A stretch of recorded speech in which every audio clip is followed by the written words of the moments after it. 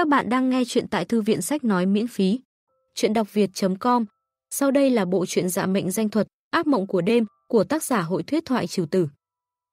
Tập 41 Chương 401 Thuyền Bắc Cực Đây là lần đầu tiên Khánh Trần tha hương nơi đất khách quê người, nên trong lòng không tránh khỏi cảm giác bồi hồi. Hắn lo lắng bản thân có thể không ăn quen đồ ăn ở Amsterdam lo lắng bản thân có thể được nhận vào làm ở thuyền bắt cua hay không. Lo lắng liệu rằng bản thân có thể đủ sức khiêu chiến với sóng biển.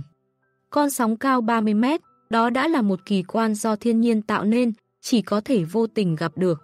Khánh Trần ngồi trên chiếc ghế mềm mại tại khoang hạng nhất, đợi cho máy bay tiến vào tầng bình lưu, mới yên tâm nhắm mắt nhớ lại tài liệu Diêm Xuân Mễ đưa cho mình. Bên trong là thông tin liên quan tới Khánh Hạnh. Khi Diêm Xuân Mễ làm loạn ở khu dân cư phồn hoa, loại bỏ đám canh gác ngầm của Khánh Hạnh bằng một phương pháp vô cùng khó chịu. Vị diễn viên cấp 3 này bình tĩnh thể hiện trình độ diễn xuất, sự chuyên nghiệp của mình. Đặt địa vị của mình trở thành diễn viên chính. Việc này thực sự khiến Khánh Hạnh khó chịu trong chốc lát, khiến anh ta không còn cách nào, chỉ đành thuê một phòng khác cho đám bảo vệ kia. Nhưng chính hành động thuê nhà đó đã tạo cơ hội cho đám diêu chuẩn của Khánh Trần tìm hiểu lực lượng bảo vệ bên cạnh Khánh Hạnh. Túc trực bên người Khánh Hạnh có 24 nhân viên bảo vệ, 8 người một tổ, thay phiên nhau trực 3 ca một ngày, theo dõi mọi tin tức liên quan đến khu vực xung quanh khu dân cư phồn hoa. Nhưng đây không phải điều Khánh Trần cần chú ý nhất, mà quan trọng chính là thói quen sinh hoạt của Khánh Hạnh. Hắn sử dụng não bộ tập hợp tất cả những thông tin có liên quan đến Khánh Hạnh, lại nhận ra người này chưa từng sử dụng nhẫn, đồng hồ hay dây chuyền. Trên cơ thể không có một món đồ trang sức nào. Mặt khác, cứ mỗi ngày Khánh Hạnh sẽ sử dụng một bộ quần áo khác nhau, thậm chí trong vòng một tháng không hề có cái nào trùng lặp. Ngày bình thường, ngoại trừ quần áo, không có bất kỳ món đồ vật dư thừa nào xuất hiện trên người. Nói cách khác, Khánh Hạnh không đem theo món vật cấm kỵ kia trên người, cũng không biết anh ta giấu nó ở đâu. Đương nhiên, vật cấm kỵ kia cũng có thể giống dùng đức phục người, có khả năng cất vào trong cơ thể con người. Nhưng thật ra, Nói một cách chính xác dùng đức phục người không phải là một vật cấm kỵ, đó là món quà Dương Tiểu Cận để lại cho nhất, và cô gái này còn chưa có chết. Xét một cách tổng thể, chỉ có người siêu phàm chết đi, tách ra vật phẩm, mới được tính là vật cấm kỵ. Trong danh sách tất cả vật cấm kỵ, không có một cái nào giống dùng đức phục người, có thể giấu vào trong cơ thể. Như vậy, Khánh Trần mạnh dạn suy đoán, món đồ vật của Khánh Hạnh cũng không thể giấu trong cơ thể được. Tiếp theo, có những vật cấm kỵ tồn tại giống như hình xăm, ví dụ như tem ác quỷ. Nhưng thời điểm Khánh Hạnh bơi, cũng không nhìn thấy trên người anh ta có bất kỳ hình xăm nào, trừ khi hình xăm vật cấm. Kỵ kia nằm ở trên mông Khánh Hạnh. Khánh Trần thấy khả năng này không thể nào. Vật cấm kỵ thật ra có tính cách độc lập, có nguyên tắc, sẽ không có chuyện nằm trên mông người khác suốt ngày. Nếu loại trừ những khả năng này, vậy Khánh Hạnh giấu vật cấm kỵ kia ở đâu? Khánh Trần tuy nhắm mắt, nhưng mày vẫn nhíu lại. Diêm Xuân Mễ theo dõi anh ta 5 ngày, trừ khi Khánh Hạnh về nhà, hay đi tới cục tình báo số 3, còn đến tổng cộng 37 nơi. Mà 37 địa điểm này khác nhau hoàn toàn. Nếu như dấu vật cấm kỵ, vậy Khánh Hạnh phải đến đó nhiều lần mới đúng chứ? Chẳng lẽ Khánh Hạnh giấu vật cấm kỵ ở cục tình báo số 3? Chắc là không, nếu làm vậy, đám ứng cử viên cái bóng như Khánh Văn nhất định sẽ cướp về tay mình. Giấu ở nhà, không phải, thời điểm Khánh Nhất tới cục tình báo số 3 bắt người là buổi chiều. Sau khi Khánh Nhất trở về, Khánh Hạnh rời khỏi cục tình báo số 3, nhưng không về nhà. Khánh Trần suy nghĩ ngày càng nhanh, hắn không ngừng đưa ra giả thuyết, sau đó tổng kết quy luật về Khánh Hạnh. Hắn phát hiện, tên này chẳng có một quy luật cố định nào cả. Chờ đã, là có quy luật. Khánh Trần đột nhiên có cảm giác, thấy được một tia sáng trong phòng tối. Người này thật ra có hai thói quen rất rõ ràng. Thói quen đầu tiên, Khánh Hạnh ra ngoài nhất định phải nhặt được tiền. Thói quen thứ hai, mỗi ngày anh ta đều ra khỏi nhà. Dù trời nắng hay mưa, một năm 365 ngày, Khánh Hạnh dùng 340 ngày thời gian, kiên trì ra ngoài dạo chơi. Giống như anh ta đi ra ngoài để nhặt tiền, nếu một ngày không nhặt được tiền sẽ thấy bản thân mất mát thứ gì đó. Khánh Trần mở to mắt, hắn có cảm giác mình đã nhìn ra thứ gì đó. Có lẽ bí mật của Khánh Hạnh liên quan đến vấn đề nhặt được tiền này. Mặc dù không biết tại sao đối phương làm vậy, nhưng Khánh Trần lờ mờ phát hiện ra. Việc mỗi ngày anh ta nhặt được tiền cùng vật cấm kỵ bí mật kia có quan hệ với nhau. Nửa đêm, tại khoang hạng nhất, những hành khách xung quanh Khánh Trần đã chỉnh ghế ngồi thành nằm ngang, sau đó đắp chăn kín người rơi vào giấc ngủ, hoặc có người nằm đó xem phim. Mà Khánh Trần vẫn ở trong thế giới thần bí, trải qua không biết bao nhiêu lần lướt sóng. Hắn ép bản thân mình không ngừng nghỉ luyện tập, bởi vì trên biển có quá nhiều yếu tố khách quan. Hắn còn luyện tập với cả những con sóng 40, 45 mét. Chỉ cần Khánh Trần phạm phải một chút sai lầm, bản thân sẽ nằm lại dưới đáy biển. Lúc này, tiếp viên hàng không nhìn thấy Khánh Trần vẫn ngồi thẳng trên ghế. Cô cho rằng đây là lần đầu tiên hắn tiếp xúc với khoang máy bay có thể nằm ngang, cho nên tiến lại gần nhắc nhở. Dù sao, phần lớn máy bay trong nước, có là khoang hạng nhất cũng chỉ chỉnh đổi một chút chỗ tựa lưng. Nên có người không biết tác dụng này cũng rất bình thường. Ngay khi tiếp viên hàng không đến gần, trong khoang hạng nhất mờ mờ tối, thiếu niên kia cũng mở mắt, ánh mắt sáng ngời. Nhìn mình, chẳng biết tại sao, cô có cảm giác tim của mình vừa dừng lại một nhịp, ánh mắt kia vô cùng đáng sợ. Cô đến gần mới biết, trên tay thiếu niên kia có cầm một bộ bài poker, tay đối phương không ngừng xào bài. Tiếp viên hàng không bị cảnh tượng này hấp dẫn, trong lúc này não bộ chẳng còn suy nghĩ được gì. Sát ý trên người vô cùng kỳ diệu. Người bình thường giết gà, con gà sẽ dãy dụa không ngừng. Nhưng, mấy người bán gà ở chợ nông mậu, chỉ cần đưa tay vào lồng, tất cả gà trong đó sẽ im lặng, mặc kệ người đó giết chết. Đám chó trong làng, chỉ cần gặp người là sủa. Có một ngày gặp được đám trộm chó, lại ngoan ngoãn bị bọn chúng khống chế. Nó giống như một loại áp chế, từ trong máu vậy. Mà cô tiếp viên hàng không kia, trong chớp mắt vừa rồi, đã rơi vào tình trạng như vậy. Khánh Trần mỉm cười, có chuyện gì vậy? Lúc này, tiếp viên mới bừng tỉnh. Cô có cảm giác, khi người này mỉm cười, thì sự sợ hãi trong lòng cô bỗng biến mất không còn chút nào. Giống như một mái nhà đầy tuyết, gặp phải ánh nắng mặt trời, lập tức bị hòa tan. Tiếp viên hàng không trả lời, tiên sinh, phía tay trái của ngài có nút điều chỉnh, mà từ đây tới Istanbul còn 9 tiếng nữa, ngài có thể điều chỉnh để ngủ thoải mái hơn. Khánh Trần mỉm cười, tôi biết rồi, cảm ơn. Hắn nói xong, vẫn ngồi nhắm mắt nghỉ ngơi như vừa rồi. Lúc đứng ở chỗ soát vé, Khánh Trần phát hiện bên trong hành khách có ít nhất 7 người, nhìn hắn quá 5 lần. Thậm chí, có một người trẻ tuổi nhìn hắn 17 lần. Không phải Khánh Trần quá nhạy cảm, mà một khi ra ngoài nhất định phải cẩn thận. Hắn rất rõ, Cửu Châu và Côn Luân có khả năng biết hắn bay chuyến này, thậm chí cả thần đại và lộc đảo cũng đang dồn sự chú ý lên hắn. Trong chuyến bay lần này, nhất định có người theo dõi hắn. Cho nên, Khánh Trần nhất định phải duy trì trạng thái để sẵn sàng đối mặt với chiến đấu bất kỳ lúc nào. Điều hắn muốn làm là để cho bản thân không lộ ra bất kỳ sơ hở nào. Lần đi ra ngoài này, trong túi của hắn chỉ có một cái điện thoại, một ví tiền và một bộ bài poker.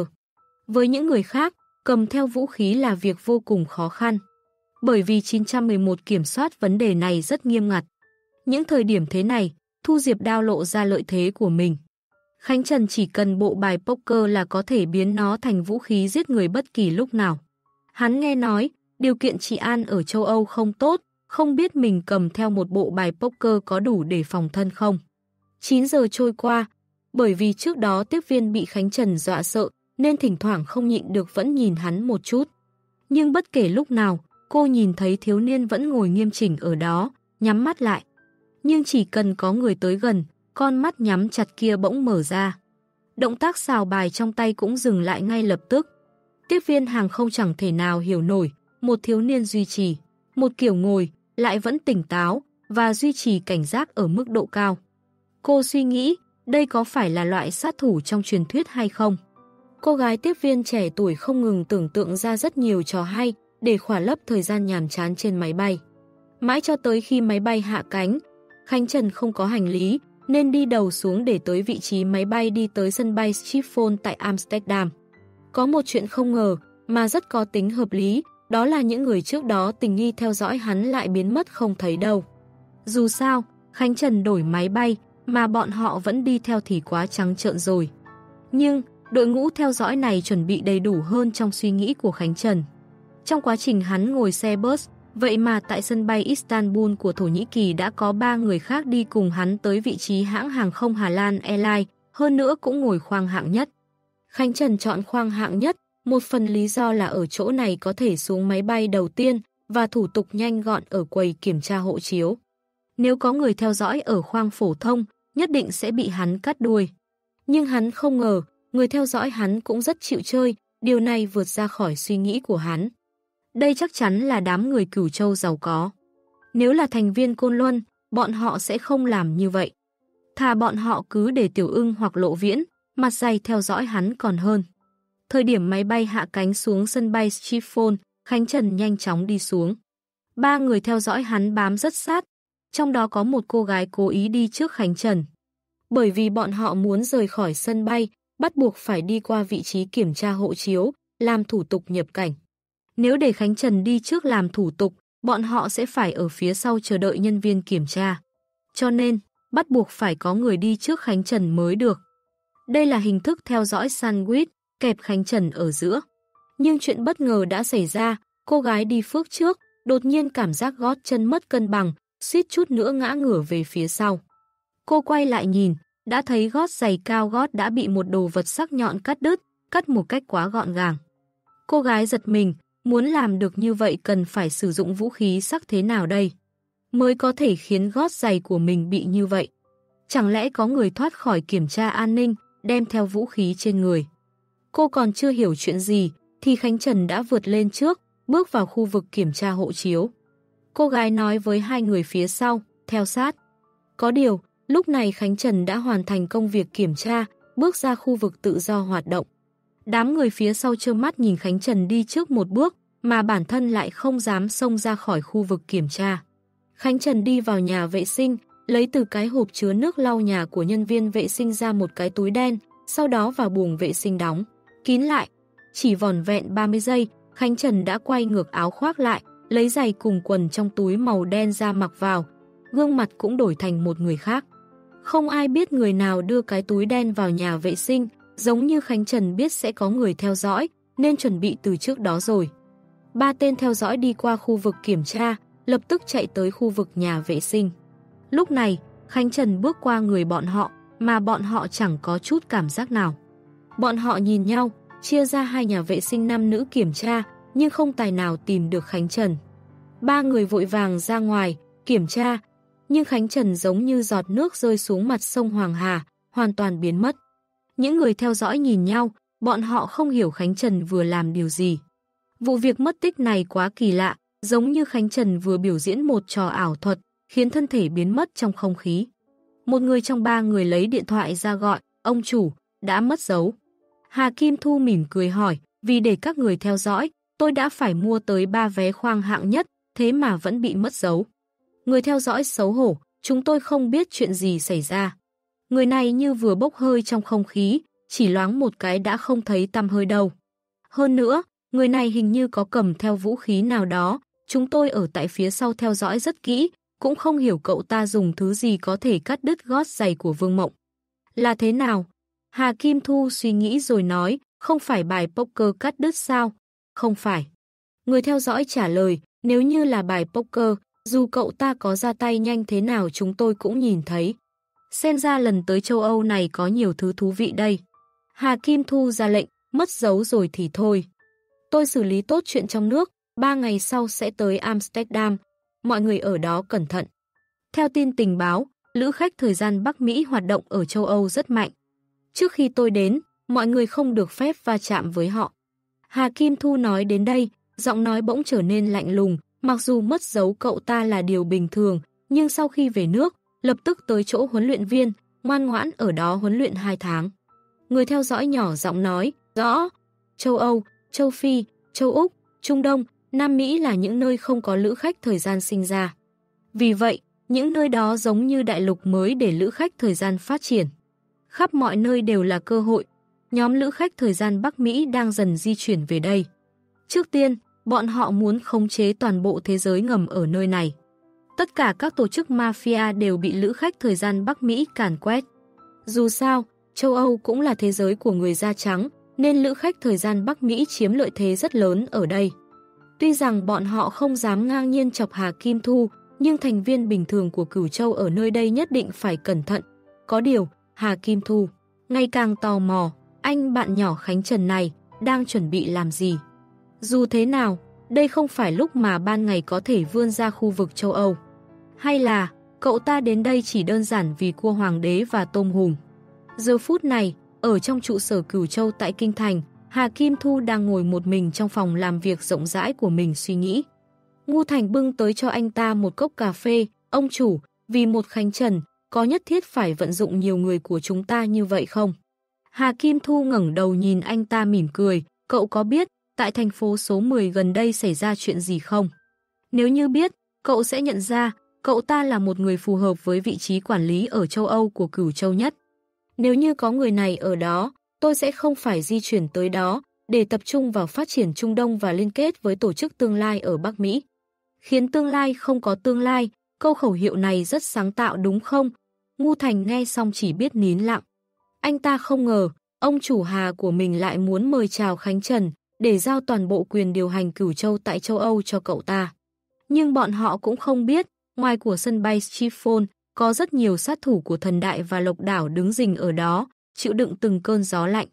Bọn họ đứng từ sáng tới đêm, thân thể gần như bị cái lạnh làm cho choáng váng. Có điều, dòng người từ sân bay đi ra, không hề thấy khuôn mặt Khánh Trần xuất hiện. Bọn họ còn nghĩ rằng Khánh Trần không ra ngoài, mà ở trong đó đi bay trở về nước. Hôm nay, có quá nhiều người đang chờ Khánh Trần.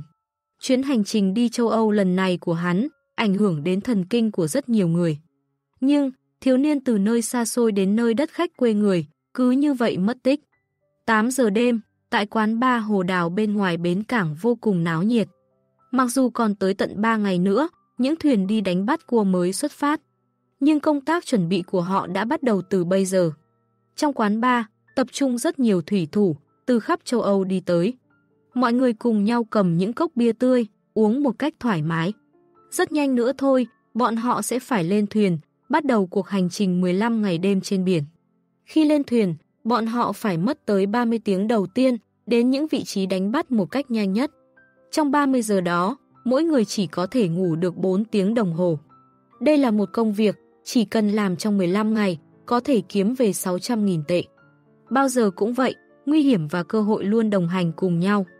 Nơi sản sinh ra nhiều cua hoàng đế nhất, chủ yếu tập trung ở gần vịnh Gizigin nước Nga, phía đông biển Beijing châu Mỹ, biển Barents phía bắc châu Âu. Mỗi một nơi, hàng năm cung cấp tới 10.000 tấn cua hoàng đế cho thế giới. Đến mùa nay, tất cả mọi người bắt cua sẽ tập trung tại ba vị trí này, chuẩn bị đón nhận quà tặng từ Thiên nhiên, cua hoàng đế sinh trưởng sâu tới 270 mét dưới đáy biển. Qua mùa này, cua hoàng đế trưởng thành sẽ di chuyển đến những nơi sâu hơn, khiến việc đánh bắt vô cùng khó khăn. Lúc này, bên trong quán ba hồ đào tỏa ra một mùi vị ẩm ướt đặc trưng, là mùi tanh và nồng của nước biển, do đám thủy thủ, thuyền trưởng kéo vào.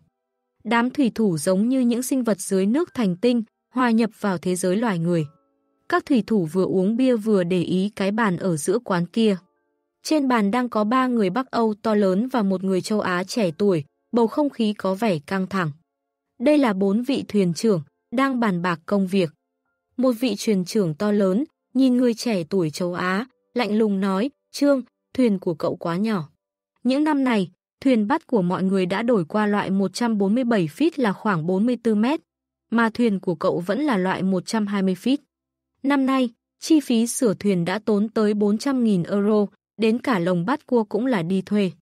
Một feet tương đương với 30cm, 120 feet bằng khoảng 40 mét. Nhưng thuyền 147 feet so với thuyền 120 feet không đơn giản là khác nhau về kích thước. Từ kho chứa cua bắt được, đến những cánh tay dùng để treo lồng cua, đều vượt trội hoàn toàn. Một tên thuyền trưởng khác nói, chúng tôi công nhận, cha của cậu là người bắt cua giỏi nhất. Hàng năm, ông ấy đều tìm được vị trí bắt cua hoàng đế tốt nhất. Nhưng Trương à, cậu thật sự không thích hợp với nghề này. Năm ngoái, cậu chỉ kiếm về đủ tiền nhiên liệu, năm nay không có thủy thủ nào đồng ý theo cậu. Một con thuyền, không có thuyền trường dày dặn kinh nghiệm, trên bong tàu không có thủy thủ thâm niên, rất dễ khiến thuyền viên mất mạng. Người trẻ tuổi này tên là Trương Kiệm. Cậu nhận công việc bắt cua từ cha của mình khi còn quá trẻ, hơn nữa còn thừa kế một chiếc thuyền hỏng. Không phải Trương Kiệm là một tay mơ không biết gì, bởi vì anh ta đã theo cha mình ra biển từ mấy năm trước. Nhưng so về kinh nghiệm hay kỹ thuật, rồi đến khả năng ứng biến, rõ ràng không thể bằng các thuyền trưởng khác được. Thu nhập của thủy thủ tỷ lệ thuận với số lượng cua bắt được. Cho nên, việc thuyền trưởng không tìm ra vị trí bắt cua, đồng nghĩa với thu nhập của thủy thủ giảm mạnh. Trên bàn tròn, Trương Kiệm lạnh lùng nhìn đám thuyền trưởng kia, các người gọi tôi tới đây, không phải chỉ nói vài lời vô nghĩa này đấy chứ. Một thuyền trưởng da trắng nói tiếp, chúng tôi biết, năm nay cậu nhận được giấy phép giới hạn 300.000 pound. Cậu bán cái này cho chúng tôi, thì cậu không cần ra biển cũng nhận được thu nhập không nhỏ. Thuyền của cậu giao cho chúng tôi, còn cậu vẫn là cổ đông lớn nhất. Một thuyền trưởng khác nói thêm vào, Trương, cậu không chinh phục được biển Barents, hay để nó lại cho chúng tôi. Ở chỗ này, thuyền chưa hẳn tài sản tư nhân, một thuyền có thể có nhiều cổ đông. Cổ đông không cần phải biết bắt cua thế nào, nhưng đầu tư vào sẽ nhận được lợi nhuận chia hoa hồng. Nếu làm vậy, giới hạn một lần ra khơi sẽ càng nhiều hơn. Ví dụ, một chiếc thuyền được cấp phép 300.000 pound, nếu bọn họ đánh bắt vượt con số này, chắc chắn sẽ bị phạt một số tiền rất lớn. Đây là cách mà châu Âu dùng để bảo vệ hệ sinh thái đại dương. Cho nên, những thuyền trưởng này nhận ra Trương Kiệm không thể nào kiếm đủ thủy thủ, muốn dùng một cái giá rất thấp mua giấy phép đánh bắt trong tay anh ta. Làm vậy, lần ra khơi này sẽ kiếm được nhiều tiền hơn. Có điều, Trương Kiệm sẽ không đồng ý làm vậy. Anh ta lắc đầu, thuyền này là cha tôi để lại cho tôi. Tôi cũng có khả năng lái đó tới biển Barents bắt được cua hoàng đế. Tất cả mọi người trong quán ba hồ đào cười phá lên. Giống như Trương Kiệm vừa kể một câu chuyện cười. Một thuyền trưởng nói, năm ngoái, cậu ra khơi mà chỉ bắt được 70.000 pound cua hoàng đế, vừa đủ trả tiền xăng. Nhưng đám thủy thủ theo cậu phải nuôi sống gia đình, chứ không phải theo cậu ra ngoài đó ngắm cảnh. Năm nay, cậu chỉ mới tuyển được 3 thủy thủ, trong đó có một người theo cha cậu lâu năm, còn hai người là người mới, chẳng có chút kinh nghiệm nào. Nếu dựa vào số lượng tối thiểu, cũng cần ít nhất hai người nữa, cậu có thể tìm được sao? Nếu tìm không được, định ra biển bằng cách nào? Một tên thuyền trưởng mỉm cười chế giễu, chẳng lẽ thuyền trưởng phải ra ngoài bong bắt cua? Vậy ai là người cầm lái? Trương Kiệm kiên cường nhìn đám thuyền trường, mặc dù cậu không biết phải trả lời thế nào. Nhưng lời bọn họ nói là đúng, nếu cậu không tuyển thêm hai người nữa sẽ rất khó ra khơi. Hàng năm, bến cảng này sẽ có rất nhiều người mới muốn tham gia công việc này. Theo lý thuyết, phải có một số người tới ứng tuyển lên tàu của mình mới phải. Như năm nay, nhóm thuyền trưởng kia đã có kế hoạch. Nếu có người mới tới, nhóm thuyền trưởng kia sẽ nói cho người mới tình trạng thảm hại của Trương Kiệm 2 năm gần đây. Nên năm nay, Trương Kiệm không còn cách nào tuyển đủ thuyền viên. Nhưng vào lúc này, cửa quán ba hồ đào bỗng có người đẩy ra. Chuông gió treo trước cửa vang lên tiếng trong trẻo. Cơn gió lạnh mùa đông từ bên ngoài lùa vào, thiếu niên mỉm cười bước vào quán ba. Cơn gió lạnh, giống như biến xung quanh đây thành cảnh biến Baren lạnh thấu xương, còn màn đêm bên ngoài giống hệt màn đen ngoài biển. Thiếu niên vào quán ba, khiến tất cả ánh mắt đổ dồn về phía cậu ấy. Thiếu niên không hề tỏ ra ấp úng, dùng tiếng Anh chào hỏi mọi người, chúc mọi người buổi tối tốt lành. Có người nói với tôi, đến đây có thể tìm được công việc bắt cua hoàng đế. Ánh mắt Trương Kiệm sáng lên, nhưng ngay lập tức trở nên ỉu xìu. Bởi vì anh ta biết, chuyện tiếp theo sẽ như thế nào. Mà thiếu niên kia hình như hơi gầy, tuổi còn nhỏ, sợ rằng vừa mới tốt nghiệp cấp 3. Hoặc đang học cấp 3 mà bỏ học giữa chừng. dáng người và khuôn mặt khá đẹp, nhưng biển Barents không đánh giá dựa vào sắc đẹp. Một thuyền trưởng nhìn thiếu niên, cậu còn, nhỏ vậy đã đi làm công rồi sao? Thiếu niên mỉm cười, không được sao. Tôi phải nuôi gia đình. Tôi nghe nói, thuyền Bắc Cực còn chưa nhận đủ thành viên. Người nào là thuyền trưởng của thuyền Bắc Cực vậy? Trương Kiệm ngẩng đầu lên, là tôi. Nhưng lúc này, một vị thuyền trưởng mỉm cười nói với thiếu niên, cậu muốn lên thuyền Bắc Cực làm thủy thủ sao? Nhưng cậu có biết hay không? Năm trước đó, Bắc Cực chỉ kiếm về số lượng cua hoàng đế vừa đủ tiền xăng. Thiếu niên giải thích, sư phụ của tôi nói, nếu làm việc gì đó năm thứ nhất, đừng quá quan trọng về mặt lợi ích, mà góp nhặt kinh nghiệm mới là thứ quý nhất. Một thủy thủ trêu chọc, lên thuyền Bắc Cực để góp nhặt kinh nghiệm.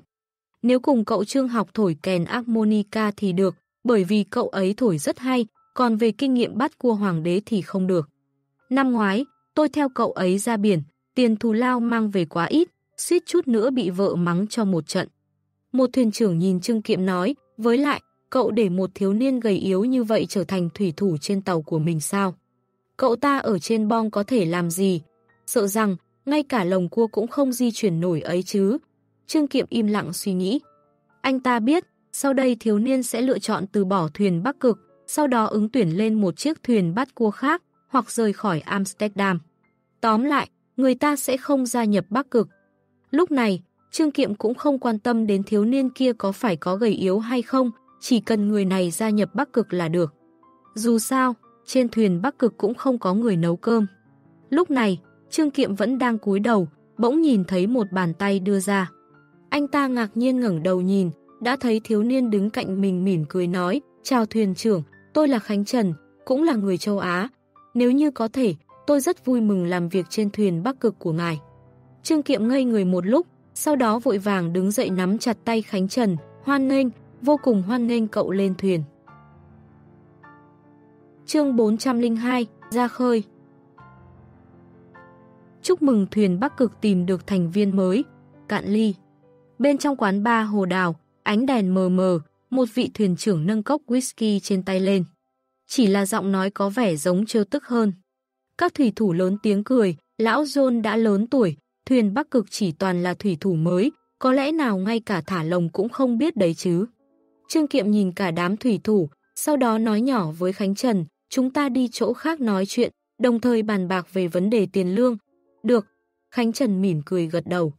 Có điều, khi hai người đang chuẩn bị đi, một vị thuyền trường tên là Chris đứng dậy nói, chờ đã, cậu thiếu niên Khánh, thuyền Apps của tôi cũng đang cần thuyền viên, chi bằng cậu gia nhập thuyền với bọn tôi. Thuyền của tôi nhất định kiếm được nhiều hơn thuyền Bắc Cực. Các thủy thủ ngạc nhiên, thuyền Apps là quán quân lần bắt cua năm ngoái.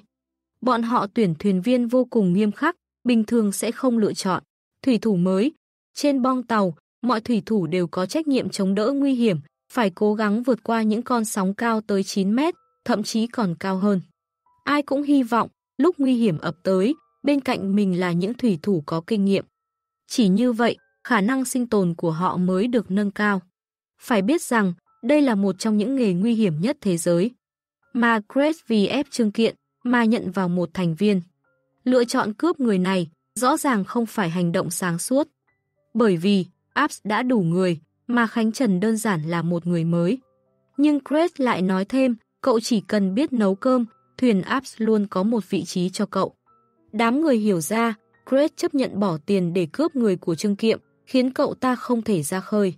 Nếu Trương Kiệm bán hạn ngạch của mình, thì Craig có nuôi thêm một người cũng kiếm được rất nhiều. Có điều, Khánh Trần mỉm cười nói, cảm ơn, tôi thích mạo hiểm. Craig thấy Khánh Trần đã quyết định, cũng không nói thêm điều gì nữa.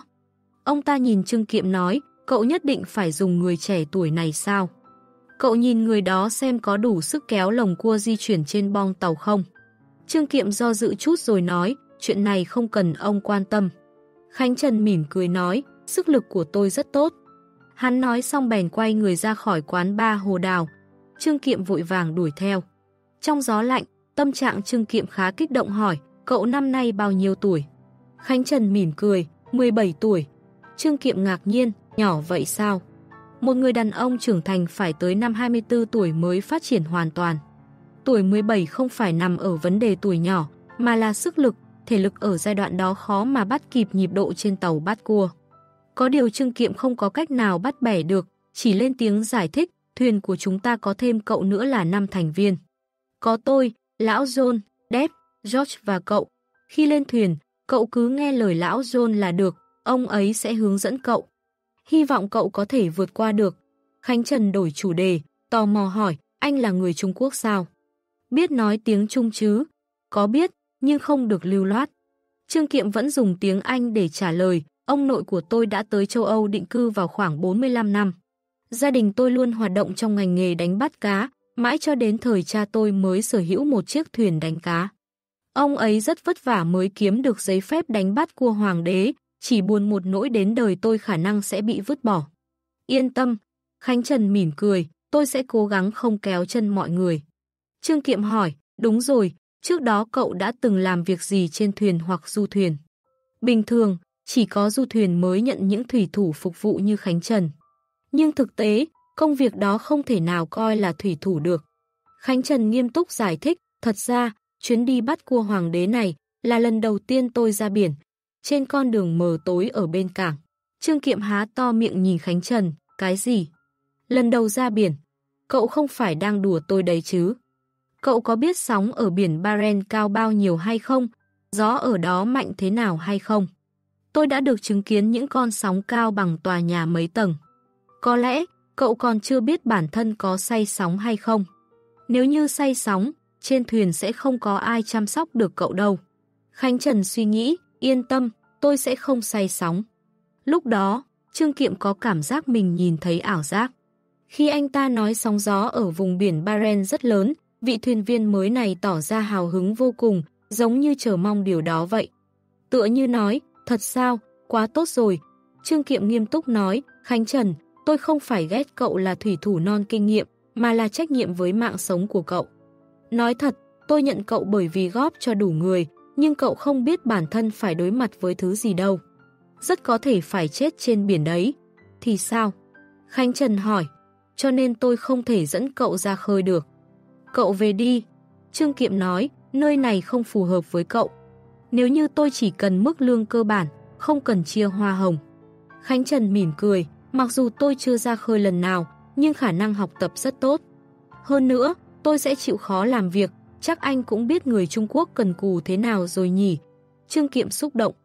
Một thuyền viên chấp nhận mức lương cơ bản là cực thấp, ít ra cũng thuyền viên được chia hoa hồng là không sánh được. Ra khơi, tiêu tốn nhất là thuyền, xăng dầu và người. Nếu Khánh Trần chỉ cần mức lương cơ bản, đồng nghĩa với việc anh ta có một sức lao động miễn phí.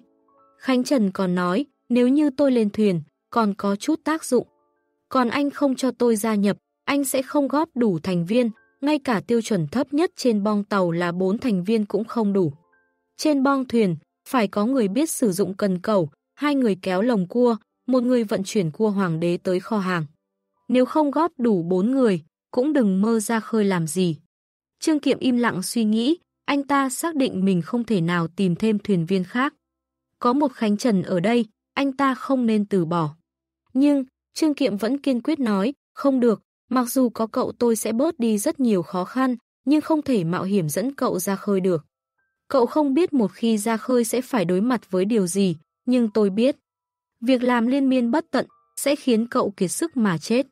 Khánh Trần suy nghĩ, nếu như tôi gọi thêm một thuyền viên, mà hai chúng tôi chỉ cần cầm lương cơ bản thì thế nào? Trương Kiệm ngạc nhiên, như vậy hình như là được. Một giây sau, Khánh Trần lấy điện thoại ra ngoài gọi điện, tới đây đi, hai ta cùng lên thuyền. Trương Kiệm đứng ngây ra tại chỗ. Hơn 10 phút sau, có một người mặc chiếc áo hút đi, đội mũ trùm áo, đeo một túi nhỏ đi tới. Khánh Trần mỉm cười giới thiệu, giới thiệu với anh, đây là bạn của tôi, tên là Ương Ương. Cô ấy cũng đồng ý theo thuyền chúng ta ra khơi bắt cua hoàng đế. Thực ra, lần này Khánh Trần quyết định ra nước ngoài, hoàn thành cánh cửa sinh tử thứ ba, đã muốn Ương Ương trở thành người bảo vệ.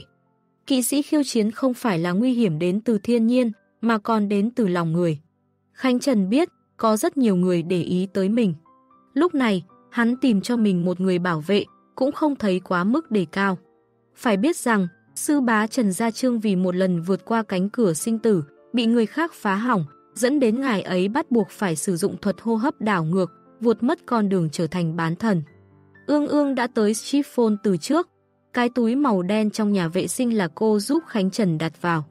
Trước khi xuất phát, Khánh Trần còn cố tình nhắc nhở cô nhất định phải đi máy bay. Thời điểm cô đi đường, phải sử dụng phương tiện do người khác chở. Nếu cô không làm vậy sẽ phá hỏng rất nhiều chuyện. Cũng may, ương ương làm theo. Trương Kiệm giống như người ngủ mê, một cô gái gầy yếu cũng muốn làm thuyền viên sao. Một vị bỏ ngang cấp 3, một cô gái gầy yếu. Chẳng biết thuyền Bắc Cực đã trượt tới phương nào. Trương Kiệm hỏi, hai người các cậu không phải du học sinh tới trải nghiệm cuộc sống chứ? Mà các người không có hộ chiếu để tìm việc khác sao? Ương ương mỉm cưới nói, chuyện này có quan trọng không? Chúng tôi chỉ nhận lương cơ bản, có trở thành du khách trên thuyền cũng chẳng có gì. Thế nhưng, hai người. Ương ương nghiêm túc nói, tôi đạt giải Á quân một cuộc thi thuyền buồm, tự mình lái thuyền vượt qua Ấn Độ Dương. Tôi so với vị Khánh Trần bên cạnh này hiểu biết hơn nhiều. Với lại, tôi biết biển Barents có gì, ông có thể yên tâm. Khánh Trần giật mình nhìn cô gái bên cạnh, vì sao lại kéo cả mình vào rồi. Chỉ là, tâm trạng cô gái này có vẻ khá vui. Bản thân vừa trải qua một lần xuyên qua quá dài, nên cô dự định sẽ tham gia một chuyến du lịch. Nên khi Khánh Trần vừa đưa ra đề nghị, cô không cần nghĩ nhiều mà đồng ý luôn. Trương Kiệm nhìn lại đôi nam nữ trước mặt này, chỉ có cảm giác lần ra khơi bắt cua hoàng đế của mình trở nên kỳ lạ. Anh ta suy nghĩ thật lâu, cuối cùng cũng lên tiếng, được rồi, chuyến đầu tiên ra biển khoảng chừng 7 ngày. Nếu lúc đó các người không chịu nổi khổ sở trên thuyền, có thể trở về cảng rồi rời đi. Bình thường, mỗi lần ra khơi khoảng chừng 15 ngày, dài nhất cũng không tới một tháng. Mỗi mùa bắt cua, có thể ra biển mấy lần, bình thường thuyền nào chất đầy kho chứa sẽ quay trở lại điểm xuất phát. Hạn ngạch của thuyền Bắc Cực là 300.000 pound, còn kho chứa của thuyền chỉ chứa được 150.000, cho nên cần phải về bến cảng bổ sung nhiên liệu cùng nước ngọt, sau đó lại ra khơi lần nữa. Có điều, vào mùa bắt cua năm ngoái, Bắc Cực thu hoạch quá ít, hai chuyến chỉ bắt được 70.000 pound cua hoàng đế, vừa đủ trả tiền xăng. Năm nay, Trương Kiệm bỏ ra 400.000 euro sửa thuyền. Cha anh ta đã qua đời, bản thân còn phải trả tiền thuế để nhận tiền thừa kế. Ngay cả 180 cái lồng cua cũng là đi thuê. Thời gian thuê là 15 ngày, đến thời hạn nhất định phải trả lại. Cho nên, Trương Kiệm không còn đường lùi. Lần này, anh ta nhất định phải đánh cược. Đây cũng là lý do những thuyền trường khác ép anh ta, muốn cướp đi hạn ngạch trong tay anh ta. Khánh Trần nhìn Trương Kiệm hỏi, đúng rồi, những thuyền viên còn lại đâu? Sau đó, mọi người ở cảng biển chờ đợi hai ngày. Chẳng biết là ai truyền ra tin tức, thuyền Bắc Cực vừa nhận thêm một học sinh cấp 3 bỏ học và một cô gái. Chuyện này trở thành trò cười lớn nhất tại bến cảng. Ai đi bắt cua hoàng đế lại dẫn theo phụ nữ. Công việc bắt cua có số lượng công việc quá nhiều, hơn nữa vô cùng vất vả, chẳng có mấy người phụ nữ chịu được loại công việc này. Trong quán bar, rất nhiều người bắt đầu đánh cược. Bọn họ cược, năm nay thuyền Bắc Cực bắt được bao nhiêu cua hoàng đế. Có người nói giống năm trước, 70.000 pound. Cũng có người cược, khả năng còn chưa tới 50.000 pound. Tất cả mọi người cho rằng, nếu năm nay Trương Kiệm không làm tốt, có khả năng sẽ kiếm không đủ tiền để trả tiền xăng lẫn tiền thuê lồng. Không ngờ, tên này dám kéo cả một thiếu niên 17 tuổi với một cô gái lên thuyền. Điều này chẳng phải nói rõ, Trương Kiệm đã hết đường đi rồi sao? Xem ra, sau mùa bắt cua này, Trương Kiệm sẽ tuyên bố phá sản. Từ đầu đến cuối, không ai cảm thấy Khánh Trần và Ương Ương có thể giúp gì trên thuyền. Cách thời điểm ra khơi chỉ còn một ngày, tại sân bay Schiphol có một chiếc máy bay của hãng hàng không Thổ Nhĩ Kỳ vừa hạ cánh. Trong khoang hạng nhất, Hà Kim Thu đứng dậy, duỗi lưng một cách thoải mái. Tiếp viên hàng không nhiệt tình nói, chào Hà tiên sinh, mời ngài đi lối đi của khoang hạng nhất, sẽ có xe chuyên dụng chở ngài đi. Hà Kim Thu đi ra ngoài, sau đó dừng lại mỉm cười nói với tiếp viên hàng không, à đúng rồi, tôi còn một người bạn ngồi ở khoang phổ thông. Người đó và tôi đi cùng một chuyến xe. Anh ta đang nói chuyện. Phía sau cabin, Trịnh Viễn Đông mặc bộ quần áo leo núi, trên tay có đeo bao tay, để giấu đi những bộ phận bị máy móc thay thế của mình. Ông ta là chỉ huy Côn Luân, tất nhiên không cần phải lo có nhân viên an ninh đến kiểm tra mình. Phía Amsterdam cũng không có điều gì hạn chế lữ khách thời gian xuất nhập cảnh. Mọi người ra vào tự do, ngay cả người chuyên gây chuyện tại nước ngoài như Hà Kim Thu cũng không bị hạn chế nhập cảnh. Nơi này là một trong số ít những quốc gia châu Âu không hạn chế nhập cảnh đối với Hà Kim Thu. Hà Kim Thu bước xuống máy bay, giả vờ nhiệt tình nói, đội trưởng, tôi thật sự không ngờ ngồi máy bay cũng vô tình gặp được ngài. Ngài yên tâm, tôi sẽ không để ý việc ngài nhúng tay vào công việc ở nước ngoài đâu. Nếu như Cửu Châu và Côn Luân có thể sát, nhập, ngài muốn làm gì mà trả được. Trịnh Viễn Đông lạnh lùng nhìn Hà Kim Thu, xui xẻo. Hà Kim Thu không hề tức giận, chỉ mỉm cười nói, đội trưởng cũ cũng đến đây vì Khánh Trần sao. Có lẽ ngài cũng biết, đã có thành viên Lộc Đảo và Thần Đại nhập cảnh vào Amsterdam, Hà Lan, nên biết rằng cậu ấy sẽ gặp nguy hiểm. Nhưng, hai ta cùng tới đây đúng là không may cho bọn họ. Chúng ta đến đây rồi, cũng nên dạy bảo đám người tương lai ở Bắc Mỹ hay Thần Đại và Lộc Đảo một bài học chứ. Để bọn họ biết trình độ nước ta là thế nào. Trịnh Viễn Đông nhìn Hà Kim Thu nói, tôi không có hứng với việc tranh đoạt lợi ích, mà chỉ muốn giết một người. Hà Kim Thu mỉm cười, là cái người giỏi chế tạo ảo ảnh kia sao? Ngài tìm được người đó rồi. Cho nên, vì những chuyện tên đó làm trong nước, có trốn ra nước ngoài cũng bị ông chủ trịnh truy sát đến cùng. Yên tâm, hai chúng ta kết hợp, Tên đó chết là cái chắc, ngài họ Trịnh, tôi họ Hà, hai chúng ta ở cùng một chỗ có thể gọi là Trịnh Hà Hạ Tây Dương. Năm đó Trịnh Hòa Hạ Tây Dương, vậy mà, Trịnh Viễn Đông nhìn Hà Kim Thu, cậu nói cũng nên nói cho đúng, Trịnh Hòa Hạ Tây Dương là đi Ấn Độ Dương, chưa từng tới đây.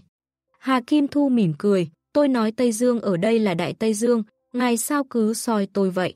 Trịnh Viễn Đông nhìn Hà Kim Thu, Khánh Trần đang ở đâu? Không biết, không biết. Hà Kim Thu ngồi trên xe, tỏ ra không vui, Cửu Châu có ba trụ sở ở châu Âu, cả đám làm việc ở đây, nhưng ai có thể làm gì được cậu ta? Đừng nói là tôi không biết, cả thần đại và lộc đảo cũng không tìm thấy. Ngài biết không, mấy ngày này, có rất nhiều người tìm cậu ta. Nhưng cậu ta không có ở một khách sạn nào, cũng chưa từng sử dụng thẻ tiêu một đồng nào. Tất cả nơi mà cậu ta có khả năng đi, đều có người tìm. Phía cảnh sát cũng có người túc trực ở đó, ngay cả nhà hàng cũng có người theo dõi, nhưng thằng nhóc này giống như bốc hơi trong không khí vậy. Có đôi khi, tìm một người rất dễ, nhưng có lúc lại vô cùng khó khăn. Bình thường, khi cần tìm một người, bọn họ sẽ dựa vào thời điểm người đó sử dụng thẻ ngân hàng hay nơi đối phương có thể đi. Nhưng có một điều quan trọng là Khánh Trần không đi tới địa điểm mà mọi người suy đoán. Điều này khiến mọi người khó hiểu, không biết tên này đang làm gì. Bọn họ sao mà ngờ được, Khánh Trần bỏ ra 27.000 tệ, ngồi khoang hạng nhất tới đây, chỉ vì làm công. Hơn nữa người này lại lao đầu vào việc bắt cua, một trong những việc nguy hiểm nhất thế giới. Một lữ khách thời gian, ai lại đi làm công? Hà Kim Thu nói, bây giờ, chỉ có thể chờ cậu ta xuất hiện. Nếu cậu ta không xuất hiện, sẽ không có người ra tay. Lúc này, khi gần như cả thế giới đều tìm Khánh Trần, thì hắn đang đi tới nơi đậu của thuyền Bắc Cực. Hắn ngẩng đầu lên, thì phát hiện thuyền Bắc Cực vừa mới sơn, trắng, xanh đan sen nhìn rất đẹp mắt.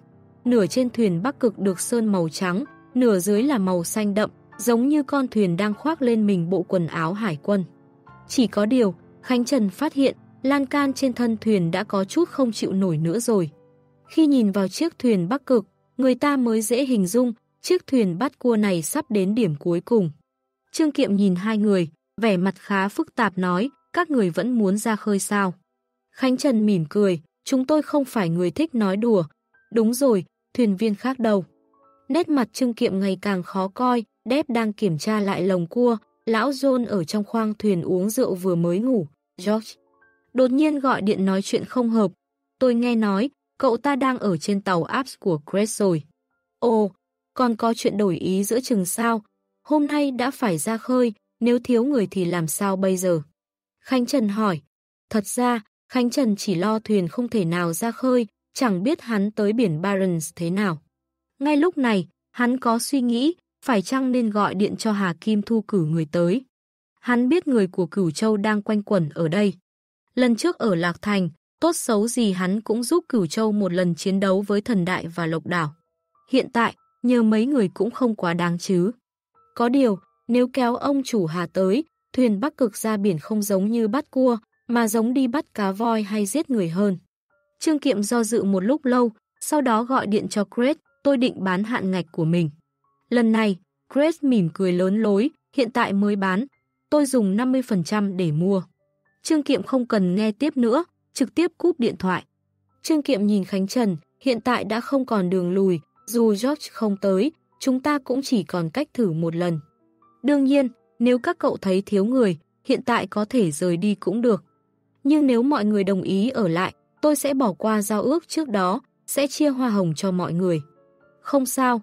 Khánh Trần mỉm cười, người Trung Quốc có câu, nhập ra tùy tục, lên đường thôi.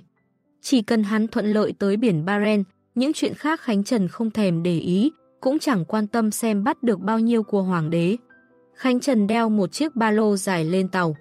Hắn nhìn thấy vị trí mũi tàu cho một cây thánh giá bằng bạc thì hỏi, đó là cái gì? Trương Kiệm giải thích, linh vật, mỗi thuyền trưởng sẽ chuẩn bị một linh vật, phù hộ cho chuyến đi được bình an. Cậu đeo cái gì sau lưng vậy? Khánh Trần mỉm cười nói, cái này sao? Là linh vật của tôi. Trương Kiệm nghe xong chỉ im bặt. Thủy thủ có đủ loại linh vật kỳ lạ, có người cầm theo dây chuyền chứa ảnh người nhà. Có người cầm theo một con rối, nhưng linh vật của Khánh Trần có lẽ là to nhất trong số các linh vật anh ta từng thấy. Trong ba lô rõ ràng là một cái ván lướt sóng. Trương Kiệm cảm thấy kỳ lạ, không phải thiếu niên này muốn tới biển Barents lướt sóng đấy chứ. Lên thuyền, lão John ung, Dung bước ra khỏi khoang thuyền, nói với Trương Kiệm, lần này ra biển, bởi vì năm đó cha cậu cứu tôi. Nhớ kỹ, năm sau đừng tìm tôi nữa, ngay cả kiếm về thủy thủ nghiêm chỉnh cũng không được, vì sao còn cố chấp chinh phục biển Barents. Nơi đó dành cho người mạnh mẽ. Trương Kiệm xấu hổ. Anh ta không nói gì, chỉ đi đến khoang điều khiển, từ từ điều khiển thuyền Bắc Cực rời khỏi cảng. Ngay khi thuyền sắp rời khỏi cảng, đám thủy thủ của tàu Aps cũng đang đi đến thuyền của mình. Bọn họ đứng ở trên đường chỉ trỏ lên người Khánh Trần và Ương Ương, sau đó cười thật to. Khánh Trần đứng trên bong tàu nói với Ương Ương, hình như hơi nát thì phải. Ương Ương mỉm cười, đúng là hơi nát thật. Lúc này, điện thoại của Ương Ương vang lên, cô cầm điện thoại lên nói, alo, mình không đi được, đang ở nước ngoài. Đầu dây bên kia lớn tiếng nói, cái gì? Cậu đi từ lúc nào, sao không nói với bạn thân một tiếng chứ?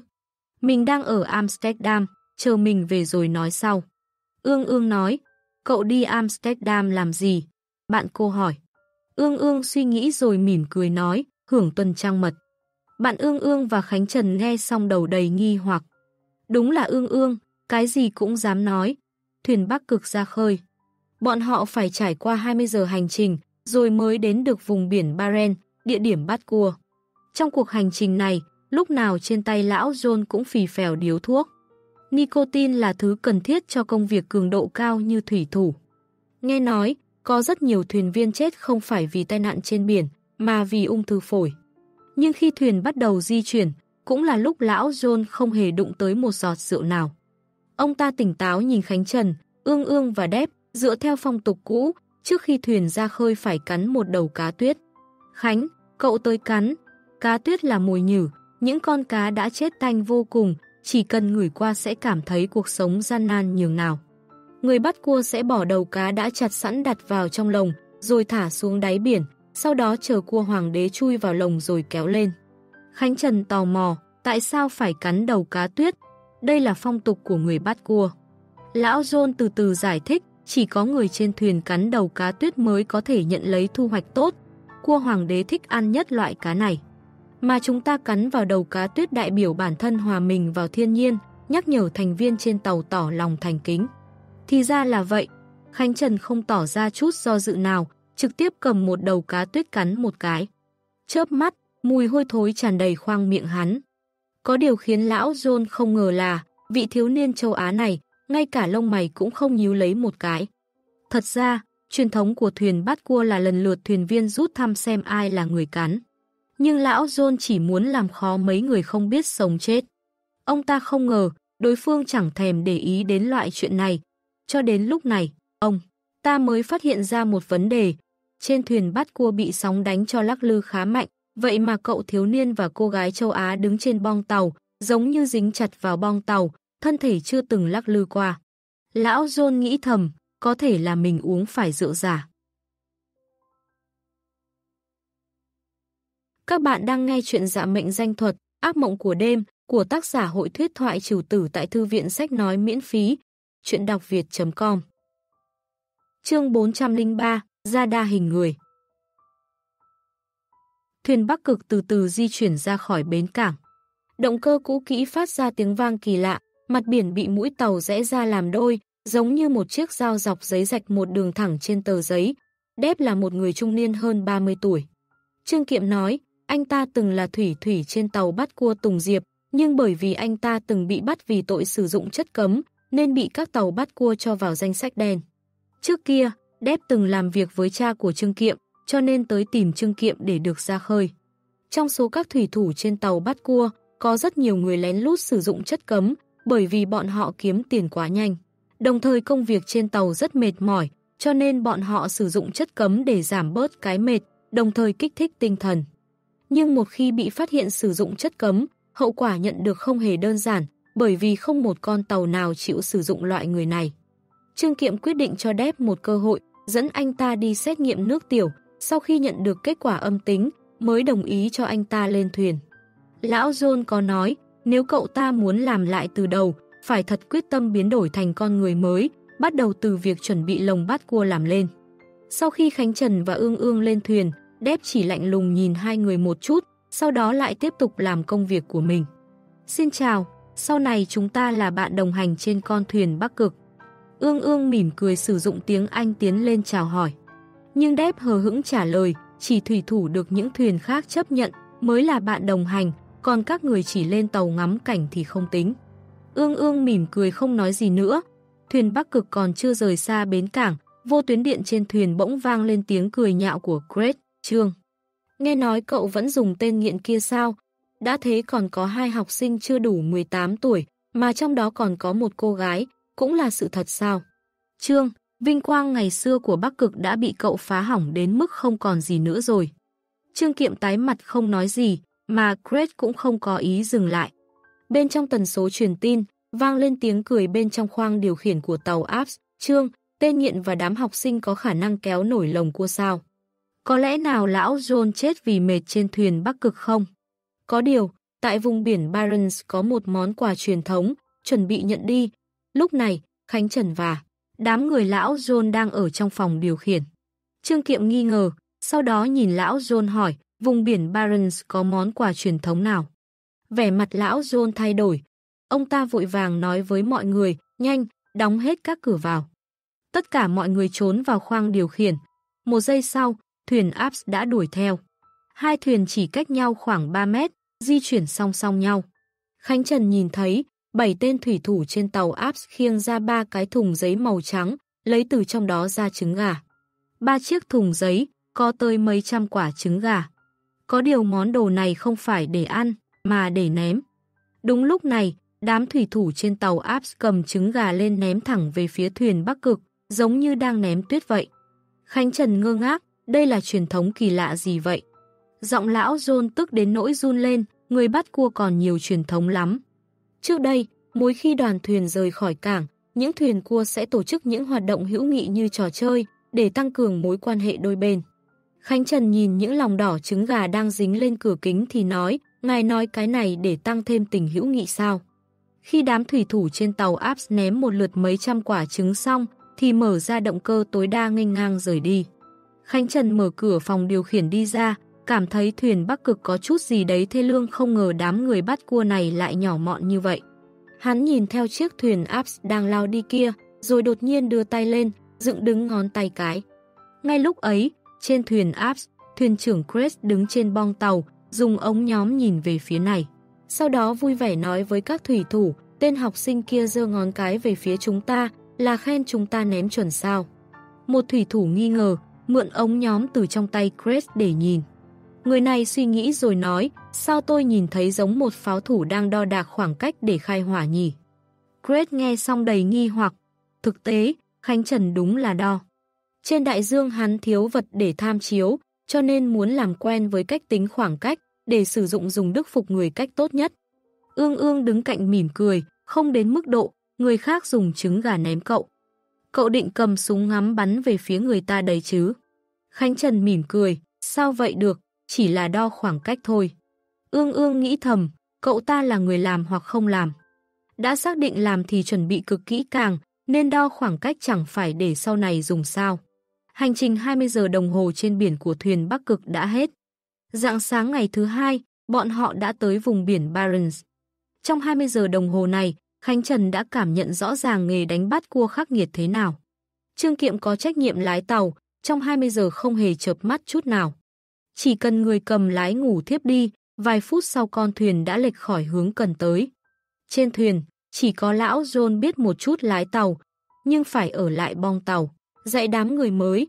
Ông ấy sử dụng 20 tiếng này dạy cho người mới biết việc cần làm, như buộc lồng cua, hạ lồng, treo lồng, làm sao để cho thân thuyền ổn định. Hơn nữa, còn phải dọn dẹp mớ trứng mà thuyền Apple vừa mới ném. Gió biển rét lạnh, mạnh mẽ thổi thẳng vào trong cổ từng người. Nước biển lúc nào cũng có thể ập lên bong tàu. Cũng may, điều Trương Kiệm lo lắng nhất đã không xảy ra, không ai bị say sóng cả. Lão John không hề tỏ ra vui vẻ một giây nào. Ông ta nhìn đám người mới, tay chân vụng về, tức giận mắng chửi Trương Kiệm chẳng làm được gì ra hồn, mặc cho Trương Kiệm có nghe được hay không. Sau khi mọi việc chuẩn bị hoàn thành, Đép, Khánh Trần, Ương Ương đã mệt mỏi ngồi thở trên bong tàu. Mặt trời mọc, mặt trời giống như từ dưới biển mọc lên. Lão John đứng trên bong tàu hô lớn, đám nhóc, cho mấy đứa một tiếng nghỉ ngơi. Cố gắng mà sử dụng, ông ta vừa nói xong. Đép lê tấm thân mệt mỏi vào buồng nhỏ trên tàu nghỉ ngơi. Còn Khánh Trần và Ương Ương bị hấp dẫn bởi cảnh bình minh ló dạng, nên vẫn ngồi lì trên bong im lặng ngắm nhìn. Cảnh đẹp kia như một bức tranh lộng lẫy. Khánh Trần nói nhỏ với Ương Ương, có cần phải diễn triệt để như vậy không? Mình cảm thấy hai đứa chẳng mệt chút nào. Ương Ương mỉm cười, phải hòa cùng quần chúng chứ. Mình nhìn thấy học sinh đang chuẩn bị cho buổi biểu tình, cậu đến thành phố số 10 rồi sao? Khánh Trần hỏi. Ương Ương ngồi dựa vào lan can trên bong tàu, quay đầu nhìn Khánh Trần, mình còn chưa tới. À đúng rồi, cậu ở thành phố số 10 làm không ít chuyện nhỉ. Thân phận của cậu bây giờ hẳn là phụ trách việc bắt mình mới đúng. Theo tin tức mình nhận được, PCA có trách nhiệm chủ yếu về vấn đề này, bắt người hắc đảo ẩn nấp trong nội bộ liên bang. Cậu muốn nói điều gì? Khánh Trần tò mò. Ương ương suy nghĩ rồi nói, cho nên, thân phận của chúng ta hiện tại là đối lập nhau. Trở thành người này sống, người kia phải chết. Cậu đừng nói mấy câu buồn cười này nữa có được không? Khánh Trần thở dài. Ngay từ đầu, Khánh Trần còn tưởng cô bạn ương ương này là một sát thủ lạnh lùng, tách biệt với mọi người. Nhưng thực tế, tính cách cô ấy có gì đó vô cùng thoải mái, không thể đỡ được. Cô ví dụ giác tỉnh giả giống như những con dã thú thì cũng thôi đi. Nhưng thói quen xấu đá đều người khác chẳng biết cô học từ nơi nào. Quan hệ giữa hai người với đám người trương kiệm, John, Đép nhìn có vẻ đã gần hơn, nhưng sự thật thì sao? Ngoại trừ việc ương ương nói xấu Khánh Trần ra, thì giữa bọn họ chẳng có tiến triển gì khác. Khánh Trần biết rõ, ương ương có mục tiêu của mình. Cô không phụ thuộc vào hắc đào, cũng như không phụ thuộc vào ban ngày. Mọi việc cô đang làm đều hướng tới mục đích của mình. Khánh Trần quay qua hỏi, cậu muốn giúp người của thế giới bên trong. Ừ, ương ương gật đầu. Chuyện này chỉ dựa vào đám học sinh đi biểu tình là không được. Khánh Trần nói, lịch sử tại thế, giới bên ngoài, cũng đủ để chứng minh điều đó. Nhưng bước đầu tiên là mở mang tri thức cho mọi người. Ương ương nhìn từng con sóng vỗ vào thuyền, cuộc sống của mình còn dài, từ từ rồi sẽ đạt được. Chẳng biết tại sao, Khánh Trần có cảm giác mình và ương ương đứng ở hai đầu cực nam châm. Hắn là một người chủ nghĩa bi quan, luôn nghĩ đến những ngày gian khổ, luôn chuẩn bị mọi thứ để đối mặt với điều đó. Còn ương ương vĩnh viễn là cô gái lạc quan. Cũng không hiểu tại sao bọn họ trở thành bạn bè của nhau được. Nhưng vào lúc này, sóng bên ngoài biển bỗng nhiên đánh dữ dội, một chú cá voi xanh bỗng nhiên xuất hiện phía xa xa, đón ánh nắng của ngày mới, vui vẻ nhảy nhót trên mặt nước. Vùng biển rộng lớn, cá voi xanh khổng lồ, hai bên vây như hai cánh máy bay. Giống như chú cá này chỉ cần dùng thêm chút sức có thể bay lên không trung. Cảnh tượng hùng vĩ hòa cùng ánh mặt trời, trói lọi vô cùng. Đây là lần đầu tiên Khánh Trần nhìn thấy cá voi xanh, nó cũng giống như lần đầu tiên Khánh Trần nhìn thấy cái cây cổ thụ to lớn ở vùng đất cấm kỵ 002 kia vậy. Lão John bước từ trong khoang thuyền ra, thả lồng cua xuống, hạ tám cái giò đường. Cá voi xanh xuất hiện, chúng ta sẽ buông lồng xuống ở vị trí nó xuất hiện. Loài vật khổng lồ trong biển kia giống như người dẫn đường, nó sẽ đưa may mắn đến cho chúng ta. Chỉ thả 8 cái thôi sao? Khánh Trần hỏi. Chỉ thả 8 cái. Nhớ kỹ, đây là điều người mới khi tới biển Barents phải biết. Đây gọi là lồng dò đường, bỏ xuống biển 6 giờ đồng hồ. Nếu như phía dưới có cua hoàng đế, thì nơi này sẽ là ngư trường của chúng ta. Lão John nói, Lão nói xong bèn cầm lấy điện thoại trước cửa khoang điều khiển gọi, Trương, chúng ta muốn thả lồng cua. Điện thoại được kết nối liên thông với tần số trong phòng điều khiển, thuận lợi để thuyền viên giao tiếp với thuyền trưởng.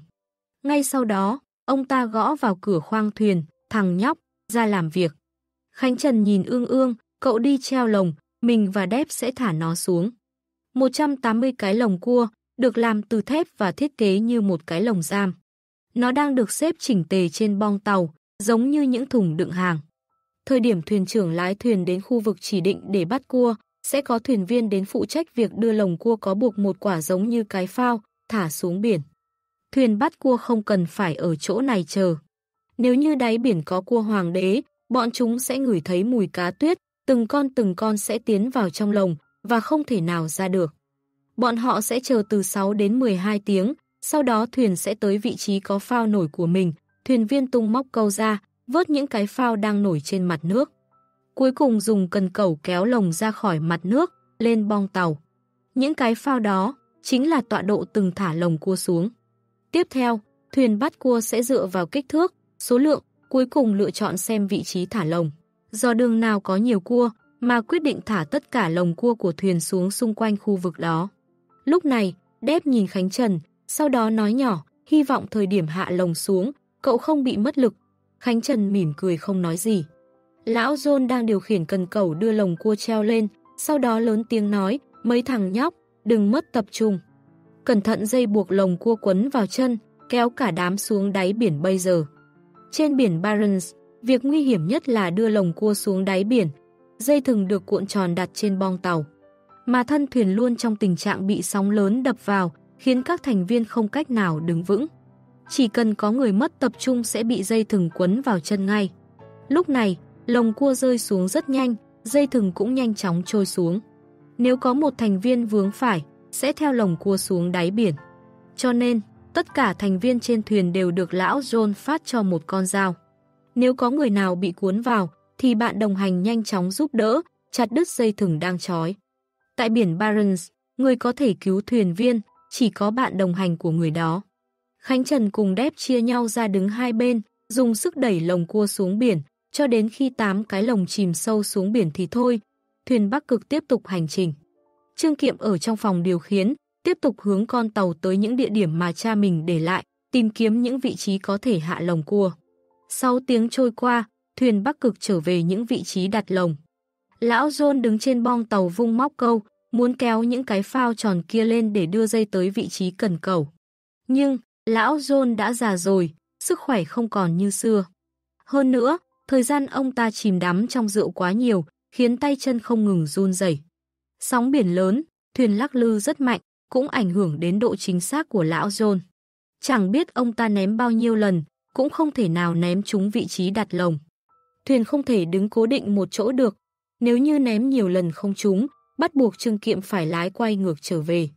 Chuyện này, đối với một thủy thủ kinh nghiệm, chẳng khác nào sự sỉ nhục. Khánh Trần suy nghĩ, sau đó nói với lão John, hay để tôi thử một chút. Lão John mỉm cười, thằng nhóc, cậu cảm thấy mình làm được sao? Cậu muốn thử, thì thử thôi. Nhớ đấy, đừng ném vào phao, nếu phao bị vỡ, lồng cua và dây thừng sẽ ở lại dưới đáy biển vĩnh viễn. Ngay lập tức, lão đưa móc câu cho Khánh Trần, lão nhìn thấy Khánh Trần quăng một lần đã trúng dây thừng.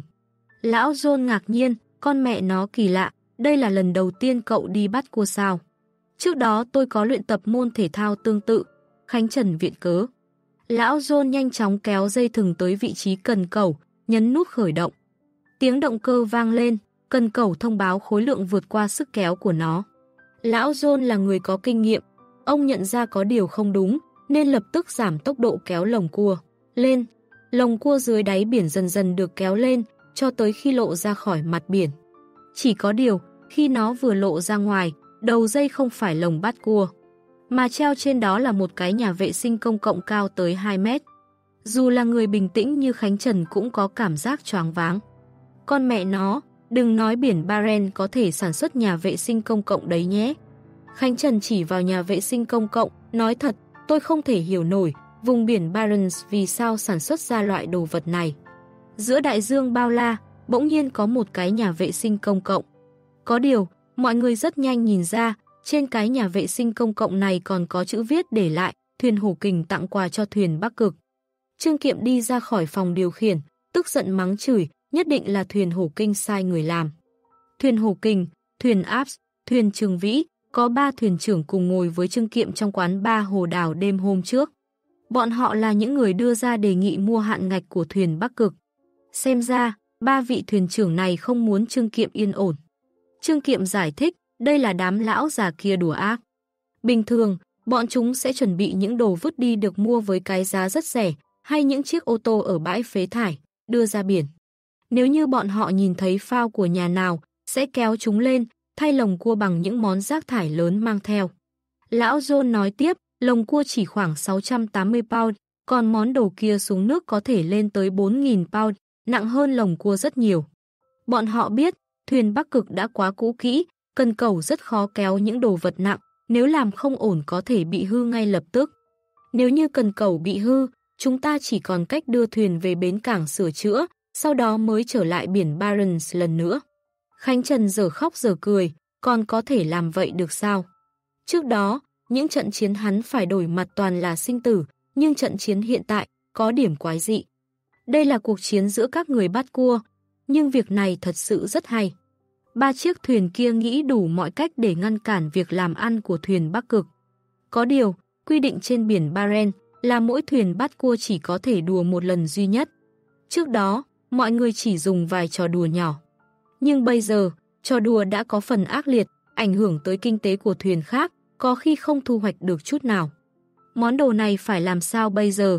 Khánh Trần chỉ vào cái nhà vệ sinh công cộng đang nổi lình bềnh trên mặt biển kia hỏi.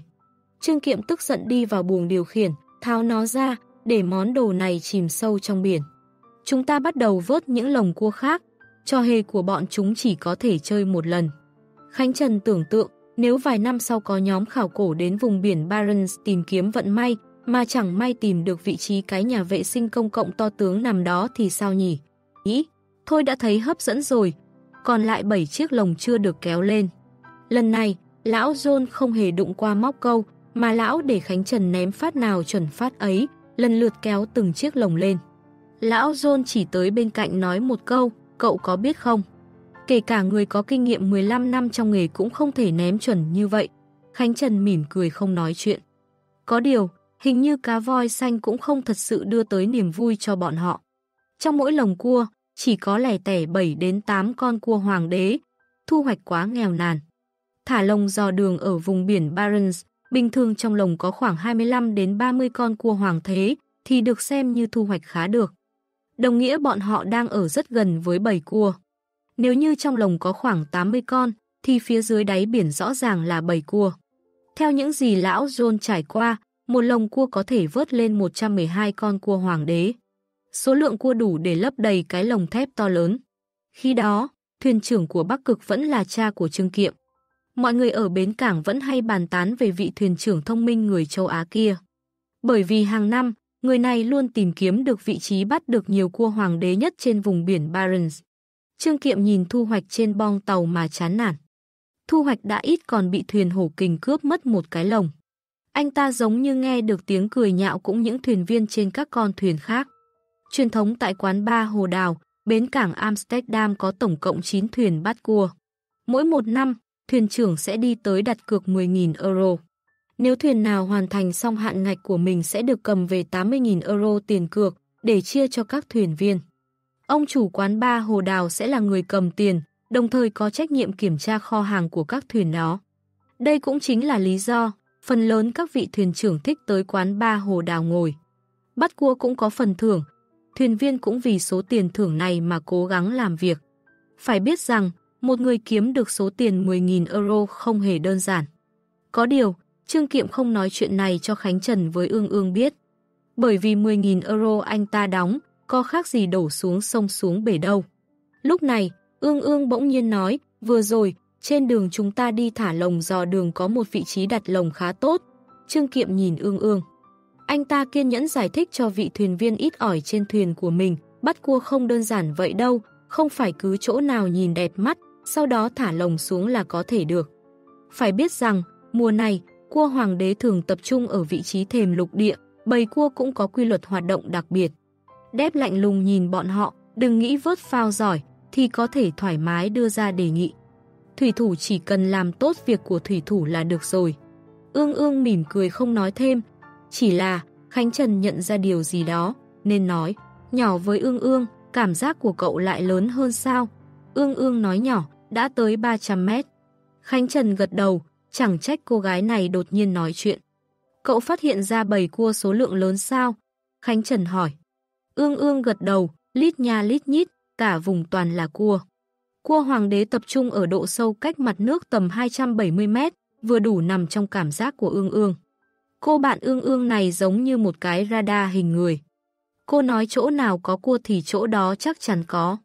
Có điều, bọn họ và Trương Kiệm chẳng thân quen gì, hơn nữa mục đích đến đây không phải vì bắt cua. Bây giờ, bọn họ đã thuận lợi lên thuyền, nên chỉ cần nghe theo lão John và Trương Kiệm chỉ huy, sau đó làm theo là được. Dù sao, Khánh Trần đang chờ một cơn bão ập tới. Theo dự báo thời tiết, 4 ngày nữa sẽ có một cơn gió mạnh từ phía bắc thổi tới, hy vọng khi đó có cơ hội. Nhưng vào lúc này, lão John bỗng nhiên nhìn ương ương nói, cô muốn nói vị trí đó ở hướng nào. Chúng ta có thể thả xuống mấy lồng giò đường. Trương Kiệm muốn nói điều gì, nhưng lão John lại tiếp tục nói, hiện tại vừa mới ra biển, chẳng ai biết được bầy cua kia nằm ở đâu. Tất cả mọi người đều đang thử tìm kiếm, cho nên dựa vào sở thích ném xuống vài cái lồng giò đường cũng chẳng có gì. Giờ phút này, lão John hơn 20 năm kinh nghiệm, tuy là thủy thủ nhưng càng giống một vị thuyền trưởng hơn. Chương 404 Aquaman Biển Barents vào những ngày thời tiết u ám, giống như một cái vực sâu không đáy màu đen. Không ai có thể biết trong chỗ sâu dưới đáy biển là gì. Có thể là những dương vàng được vứt xuống từ thế kỷ 16 đến thế kỷ 19, cũng có thể là những món đồ cổ chưa biết tên. Đây cũng chính là điều khiến con người sợ hãi biển sâu.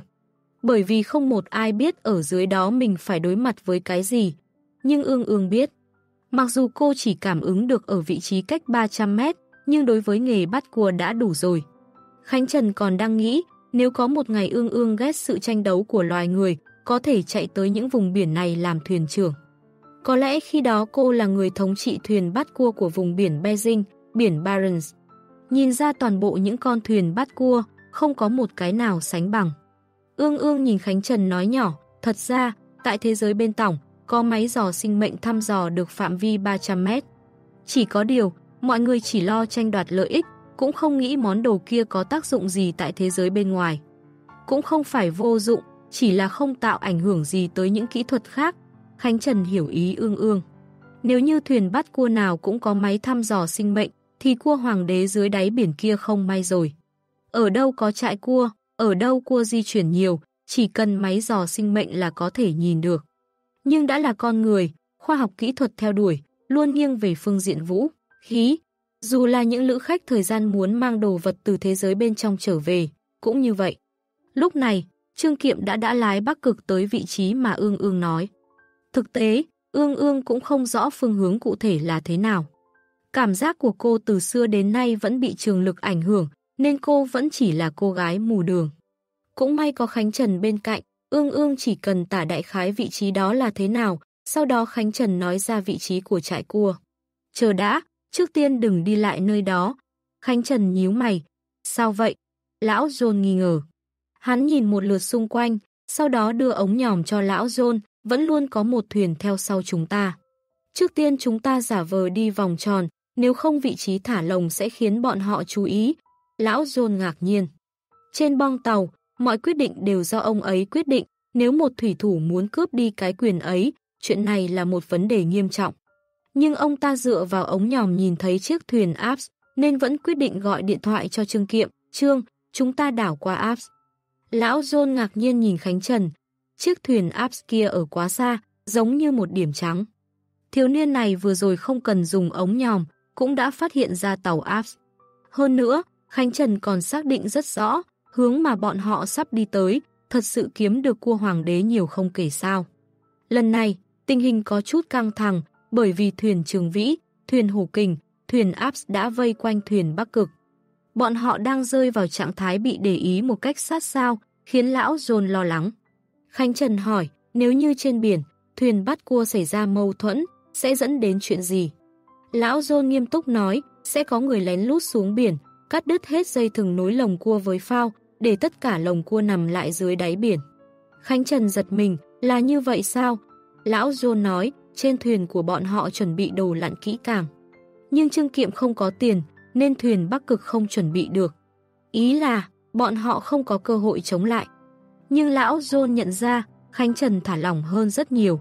Nói thật, Khánh Trần còn tưởng rằng mọi người sẽ sống mái một trận trên biển, còn nếu chỉ xuống biến cắt đứt phao thì chẳng có gì. Thật ra, cắt phao là một hành động quá ác độc, bởi điều này khiến thuyền bắt cua tổn thất quá nặng nề. Trên biển Barents từng có mấy lần xuất hiện chuyện này, hoặc là có một vị thuyền trưởng nào đó ngủ với vợ tên thuyền trưởng khác, hoặc bọn họ định chơi bài ngửa với nhau tại bến cảng.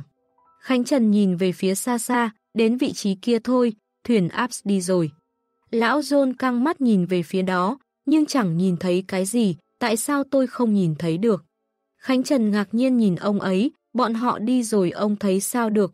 Lời này suýt nữa khiến lão John tức giận. Thân thuyền lắc lư, lão John chỉ huy ương ương đặt mồi câu và phao vào trong lồng, sau đó chỉ huy. Khánh Trần và Đép hạ 8 cái lồng cua xuống đáy biển. Bên này, Đép để ý Khánh Trần rất cẩn thận, giống như sợ người bên cạnh này lười nhác bản thân anh ta sẽ chịu thiệt. Dù sao, cái lồng cua nặng tới 680 pound, sau khi lão John treo dây lên cần cầu, thì hai người phải nhanh chóng di chuyển lồng cua ra mép tàu, rồi hợp sức đẩy nó xuống. Nếu lúc này, có một người lười nhác, người kia sẽ bị mất sức tương đối nhanh. Nhưng Đép có cảm giác, sức mình bỏ ra so với những lần ra khơi trước đó nhẹ nhàng hơn rất nhiều. Chẳng lẽ, Trương Kiệm thuê lồng bắt cua hàng kém chết lượng, nên sức nặng nhẹ đi. Đép nhìn Khánh Trần, sau đó lén lút nâng cái lồng cua lên, không động đậy. Một pound tương đương 0,45 cân. Nếu tính toát ra thì một cái lồng cua nặng tới 290 cân, sức nặng này một người không thể di chuyển được. Nếu làm được, thì trên thuyền cần gắn cần cẩu làm gì? Nhưng, Đép vừa mất tập trung, lại gặp phải con sóng lớn đánh vào thân thuyền, khiến Đép loạn trọng về phía sau. Chân anh ta vừa hay vướng phải dây thừng, lồng cua rất nhanh chìm vào đáy biển, mà dây thừng đã cuốn một vòng quanh mắt cá chân Đép. Lão John lớn tiếng gọi, cắt dây thừng, nhưng chuyện ngoài ý muốn là Khánh Trần không làm như vậy, thậm chí còn không lấy con dao ở trong túi quần lao động ra. Lão John lo lắng, bởi vì ông ta biết thuyền viên không nghe lời mình, hậu quả sẽ vô cùng nghiêm trọng. Nếu đép bị kéo xuống biển, sẽ không thể nào sống quá 10 giây, áp lực dưới biển cực lớn, đép rất nhanh sẽ chết. Nhưng mà, sóng lại đánh tới. Lúc sóng chuẩn bị ập lên bong tàu, lão John nhìn thấy Khánh Trần dùng một tay giữ lại dây thừng. Mà cái lồng cua đang chìm xuống đáy biển, lập tức dừng lại. Ông ta ngạc nhiên, dùng tay giữ dây thừng. Nhưng lão John còn chưa hiểu chuyện gì, sóng đã ập vào bong tàu, che khuất tầm mắt mọi người. Sau khi mọi thứ ổn định lại, lão John vịn vào cần cầu, tìm kiếm Dev xem ở đâu. Ông ta nhìn thấy Dev đang ngồi ở bong tàu, còn ương ương đứng cạnh anh ta. Vừa rồi, khi Khánh Trần giữ chặt dây thừng, khiến chỗ cổ chân Dev được nới lỏng một chút. Mà ương ương lợi dụng cơ hội này, kéo Dev ra ngoài. Hai người phối hợp ăn ý, cứu Dev một mạng. Nhưng mọi thứ vừa xảy ra đều bị sóng biển che đi. Lão John nhìn về phía Khánh Trần, trong tay thiếu niên kia không cầm dây thừng nữa. Giống như chuyện vừa rồi đều là ảo giác. Chuyện gì vậy? Lão John nghi ngờ hỏi. Đép vẫn còn sợ hãi, lắp bắp nói, tôi cũng không biết, chỉ tưởng rằng mình sắp bị kéo vào trong biển, cũng nhờ cô gái kia nhanh chóng kéo lại. Thực tế, cơn sóng thứ hai ập vào, Đép cũng không biết chuyện gì xảy ra. Mọi thứ diễn ra quá nhanh, sóng biển che khuất tầm nhìn mọi người. Lão John nghi ngờ nhìn Khánh Trần.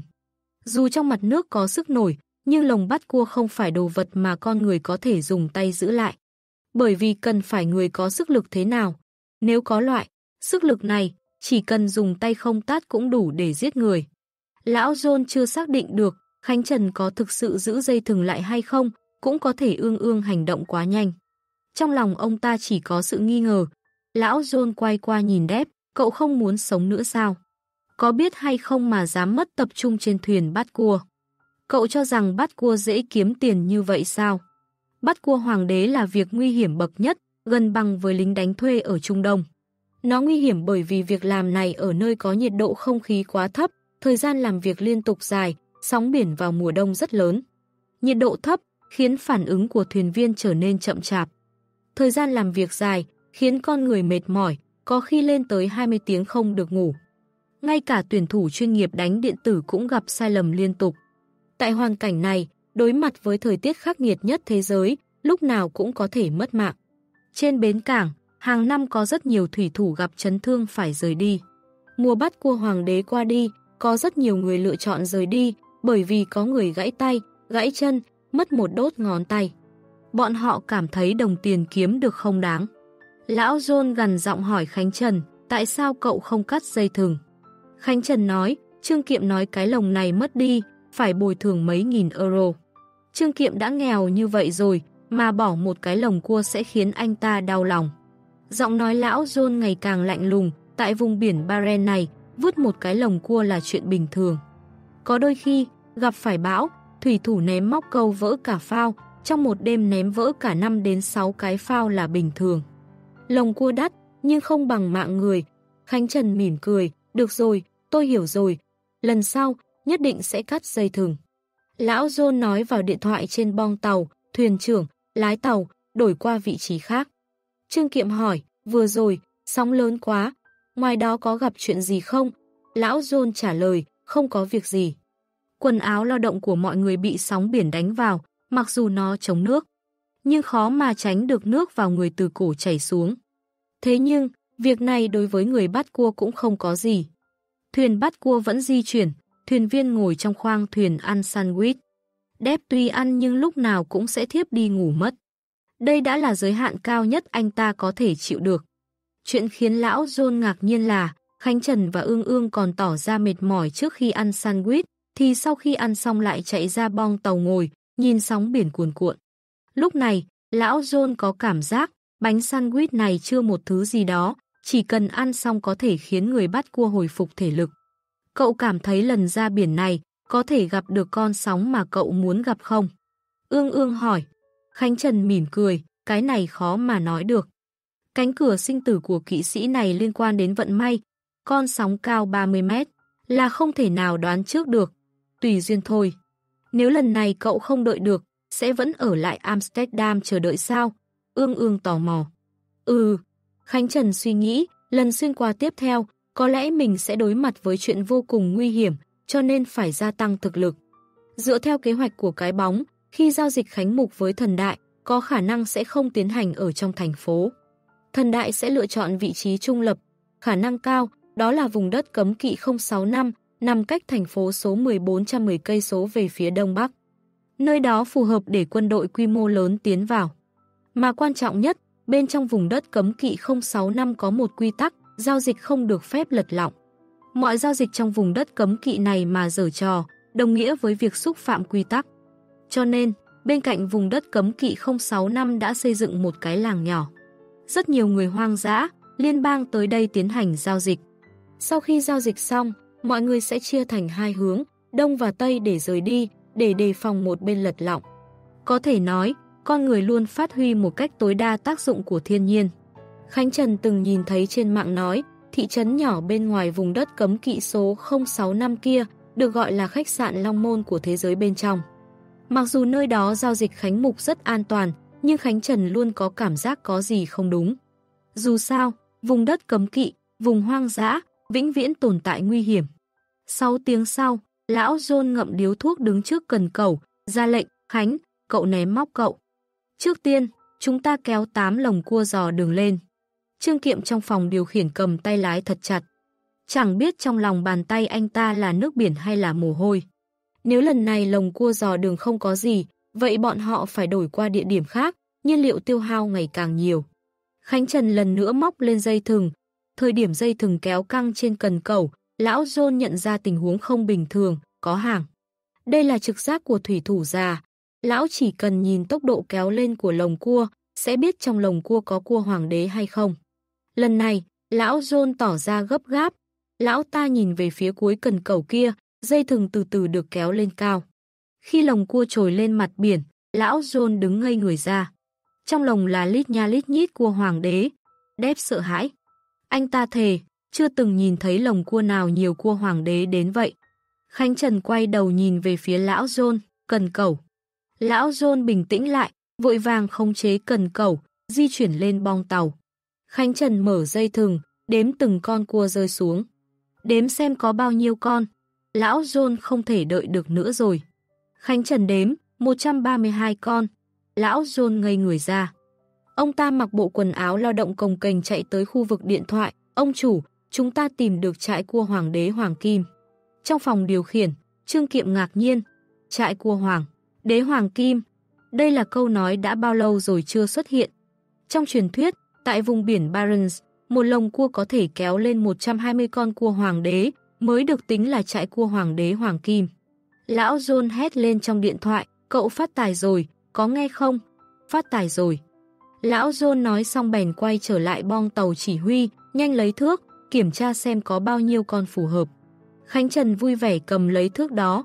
phù hợp thì bỏ trong kho hàng, còn không phù hợp thì ném xuống biển. 132 con cua hoàng đế, chỉ có 6 con không phù hợp. Đây mới chính xác là trại cua hoàng đế hoàng kim. Lúc này, lão John đã thay đổi cách nhìn về ương ương. Hiện tại, ông ta vô cùng khẳng định đôi thiếu niên nam nữ này chính là pháp sư trong truyền thuyết của Trung Quốc. Đối phương nói nhìn nơi này đẹp chỉ là cho có lý do. Nhất định, bọn họ nhìn ra dưới đáy biển có rất nhiều cua. Không phải như vậy, sao có thể trùng hợp thế được? Đồng thời, nếu người con gái kia thần kỳ như vậy, cảnh vừa rồi ông ta nhìn thấy thiếu niên một tay giữ dây thừng, không phải ảo giác. Lão John nghĩ tới đây thì ánh mắt nhìn Khánh Trần cũng thay đổi. Nhưng vào lúc này, ông ta còn chưa nghĩ thêm được gì, phía xa xa đã có một con thuyền hai màu đen đỏ nhanh chóng đi tới. Thuyền trường vĩ, lão John lo lắng, không được, nhanh đưa cua hoàng đế vào kho hàng, giả vờ không bắt được cái gì. Đây là trại cua hoàng đế hoàng kim, một lồng có thể đánh được 132 con, tuyệt đối không thể để các thuyền khác biết được. Nếu không làm vậy, thuyền hủ kình, trường vĩ, áp sẽ đến đây tranh cướp. Thuyền trường vĩ ngày càng tới gần, lão John đứng trên bong tàu, ra vẻ không có chuyện gì xảy ra. Cách hơn 10 mét, trên bong tàu của thuyền trường vĩ, một người trung niên da trắng đứng đó. Nhìn lồng cua rỗng tuếch của thuyền Bắc Cực, mà cười ha hả nói, lão John, năm nay thuyền Bắc Cực lại không thu hoạch được gì rồi. Nếu hiện tại ông lên thuyền của tôi, tôi sẽ đưa thuyền nhỏ tới đón ông. Lão John tức giận mắng, thời điểm tôi ra khơi bắt cua, cậu còn đang ngồi trong ghế nhà trường bị người khác bắt nạt đấy.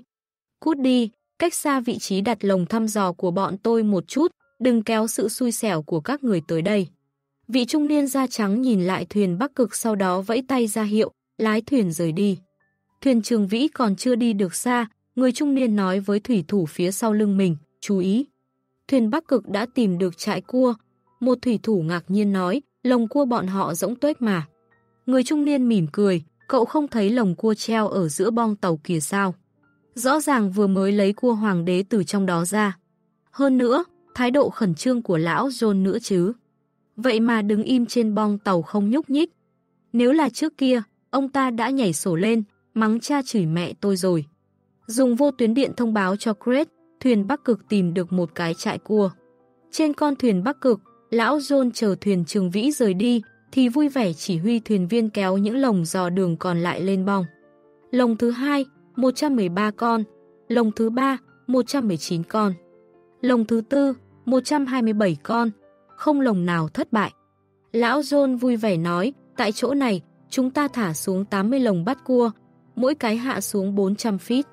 Lúc này, ông ta còn chưa hiểu cách diễn kịch vụng về của mình không thể nào lừa được thuyền trưởng thuyền trường vĩ. Rất nhanh, Hồ Kình và abs cũng sẽ tới đây. Khánh Trần hỏi nhỏ ương ương, phía dưới còn nhiều cua không? Ương ương yên lặng cảm ứng, muốn đưa ra một tin tức chuẩn xác cho Khánh Trần, nên cần nhìn cẩn thận lại. Có điều cô nhìn thật lâu, cũng không đếm được con số cụ thể, đành trả lời ngắn gọn, rất nhiều. Khánh Trần, sao phải suy nghĩ lâu vậy chứ? Ương ương bình tĩnh nói, mình hơi mệt. Khánh Trần không hề đào sâu chi tiết này, mà quay qua nói với lão John, chúng ta nhanh chóng thả hết lồng cua xuống thôi. Tôi thấy thuyền trường vĩ không đơn giản đi như vậy đâu, chẳng may bọn họ định đùa ác, sợ sẽ ảnh hưởng đến thu nhập của thuyền Bắc Cực. Lão John vừa định phản đổi, nhưng chợt nhận ra Khánh Trần và Ương Ương không phải người bình thường thì nói, cậu cảm thấy vừa rồi tôi không lừa được bọn chúng sao. Khánh Trần nghiêm túc trả lời, giả vờ mà như nói thật. Cách khoa chân múa tay quá lúng túng, nói chung không đủ. Lão John ngạc nhiên, sao lại bình luận như vậy chứ? Thật giống như cậu là diễn viên chuyên nghiệp không bằng. Lão ta còn chưa đưa ra quyết định, Khánh Trần đã cầm điện thoại nói với Trương Kiệm, Trương Kiệm, anh sử dụng tốc độ 15 hải lý một giờ, đi vòng quanh chỗ này. Chúng ta cần phải thả hết lồng xuống dưới. Trương Kiệm ngạc nhiên, Lão John, làm sao đây? Lão John suy nghĩ rồi nói, làm theo ý cậu ta. Sau khi cúp điện thoại, Lão John nhìn lại Khánh Trần thật kỹ. Chẳng biết từ lúc nào, hai người thủy thủ mới bị người bến cảng cười nhạo, là trở thành người lãnh đạo chính của thuyền Bắc Cực. Thuyền Bắc Cực từ từ di chuyển. Theo tình huống bình thường, người bắt cua sẽ thả lồng theo diện rộng. Nơi này đặt 30 lồng cua, sau đó di chuyển qua nơi khác đặt 30 lồng cua. Dù sao, cua hoàng đế tại một nơi là có hạn. Lồng của đặt xuống nơi này, sau đi qua vị trí khác, 8 tiếng quay trở lại vớt lồng. Nhưng tình huống bây giờ không giống, bọn họ phát hiện ra trại cua Hoàng Kim. Vậy bọn họ không cần do dự, mà đặt hết tất cả lồng của mình xuống đây. Kế hoạch của Khánh Trần rất đơn giản. Hắn biết, đám người thuyền trường vĩ nhất định sẽ quay lại, nên mình cứ túc trực ở đây là được. Đây là trại cua Hoàng đế Hoàng Kim. Vào đêm, trên thuyền Bắc Cực, đèn đuốc sáng trưng, tất cả mọi người ngồi trong khoang thuyền chờ đợi. Bọn họ chờ thời gian có thể kéo lồng lên, nhìn thu hoạch của mình xem thế nào. Chỉ có Khánh Trần và Ương Ương vẫn đứng lại tại bong tàu. Mặc kệ thân tàu lắc lư thế nào, cũng đứng nghiêm, không ngã. Thuyền Bắc Cực đã hạ neo, khó có thời gian Trương Kiệm ngồi trong khoang thuyền ăn uống chút gì đó. Anh ta yên lặng nhìn đôi nam nữ đứng trên bong tàu. Tới hôm nay, anh mới nhận ra hai người này có vấn đề. Trong lúc ăn cơm, lão John có kể lại, nói cho anh ta nghe rất nhiều chuyện. Nhưng Trương Kiệm nhìn hai người kia vẫn không thay đổi. Ai có thể ngờ, hai người bị toàn bộ thủy thủ cười nhạo, lại dẫn bọn họ tìm được trại của Hoàng Kim. Mà, lão John nói Khánh Trần dùng một tay giữ dây thừng. Việc này không thể tin nổi, Trương Kiệm vẫn trong tình trạng nửa tin nửa ngờ. Nhưng anh ta đang nhìn hai người, bỗng Khánh Trần quay lại nói, tới rồi. Trương Kiệm thả đồ ăn trong tay xuống, đi ra ngoài bong tàu quan sát, không nhìn thấy hải đăng trên thuyền. John, ông nhìn trên radar xem có gì không? Lão John trả lời, không có. Khánh Trần nói, đám người đến đã tắt đèn, tắt cả tín hiệu ra đà. Có ý đồ xấu rồi đây. Trương Kiệm lo lắng. Sau đó, anh ta trơ mắt nhìn Khánh Trần cởi quần áo trong cái lạnh thấu xương, chỉ để lại một chiếc quần đùi bơi. Cậu, cậu định làm gì? Trương Kiệm ngây người ra. Vậy mà cậu ta mặc sẵn đồ bơi phía trong. Ngay lúc này, Khánh Trần nhảy xuống dòng nước biển lạnh lẽo, không mặc đồ lặn, không sử dụng bình dưỡng khí. Cứ như vậy nhảy xuống. Trong thời điểm này, Trương Kiệm có cảm giác mình nhìn thấy một nhân vật của DC là Aquaman. Trương Kiệm lắp bắp nhìn về phía ương ương, cậu, cậu ta. Ương ương đứng trong màn đêm mỉm cười, yên tâm, cậu ấy không sao. Các bạn đang nghe chuyện dạ mệnh danh thuật, ác mộng của đêm, của tác giả hội thuyết thoại trừ tử tại thư viện sách nói miễn phí, chuyện đọc việt.com Chương 405, Quái vật biển trên vùng biển Barents lúc này, nhiệt độ là 14 độ C, dưới mặt nước thì gần tiếp cận với 0 độ. Màn đêm trên biển lộ ra vẻ trang nghiêm, mặt nước lượn lờ như thủy ngân, khiến mọi người có cảm giác áp lực. Thuyền Bắc Cực đã hạ neo, thân thuyền lắc lư trên mặt biển. Cả vùng hải vực rộng lớn quanh đây chỉ còn nhìn được một chút nhờ ánh sáng đèn. Giống như cả thế giới chỉ còn độc nhất một chiếc thuyền lang thang này. Nó tựa như ngôi sao tô điểm cho bầu trời đêm, như lục bình trôi trên sông. Thế mà có một người nhảy xuống khu vực đen kịt phía dưới mặt biển. Dưới tình huống này, chân chuông nhảy xuống nước lạnh như băng, có khác gì tự sát. Trương Kiệm chỉ nhìn thôi đã có cảm giác nước đá lạnh đến tận óc, khiến anh ta dùng mình một cái. Anh ta nhìn ương ương, gào thét trong tiếng gió biển gầm rú, thời tiết thế này, nhảy xuống biển rộng, sao không việc gì được. Dưới ánh đèn thuyền, cô gái đội chiếc mũ trùm, mặc kệ gió thổi tóc bay. Cô mỉm cười trả lời, không có việc gì, cậu ấy chỉ muốn giúp thuyền Bắc Cực giải quyết một vài vấn đề nhỏ.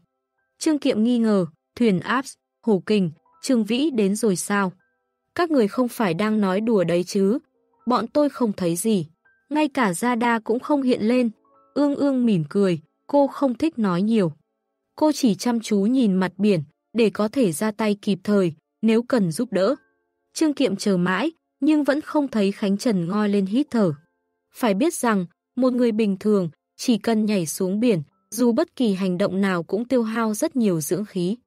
Thế nhưng, Khánh Trần giống như Aquaman vậy, lao vào trong nước là không thấy tăm hơi đâu. Trương Kiệm yên lặng nhìn ương ương. Anh ta nghĩ thầm, không phải Khánh Trần và cô bé này muốn lừa tiền bảo hiểm đấy chứ. Có lẽ, trước khi hai người này lên thuyền đã mua cho bản thân một loại bảo hiểm, sau đó cô bé này quay trở về nói rằng Khánh Trần đã chết trên biển. Trước đó, cũng có một vài thủy thủ rơi vào bước đường cùng cũng làm như vậy. Nhưng bảo hiểm nào đồng ý bán cho người đánh bắt cua. Thậm chí, còn có vài loại bảo hiểm ghi rất rõ ràng, bị chết trong quá trình bắt cua thuộc về thiên tai. Cùng lúc đó, bên trên đại dương bao la, thuyền Trường Vĩ, thuyền Hồ Kình, thuyền Apple đã tắt đèn từ trước, tất cả tín hiệu trên radar. Thời điểm chuẩn bị tới gần thuyền Bắc Cực, bọn họ còn tắt cả động cơ. Biển Barents chỉ được phép tồn tại kẻ mạnh, kẻ yếu không đáng hưởng thụ của hoàng đế, cũng như không được phép hưởng chung với chúng ta trên vùng biển này. Thuyền trưởng Hồ Kình nghiêm túc nhìn bóng đêm nói. Trên mỗi con thuyền bắt cua, đã có những thủy thủ kinh nghiệm mặc xong đồ lặn. Bọn họ đang được bạn đồng hành kiểm tra cẩn thận bình dưỡng khí. Thuyền trưởng Hồ Kình đứng trước mũi thuyền, mỉm cười nói, tốc độ gió đã chậm lại, chỉ còn khoảng 20 hải lý một giờ, rất thuận lợi để lặn xuống nước. Mọi người xuống nước thôi, cắt đi 40 cái phao của thuyền Bắc Cực, để lồng cua bọn chúng vĩnh viễn chìm sâu dưới đáy biển. Ông ta vừa ra lệnh, những thủy thủ mặc đồ lặn nhảy xuống biển lớn, giống như những con báo di chuyển trên bờ. Đám người nhanh chóng di chuyển dưới nước, bơi về phía thuyền Bắc Cực. Mà thuyền Bắc Cực thắp đèn chẳng khác nào hải đăng chỉ cho họ biết phương hướng. Cùng hành động với bọn họ còn có thủy thủ của thuyền Trường Vĩ, thuyền Aps. Ba vị thuyền trưởng đã bàn bạc với nhau. Bọn họ tính toán cắt đi 90 lồng bát cua trong số 180 lồng bát cua của thuyền Bắc Cực. Làm như vậy, có thể trưng kiệm chưa thể phá sản, nhưng đảm bảo năm sau trưng kiệm không thể nào có tiền sửa tàu, thuê lồng cua hay phí sử dụng bến cảng. Đám thủy thủ lặn dưới nước đã có người nhìn thấy phao của thuyền Bắc Cực. Chỉ có điều, một thủy thủ có cảm giác lo âu.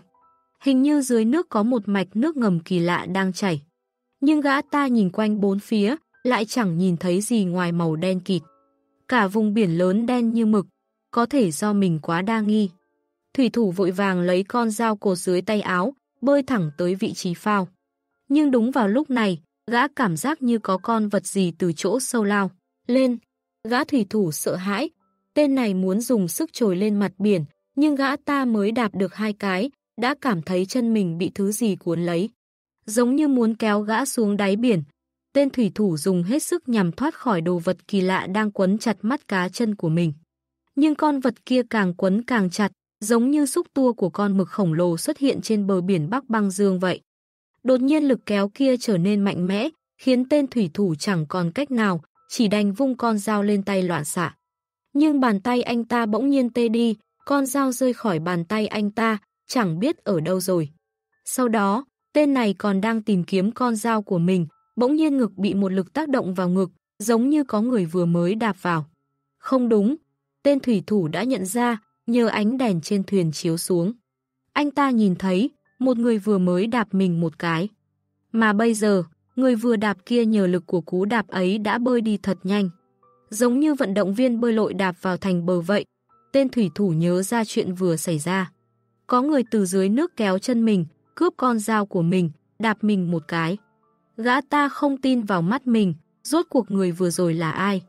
Tại sao người đó không có chân vịt, không có đồ lặn, càng không có bình dưỡng khí? Thế nhưng đối phương di chuyển thoăn thoát dưới nước, hơn nữa sức mạnh vô cùng đáng sợ. Đây là người của thuyền Bắc Cực sao? Nhưng tại sao người này phát hiện mình muốn cắt phao lại không giết mình?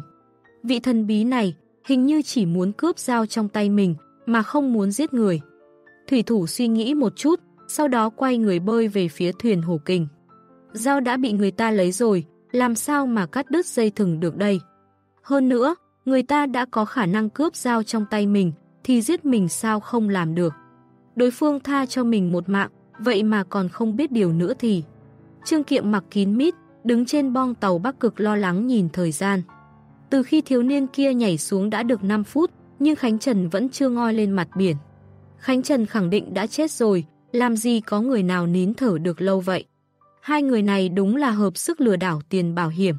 Không ngờ, hai thiếu niên còn quá nhỏ tuổi, mà dám làm loại chuyện này.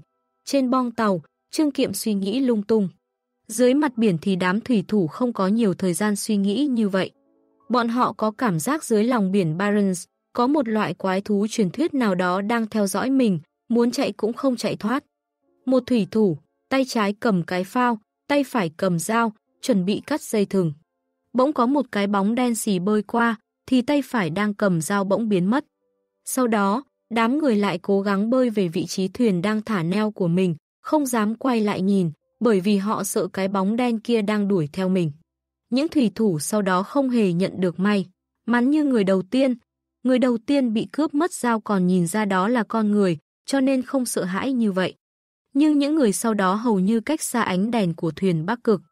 Chính vì vậy, trong hoàn cảnh tối tăm mù mịt, họ không nhìn thấy Khánh Trần, khiến trong lòng họ chỉ toàn là nỗi sợ hãi. Vùng biển Barents có rất nhiều truyền thuyết. Trên thế giới, sự kiện không chiến nổi tiếng nhất xảy ra tại nơi này. Ngày 13 tháng 9 năm 1987, Quốc phòng Na Uy cử một máy bay trinh thám đi tuần. Kết quả máy bay này đột nhiên gặp một máy bay chiến đấu kiểu mới của Liên Xô. Chiếc máy bay chiến đấu đó lao thẳng từ dưới xuyên qua máy bay trinh sát. Chiếc máy bay chiến đấu Su-27 lao chọc thẳng vào vị trí động cơ máy bay trinh sát Na Uy, giống như dùng một dao giải phẫu cắt ra một cái lỗ hổng cực lớn. Đây chính là sự kiện nổi tiếng trên vùng biển Barents. Nhưng vùng biển này còn có một truyền thuyết nổi tiếng khác là mực khổng lồ. Trong lịch sử có ghi lại, biển Barents là nơi con mực khổng lồ kia xuất hiện đầu tiên. Trong đó cũng có ghi chép, có thuyền buôn bị con mực đó tấn công. Trong chớp mắt đó, đám thủy thủ chưa hề chứng kiến quái vật biển, chỉ đành dùng sức bơi thật nhanh, vừa bơi vừa nghĩ đến sinh vật trong truyền thuyết kia. Trong lòng ai nấy đều chứa đầy nỗi sợ hãi.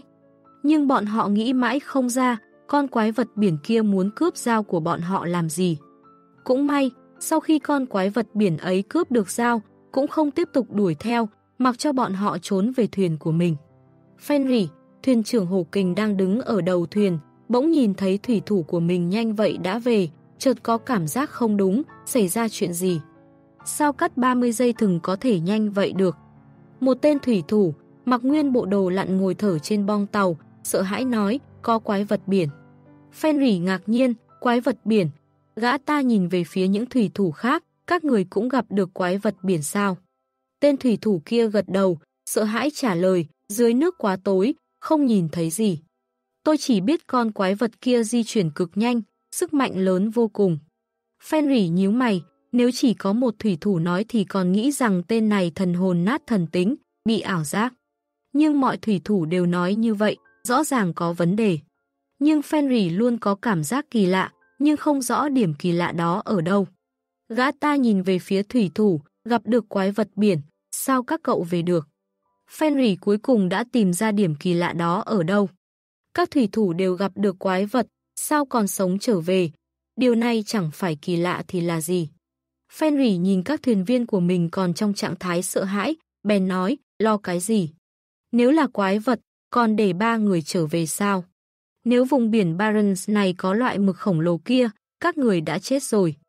Đúng rồi, chuyện các người gặp phải thể nào? Kể cụ thể tôi nghe xem nào. Thủy thủ trả lời, quái, vật chỉ cướp mất dao của chúng tôi. Một tên thủy thủ khác cũng giật mình nói, dao của tôi cũng bị nó cướp mất. Fenry cười nhạt, khẳng định có người nào đó giả thần giả quỷ, chứ làm gì có quái vật biển nào. Cậu nghĩ xem, có con quái vật biển nào dỗi đến mức đi chơi một chuyến, sau đó cướp dao của mọi người. Hay là ở vùng biển Barents này không cho phép mang xuống nước món đồ này. Gã đứng trên bong nhìn về phía thuyền Bắc Cực nói, mở hết đèn lên, việc này chắc chắn do thuyền Bắc Cực làm, lái qua xem là biết thôi. Đúng rồi, dùng vô tuyến điện thông báo cho thuyền Apps và Trường Vĩ, hỏi xem bọn họ có gặp phải tình trạng như vậy không. Gã vừa mới ra lệnh xong, đèn của thuyền Hổ Kình đã được bật lên. Cùng lúc đó đèn của thuyền Apps và Trường Vĩ cũng được bật lên. Ba chiếc thuyền tạo thành hình tam giác, vây thuyền Bắc Cực ở giữa đại dương. Trương Kiệm, Lão John, đép trên thuyền Bắc Cực ngây người ra. Thì ra, đúng như những gì Khánh Trần và Ương Ương nói, ba thuyền bắt cua này đang ở gần bọn họ. Trương Kiệm nhịn không được, bèn quay qua nhìn lưng của Ương Ương. Chỉ thấy cô gái này ném một sợi dây thừng vào trong biển, kéo Khánh Trần chẳng hề hấn gì lên bong tàu. Trương Kiệm giật mình, Khánh Trần không chết. Chẳng nhưng không chết mà thân thể hoàn toàn bình thường, giống như cái lạnh của nước chẳng ảnh hưởng gì đến cậu ta. Đây rốt cuộc là người nào, đến vùng biển Barents với mục đích gì?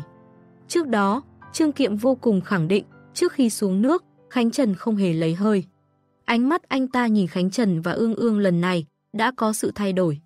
Hiện tại, có người nói cho anh ta biết cô gái này biết bay, cũng không khiến anh ta bất ngờ. Khánh Trần lại gần mỉm cười nói, xong rồi. Hắn nói xong, bèn vứt mấy con dao xuống bong tàu. Ương ương nói nhỏ, không giết người sao. Khánh Trần trả lời, những người này có thủ oán gì với mình đâu, không nhất thiết phải làm như vậy. Ừ, ương ương mỉm cười gật đầu. cô đã chuẩn bị khăn khô từ trước cho Khánh Trần, có cần mình xoa bóp giúp không? Hả?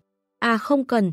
Khánh Trần ở dưới nước không sao, nhưng vừa lên thuyền suýt nữa bị ương ương dọa. Hắn nhìn thấy ba chiếc thuyền bắt cua chuẩn bị đến, bèn bước vào trong khoang thuyền, tôi đi thay quần áo cái đã. Đúng rồi, bọn họ có hỏi gì, các người cũng bảo là không biết. Trương Kiệm và lão John nhủ thầm, tên này khẳng định làm gì với ba thuyền bắt cua kia rồi. Thế nhưng, dưới mặt biển quá tối, ngay cả bọn họ cũng không biết chuyện gì. Với lại, những con dao này từ đâu có được? Thuyền hổ kình dẫn đầu. Khi ba chiếc thuyền còn cách thuyền bắc cực 10 mét, Fenry cầm ống nhòm, đã nhìn thấy một đống dao trên bong tàu. Không ngờ các người ẩn nấp sâu như vậy. Fenry nhìn Trương Kiệm lạnh lùng nói, quái vật biển đâu? Gọi ra cho chúng tôi chào hỏi chút nào. Trương Kiệm ngạc nhiên, đồng thời lo lắng nhìn quanh bốn phía, quái vật. Biển Barents có quái vật sao? Fenry cười nhạt, còn, đứng đó diễn cái gì? Trước đó tôi còn không nghĩ ra, sao cậu dám đứng lại chỗ này, thì ra có cao thủ trên thuyền. Tôi còn tưởng rằng cậu không còn thủy thủ nào có thể sử dụng chứ. Đúng rồi, là người từng đi theo cha cậu sao? Lần này không phải dùng hết mối thân tình cuối cùng còn sót lại đấy chứ. Trương Kiệm bỗng nhiên hiểu ra, Fenry nói về quái vật, hai người từng đi theo cha mình, thật ra là nói tới Khánh Trần. Nhất định, Khánh Trần ở dưới nước làm ra chuyện gì đó, mới khiến Fenry tới đây nói chuyện luyên thuyên như vậy. Trương Kiệm suy nghĩ, sau đó cúi đầu nhìn xuống, có 9 con dao. Anh ta nhìn Fenry tò mò hỏi, 9 thủy thủ mà không đánh nổi một mình cậu ta sao? Câu hỏi này thật ra Trương Kiệm quá tò mò rồi. Bởi vì anh ta cũng muốn biết Khánh Trần như thế nào. Nhưng câu hỏi này rơi vào tai Fenry đơn giản giống một câu sỉ nhục. Bị thương thì không sao, nhưng sỉ nhục lại khác. Trương Kiệm hỏi tiếp, tại sao các người cứ phải nhằm vào thuyền Bắc Cực cơ chứ? Dù không có được hạn ngạch của thuyền Bắc Cực, các người cùng thừa sức kiếm về cả mấy triệu euro một năm. Lúc này, thuyền trưởng Apps cũng lên tiếng, tại sao cậu muốn một mình một thuyền mà không sát nhập với những thuyền bắt cua khác, trở thành một công ty. Đưa công ty này ra thị trường thì tiền kiếm được trên thị trường chứng khoán chẳng phải nhanh hơn ra biển sao. Các thủy thủ cũng nhận được tiền hoa hồng hàng tháng. Mọi người khổ sở ra biển liều mạng, không phải hy vọng cuộc sống sau này tốt hơn sao. Trương Kiệm suy nghĩ rồi nói, các người muốn lên sàn, chẳng phải chỉ cần ba thuyền đã đủ rồi sao? Vì sao cứ phải kéo cả thuyền Bắc Cực vào? Great nói, bởi vì, tại bến cảng Amsterdam này, đã có 8 chiếc thuyền đồng ý sát nhập, chỉ có thuyền của cậu là không đồng ý. Bởi vì, cha của cậu là một người bắt cua truyền kỳ trên vùng biển Barents này, nên mọi người Bắc Âu đều nghe tên, cũng giống như thuyền hải tặc trên vùng biển Beijing vậy. Trương Kiệm lắc đầu, tôi sẽ không tham gia chuyện này. Tôi chỉ thích nghề bắt cua và muốn tiếp tục làm nó. Một khi tham gia góp vốn, thuyền Bắc Cực dần dần sẽ không phải là của mình. Tuy thuyền Bắc Cực không thuộc về cậu, nhưng cậu sẽ có rất nhiều tiền. Greg nói, làm vậy chẳng phải là tốt nhất sao? Có công ty vận hành, mọi người có thể đạt được thuyền tốt hơn, thiết bị tốt hơn, còn cả chế độ đánh bắt tốt hơn. Vậy sự tự do, tinh thần mạo hiểm của người bắt cua đâu? Trương Kiệm nghiêm túc nói, hàng năm, chúng ta sẽ đi tới khu vực có hoàn cảnh khắc nghiệt nhất thế giới, nó không phải vì tiền. Mặc kệ có bà vợ khuyên chồng đừng ra biển, nhưng thủy thủ thực sự vẫn sẽ thu dọn hành lý lên đường. Khi bọn họ nhìn thấy cá heo hay những tảng băng trôi, đều thành tâm cầu nguyện. Sẽ có thủy thủ mới nghe được cha ông họ kể chuyện, đi vào vùng biển thần bí Barents này thế nào, dần dần sẽ có càng nhiều muốn nghe về nó hơn. Nhưng thủy thủ và thuyền trưởng đánh mất đi sự tự do ấy, sau này có kể chuyện cũng trở nên nhạt nhẽo. Greg ngạc nhiên chút, nhưng gã ta không nói thêm về vấn đề này nữa. Gã chỉ cười nhạt nói, chúc cậu may mắn. Hy vọng năm nay cậu có thể bắt đủ cua hoàng đế, vượt qua khó khăn này. Nếu như không làm được, giấy phép bắt cua sẽ được đưa đi đấu giá, đến lúc đó chúng tôi sẽ mua lại nó. Lúc này, lão John đứng trên bong tàu nhìn lại thời gian, sau đó nói, nên kéo lồng cua thôi. Trương Kiệm nhìn lão John, anh ta biết ông ấy muốn kéo những lồng cua đầy tràn kia lên, khiến đám người Crete tức giận. Vậy thì kéo lên thôi, xem thu hoạch của chúng ta thế nào. Trương Kiệm nói lớn, cùng lúc đó, Khánh Trần đã thay xong bộ quần áo lao động. Hắn bước ra bong tàu, cầm móc câu kéo những cái phao đang trôi trên mặt biển lên. Khánh Trần mỉm cười nhìn lão John. cần cầu. Vốn dĩ, đám người Chris và Fenry định đi, nhưng lại quyết định đứng trên bong tàu chờ đợi. Tiếng cần cầu trên thuyền Bắc Cực vang lên, ngay khi lồng cua xuất hiện trên mặt biển. Tất cả mọi người nín thở, nhìn lượng cua trong lồng cua của thuyền Bắc Cực. Trong đó lít nha lít nhít cua hoàng đế, mà con nào con nấy to hơn cái chậu rửa mặt. Đám thuyền trường Fenry đều là những người có kinh nghiệm lâu năm trên vùng biển Barents, bọn họ nhìn cái lồng cua thì đã biết, đây là trại cua hoàng đế Hoàng Kim. Chương 406, Chiến trường tốt nhất Trại cua Hoàng Kim chỉ tồn tại trong truyền thuyết, may mắn lắm thì 10 năm xuất hiện một lần, sau đó lại vùi sâu trong truyền thuyết. Mấy thuyền bên cạnh từ từ tránh ra, bọn họ muốn nhìn xem lồng cua của thuyền Bắc Cực như thế nào. Một lồng, hai lồng, ba lồng, gần như tất cả các lồng đều vượt qua 100 cua hoàng đế một lồng. Chris chỉ làm phép tính đơn giản, lần hạ lồng này của thuyền Bắc Cực đã đủ để bọn họ thắng lợi trở về. Anh ta lớn tiếng ra lệnh cho thủy thủ, thả lồng của chúng ta xuống. Nơi này chắc chắn là trại cua Hoàng Kim. Thuyền Bắc Cực chỉ có 180 lồng cua, phía dưới chắc chắn vẫn còn cua Hoàng đế. Thuyền Bắc Cực rất nhỏ, rất nát. Cả thuyền chỉ mang theo 180 lồng cua, ngay cả hạn ngạch cũng ít hơn các thuyền khác một chút. Bình thường, abs mang theo 300 cái lồng cua. Nhưng đám người bọn họ vừa mới treo được lồng cua lên cần cẩu còn chưa đặt cá tuyết vào trong, đã nghe thấy tiếng gió xoẹt qua trong đêm tối. Khoảnh khắc ấy, một lá bài poker từ khoang cách 100 mét lao tới, cắt đứt dây thừng trên cần cầu thuyền ABS.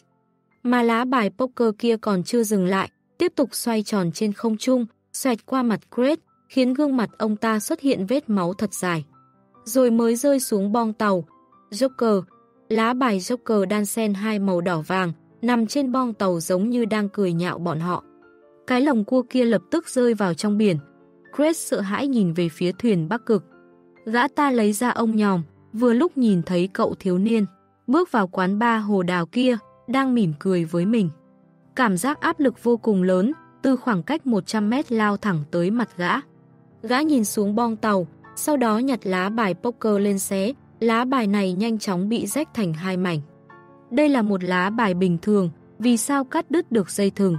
Phải biết rằng, sợi dây thừng này có thể giữ được cái lồng cua nặng hơn 600 pound, lá bài này sao làm được? Craig vẫn còn sợ hãi. Ông ta sờ lên vết máu trên mặt mình, nếu lá bài kia xoẹt qua cổ mình, vậy có phải mình đã chết hay không? Giờ này, ông ta bỗng nhiên nhớ lại con quái vật biển mà thủy thủ mình kể lại. Đối phương không định giết người, vậy chúng ta đừng nên vượt quá giới hạn, nếu không sẽ chết mà không biết tại sao. Giống như thủy thủ rơi xuống biển, gặp phải cá mập hổ, mà nó lại không có ý định ăn mình. Vậy tên thủy thủ đó tuyệt đối đừng ngu ngốc đến mức điên cuồng vùng vẫy làm nó chú ý. Ông ta nghĩ tới đây, thì nhẹ nhàng đút lá bài vừa xé vào trong túi để tránh cho đối phương nhìn thấy hành động xé bài của mình giống như đang khiêu khích. Trong phòng điều khiển, thủy thủ cầm lái nói, thuyền trưởng, thuyền Bắc Cực liên lạc với chúng ta nói, muốn thả lồng xuống trại cua Hoàng Kim cũng không sao, bởi vì đây là quà tặng thiên nhiên. Nhưng dựa theo quy định tại vùng biển Barents, chúng ta nhất định phải chờ thuyền Bắc Cực rời đi mới được làm việc. Greg nói, hạ neo, tất cả mọi người vào khoang thuyền nghỉ ngơi. Chờ thuyền Bắc Cực rời đi, chúng ta sẽ hạ lồng cua. Đúng là Greg sợ. Bây giờ, sự kiện lữ khách thời gian luôn là chủ đề chính trong các quán bar. Gã ta nhớ lại quốc gia mà người kia đến, kèm theo khả năng thần bí kia, khiến Chris suy nghĩ đến một vấn đề. Tại sao lữ khách thời gian muốn giúp Trương Kiệm? Grace không hiểu. Grace cũng không biết, nếu như Abs, Hồ Kình và Trương Vĩ cùng thả lồng xuống đây, thì cái trại cua hoàng kim này có đủ cua hoàng đế cho mọi người hay không? nhưng đã biết đây là trại Hoàng Kim, cũng rất đáng để chờ. Cảm ơn các cậu đã giúp tôi. Trương Kiệm nghiêm túc nhìn Khánh Trần và ương ương nói, tôi bây giờ cũng đoán được thân phận của hai người. Cho nên, ngay từ đầu các người đã biết nơi đó là trại cua Hoàng Kim đúng không? Hơn nữa, tối nay đám người Fenry cử thủy thủ tới cắt phao của chúng ta đã bị Khánh Trần đánh lui. Khánh Trần và ương ương đứng trên bong tàu, tiếp tục công việc kéo lồng cua lên, mỉm cười nói, chúng tôi không tính giúp anh, nên không cần nghĩ nhiều. Chúng tôi tới đây bởi vì có kế hoạch của mình, làm vài chuyện coi như tiện tay làm. Chúng ta không thân chẳng quen, chẳng có tình hữu nghị, nên chưa đáng để chúng tôi giúp đỡ. Trương Kiệm ngạc nhiên, vậy sao các cậu còn? Chơi vui. Ương ương quay lại nói, như thế đã đủ chưa? So với giúp anh, chúng tôi làm việc đó bởi vì nó thú vị, cho nên không cần anh phải trịnh trọng cảm ơn vậy đâu. Đừng tốn, quá nhiều sức cho sự khách sáo. Có thể nói, Khánh Trần và Ương Ương có cùng chung điểm này, bọn họ sợ vẻ khách sáo của người khác. Hơn nữa, bọn họ cũng không hề có ý giúp Trương Kiệm. Chẳng lẽ năm nay giúp, năm sau cũng tới đây giúp sao? Nếu năm nay Trương Kiệm không bắt được cua, thì những thủy thủ như họ sẽ thiệt thòi. Số lượng cua bắt được của một thuyền, tỷ lệ thuận với tiền lương thủy thủ. Trên một thuyền cua thu hoạch tốt, thủy thủ có thể nhận tới 80.000 euro một năm. Còn thuyền kém hơn, một năm chỉ nhận được 50.000 euro. Mà năm ngoái, những thủy thủ trên thuyền Trương Kiệm chỉ nhận về 20.000 euro, đúng bằng với lương cơ bản. Lúc này, Khánh Trần nhìn Trương Kiệm, nghiêm túc nói, anh nói mình luôn mơ ước được lao vào thử thách nguy hiểm. Nhưng tôi đã hiểu tại sao anh không bao giờ tìm được trại cua. Đối với anh mà nói, đi vào vùng biển Barents là một hành trình tự do đầy nguy hiểm, nhưng anh cũng nên suy nghĩ cho thủy thủ đồng ý lên thuyền của mình chứ. Mọi người dùng mạng sống của họ để đánh đổi, đồng thời gánh trên vai trách nhiệm với gia đình. Khánh Trần nói tiếp, có thể anh chưa bao giờ đánh mất mơ ước của mình, không chấp nhận bán rẻ chúng, anh có thể tiếp tục mạo hiểm. Nhưng thuyền bắt cua là để bắt cua, nếu không anh vẫn chỉ là người thám hiểm thất bại. Cho nên, anh cần học nhiều vào, nghiên cứu một chút vị trí có thể xuất hiện cua hoàng đế. Tôi nghĩ, cua hoàng đế không hề khó tìm, bọn chúng tất nhiên phải có quy luật của mình. Trương Kiệm ngạc nhiên, Lão John cũng ngạc nhiên, Trương Kiệm ngạc nhiên bởi vì có người lên tiếng dạy bảo mình. Trong lòng anh ta không chấp nhận, nhưng anh ta dần tỉnh lại từ sự cố chấp ấy. Dù sao, khi còn cha bên cạnh, mặc dù có tinh thần tự do ưa mạo hiểm, nhưng ông ấy vẫn dẫn dắt thuyền viên chiến thắng trở về. Còn lão John ngạc nhiên bởi vì ông ấy nhận ra một vấn đề, thiếu niên, thiếu nữ đang gỡ lồng cua kia. Trong khoảnh khắc vừa rồi, lão John quên dùng cần cầu, vậy mà hai người này dơ cái lồng cua nặng 680 pound nhẹ như lông hồng. Có lẽ, hai thiếu niên này nói chuyện tập trung quá mà quên mất, một khi lồng cua lên bong tàu, phải dùng đến cần cầu. Có những thời điểm, lão John cảm nhận được Khánh Trần rất phù hợp với vị trí thuyền trưởng thuyền Bắc Cực. Nếu thủy thủ nào đi theo vị thuyền trưởng thế này, chỉ sợ đặt chân lên thuyền là mạng sống được bảo đảm, hơn nữa mỗi năm đều trở về trong chiến thắng. Hàng năm, công việc chỉ có vài ngày, sau đó hơn 300 ngày tự do sinh hoạt, hưởng thụ cuộc sống. Đép có trách nhiệm dùng thước đo cua, anh ta cũng có cảm giác chưa bao giờ thoải mái thế này. Hạ lồng cua đã khó, kéo lồng lên càng khó hơn. Thuyền Bắc Cực mở toàn bộ đèn chiếu sáng lên, làm từ 9 giờ đêm tới tận sáng. Ương ương bên cạnh giúp tháo lồng cua ra, vừa nói chuyện với Khánh Trần, vừa rồi, thời điểm cậu lao xuống nước đã lộ ra bản thân là Lữ. Khách thời gian, thời điểm này không còn che giấu năng lực, một khi trở về bến cảng, sẽ có rất nhiều người biết cậu phiêu bạt tại vùng biển Barents. Khánh Trần mỉm cười gật đầu, cho nên, ngay từ đầu cậu đã có ý dẫn dụ thần đại và lộc đảo. Ương ương tò mò, còn có nơi nào phù hợp trở thành chiến trường hơn nơi này sao? Khánh Trần mỉm cười, biển cả mênh mông vô bờ, nước biển lạnh thấu xương. Một khi mình rơi xuống biển vẫn có thể hô hấp được, còn bọn họ thì không thể. Ở chỗ này, nếu bọn chúng bất chấp nguy hiểm đuổi tới, thì vùng biển thần bí Barents này sẽ cho bọn họ biết có đi mà không về là thế nào. Ương ương quay qua hỏi, cậu có thể ở dưới nước bao lâu? Khánh Trần suy nghĩ rồi nói, nửa giờ. Ương ương bĩu mũi, lừa bịp. Tôi đã đến tận đây giúp cậu vượt khó khăn, cậu vẫn còn lừa tôi. Cậu có phải là người không vậy? Khánh Trần xấu hổ. Lúc trước, khi hắn vừa mới nhận biết chân khí kỵ sĩ có thể hô hấp được dưới nước, đã có thể ở dưới đó 20 phút. Nhưng hiện tại, chân khí gần như tràn khắp cơ thể, ở dưới nước 3 giờ cũng có thể. Có điều, vì sao hắn ở dưới nước được, chịu đựng trong bao lâu, vẫn không nên lộ chuyện này ra ngoài. Dù sao, khả năng này liên quan đến mạng sống của mình. Ương ương mỉm cười, không trách cậu, mình cũng có bí mật riêng, coi như hòa. Khánh Trần nhìn mặt biển. Nơi này, khoảng cách giữa hai thuyền chỉ vài hải lý, chỉ nhìn thấy một chấm đen. Cao thủ bên trong lữ khách thời gian, nếu đi trên đất bằng, chạy còn nhanh hơn thuyền. Nhưng nếu ở chỗ này cũng phải ngoan ngoãn mà cẩn thận. Súng ngắm tại địa phương này có tác dụng rất lớn. 9 giờ sáng, thuyền Bắc Cực thu neo, đón ánh mặt trời mọc. Bọn họ đi về phía bến cảng, đổ đầy kho hàng. Sau một ngày, thuyền Bắc Cực đã trở lại bến cảng Amsterdam, thậm chí tạo thành một sự kiện nhỏ. Nhưng, thuyền Bắc Cực không dừng lại ở bến cảng quá lâu. Bọn họ như đang chạy đua với thời gian, chỉ bổ sung thêm nguyên liệu, sau đó lại tiếp tục ra khơi. Hai ngày sau, Abs trở về bến cảng. Chris chờ cân xong cua, bèn đến quán ba Hồ Đào, uống rượu giải sầu. Lúc này, mọi người ở bến cảng đều bàn tán chuyện liên quan đến thuyền Bắc Cực, khiến Chris càng nghe càng sôi máu. Trong quán rượu Hồ Đào, đang có người ca ngợi thổi phồng thuyền Bắc Cực, làm Chris đứng lên phản đối. Thuyền Bắc Cực tìm được trại cua Hoàng Kim không phải do Trương Kiệm tìm được, mà có hai lữ khách thời gian tới từ phương Đông trên thuyền. Nếu như không có hai tên lữ khách thời gian đó, năm nay nhất định thuyền Bắc Cực sẽ phải bán hết mọi thứ. Trong quán bar, đám người dần trở nên hứng thú. Lại có chuyện này xảy ra sao? Ngay lúc này, có một người đàn ông châu Á vạm vỡ tới ngồi đối diện Chris, có thể tâm sự chút không? Tôi muốn nghe một chút, lữ khách thời gian trên thuyền Bắc Cực kia thế nào? dáng người ra sao? Chris nhớ lại, sau đó nói, đều nhìn rất đẹp. Tên, đàn ông vạm vỡ này giống như tìm được mục tiêu, bèn tỏ ra vui mừng. Gã lấy từ trong lồng ngực ra ảnh chụp Khánh Trần, là cậu ta sao? Đúng, là người này. Chris nhìn ảnh Khánh Trần, bỗng nhiên nhớ lại đêm thiếu niên bước vào quán ba hồ đào. Thiếu niên bước vào, còn đưa tới cả gió lạnh tại bến cảng Amsterdam. Gã đàn ông vạm vỡ đối diện bèn nói, bây giờ tên đó còn ở trên thuyền Bắc Cực sao? Chris nhận ra người đối diện không bình thường. Gã trả lời, còn, lúc chúng tôi trở về, vừa lúc gặp thuyền Bắc Cực. Tôi có thể xác định, người này vẫn còn trên thuyền Bắc Cực. Người đàn ông vạm vỡ mỉm cười nói, chào ông, tôi giới thiệu một chút.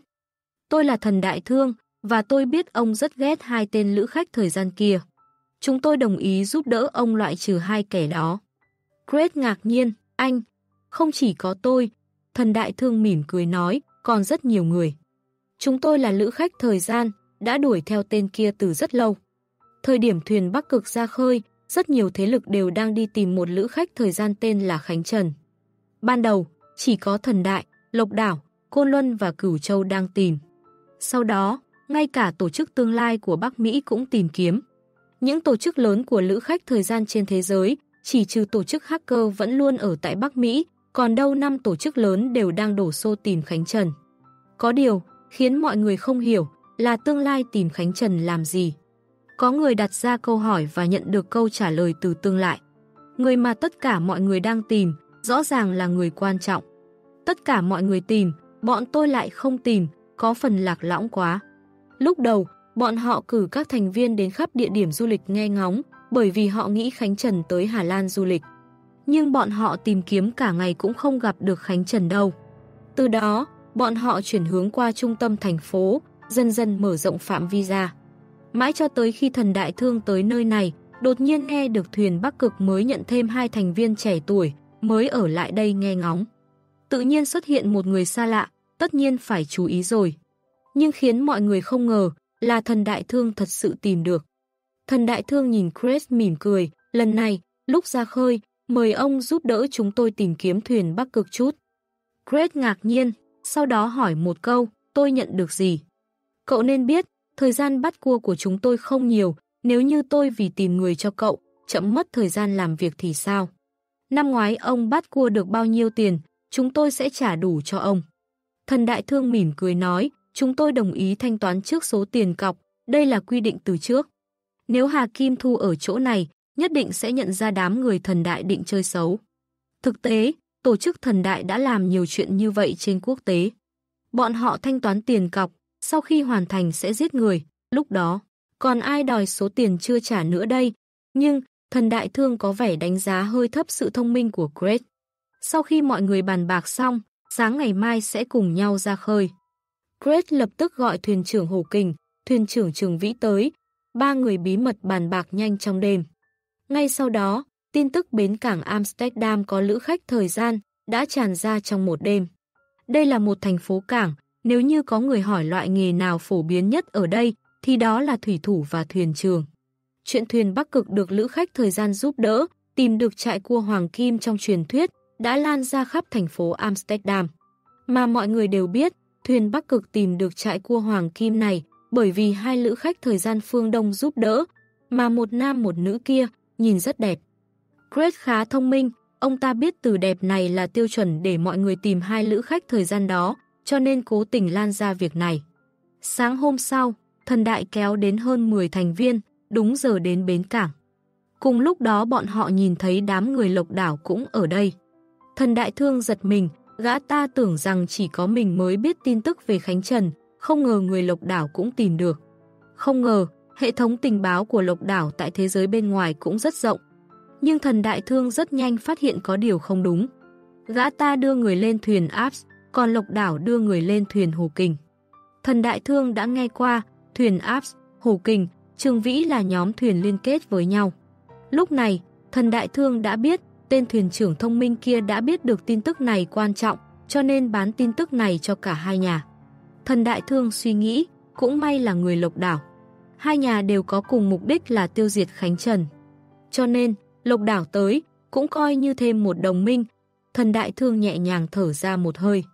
Nhưng mà, hai chiếc thuyền vừa mới ra khỏi bến cảng, thần đại thương quay đầu nhìn lại, đã thấy vị lãnh đạo cửu châu là Hà Kim Thu. Đang chống một cây gậy ba tong màu đen, đứng trên con thuyền trường vĩ, thoải mái ngắm nhìn. Vẻ mặt thần đại thương lập tức thay đổi. Ông ta nói với Craig, dùng hết tốc lực di chuyển, tuyệt đối không thể để đi cùng con thuyền kia. Tại bến cảng Oslo phía Bắc, đang có một chiếc tàu khu trục USS Arleigh nhanh chóng di chuyển, hướng thẳng tới vùng biển Barents. Dòng tàu khu trục Bucker là một loại tàu khu trục phổ biến tại Bắc Mỹ. Tàu được trang bị hệ thống chiến đấu Aegis. Lúc này, trên bong tàu USS Hợp Quell, có mấy người da trắng đang thoải mái nằm trên ghế hay đặt ở bãi biển. Bọn họ không hề có cảm giác khó chịu vì từng đợt gió lạnh thấu xương, mà giống như đang hưởng thụ phơi nắng. Trong đó có một người da đen nói, tại sao chúng ta phải tới vùng biển Barents? Bởi vì, tất cả mọi người đều tới đó. Một người da trắng gầy gò nói, thần đại, lộc đảo, cửu châu đều đi, chúng ta không đi, không, phải là thiếu chút gì đó sao? Thế nhưng, tàu khu trục mỗi lần di chuyển đều tốn rất nhiều tiền nguyên liệu. Người da đen nói, người da trắng mỉm cười, tổ chức tương lai của chúng ta còn lo vấn đề tiền nguyên liệu sao? Thế giới này là của tương lai. Có điều, tôi rất tò mò, cả thần đại, lộc đảo, cửu châu đều đang tìm một thanh niên đẹp trai, để làm gì? Đừng nói giống như trong sử thi Homer, Troy và Hy Lạp tranh nhau người đẹp Helen đấy nhá. Vì điều này mà hai nước đánh nhau tận 10 năm. Người da đen suy nghĩ rồi nói, chuyện này cần phải nhìn xem người đó thế nào. Các bạn đang nghe chuyện dạ mệnh danh thuật, ác mộng của đêm, của tác giả hội thuyết thoại trừ tử tại thư viện sách nói miễn phí, chuyện đọc việt.com Chương 407, không vấn đề Lần quay trở lại vùng biển Barents này, Khánh Trần đã ảnh hưởng đến rất nhiều người. Châu Âu không giống trong nước, có người đứng ra lãnh đạo mới khiến đám người lộc đảo và thần đại khá bị động. Ở chỗ này, chẳng ai có lợi thế về người, chỉ cần ai chịu bỏ tiền thì có thể đưa người của mình tới. Hơn nữa, còn không cần lo lắng bị Côn Luân và Cửu Châu âm thầm tính kế. Đương nhiên, hành động của lữ khách thời gian Bắc Mỹ vẫn rất phô trương. Bọn họ không hề ẩn nhẫn như Côn Luân, mà tổ chức lữ khách thời gian của bọn họ đang không ngừng bành trướng ra các ngõ ngách. Lần này, lữ khách thời gian truy sát Khánh Trần có thể nói là lớn nhất từ trước tới nay. May mà người bị nhắm tới, hình như vẫn chưa biết gì cả. Đương nhiên, những người đuổi giết không biết, Khánh Trần không đến vùng biển Barents nữa. Theo tư duy bình thường, một tàu bắt cua trở về bến cảng cất hàng, sau đó nhất định sẽ quay trở lại vùng biển Barents để tiếp tục bắt cua. Điều này quá rõ ràng, chẳng có vấn đề gì cả. Nhưng có một vấn đề duy nhất là Khánh Trần chưa bao giờ tuân thủ theo lẽ thường. Trong thời gian ở lại bến cảng và thông qua trương kiệm, hắn nghe ngóng được chuyện liên quan đến lữ khách thời gian Bắc Mỹ. Nên hắn biết tổ chức lữ khách thời gian lớn nhất bây giờ là tương lai. Sau đó mới tới Cửu Châu, Lộc Đảo, Thần Đại. Trong tất cả các tin tức, chỉ có một điều khiến Khánh Trần không ngờ. Tổ chức tương lai có thể điều động tàu khu trục, di chuyển trên vùng biển. Cho nên, Khánh Trần quyết định thay đổi hướng di chuyển. Lần này hắn tới Bắc Âu bởi vì tìm một cơn bão trên biển, chỉ có bão tự nhiên mới hình thành nên con sóng cao 30 mét. Nhưng mùa này, không chỉ có mình vùng biển Barents xuất hiện loại bão như thế, mà vùng biển Greenland cũng có xuất hiện. Cho nên, Khánh Trần thuyết phục Trương Kiệm thay đổi tuyến đường di chuyển về phía vùng biển Greenland. Còn vấn đề đám người kia đánh nhau thế nào, có thể diệt toàn bộ thần đại và lộc đảo trên vùng biển Barents hay không? Khánh Trần không thèm quan tâm. Theo kế hoạch của Lão John, bọn họ dừng chân một chút tại bến cảng Oslo, sau đó đi thẳng tới vùng biển Greenland. Trương Kiệm không hỏi Khánh Trần muốn làm gì, bởi vì Khánh Trần đã thuê lại cả con thuyền này. Có thể nói, Trương Kiệm là một người tốt bụng. Lần ra biển đầu tiên, số lượng cua hoàng đế bắt được đã đủ để thuyền Bắc Cực vượt qua khó khăn năm nay. Mọi chi phí cho năm sau như sửa chữa thuyền, phí neo đậu, giấy phép đánh bắt đã đủ. Cho nên vị thuyền trường này đã suy nghĩ thật kỹ, rồi nói với Khánh Trần, năm nay, nhờ có hai người, tôi mới tìm thấy trại của Hoàng Kim. Nhưng tôi cảm thấy, đó không phải thành quả lao động của mình, cho nên nhận thì ngại. Sang năm, tôi dự định bắt đầu lại, đúng như lời cậu nói, nghiên cứu làm cách nào để trở thành một vị thuyền trưởng đúng nghĩa. Làm vậy mới phù hợp với tinh thần ưa tự do mạo hiểm của mình. Các người cứ thoải mái sử dụng thuyền, sau đó thanh toán tiền cho lão John và Deb, còn không cần suy nghĩ đến tiền thuê. Khánh Trần nghĩ thầm, cùng người có chủ nghĩa lãng mạn giao lưu, đúng là tiết kiệm. Cho nên, Khánh Trần chỉ cần trả cho lão John và Deb 30.000 euro, lập tức trở thành thuyền trưởng của thuyền Bắc Cực. Khánh Trần thoải mái ngồi trên bong tàu xem điện thoại di động. Lão John cầm lái ở khoang điều khiển. Khả năng điều khiển tàu bắt cua của ông ta tất nhiên không thể bằng Trương Kiệm. Nhưng đây là biển gần bờ, cũng đủ để một vị hơn 20 năm kinh nghiệm xử lý. Lúc này, Trương Kiệm đứng trên bong tàu, nhìn Khánh Trần đang tìm kiếm trên điện thoại, thì tò mò hỏi, cậu đang tìm gì vậy? Khánh Trần nhìn anh ta trả lời, tìm thuê thuyền. Trương Kiệm nghe xong đầy nghi hoặc. Lần này, cả ương ương cũng không hiểu. Thuê thuyền, đây không phải thuê rồi sao? Trương Kiệm không hiểu hỏi lại, cậu thấy thuyền này quá nát. Nên định thuê một cái mới. Không phải. Khánh Trần bình tĩnh nói, tôi cho người khác thuê, cho người cũng muốn tới vùng biển Greenland thuê. Trương Kiệm bứt rứt trong người, ý gì vậy? Tôi cho cậu thuê, cậu lại cho người khác thuê lại. Đúng vậy, hiện tại tôi toàn quyền sử dụng thuyền này, cho người khác mượn thì sao? Khánh Trần nghi ngờ, có vấn đề gì khó nói sao? Tôi nghĩ, thuyền của các người đủ phòng để cho người ở mà. Nó đơn giản như người thuê phòng, sau đó cho người khác thuê lại phòng đó, đơn giản mà. Hơn nữa, tôi thấy mình chỉ cần đến vùng biển Greenland là được rồi, không ngại có người đi cùng. Dù sao, thuyền ra khơi chẳng có tín hiệu gì cả, hắn không sợ có người báo lại cho thần đại và lộc đảo, tương lai là hắn không còn ở vùng biển Barents. Ai ngờ được, hắn đã không đi rồi còn dùng thuyền cho người khác thuê cơ chứ.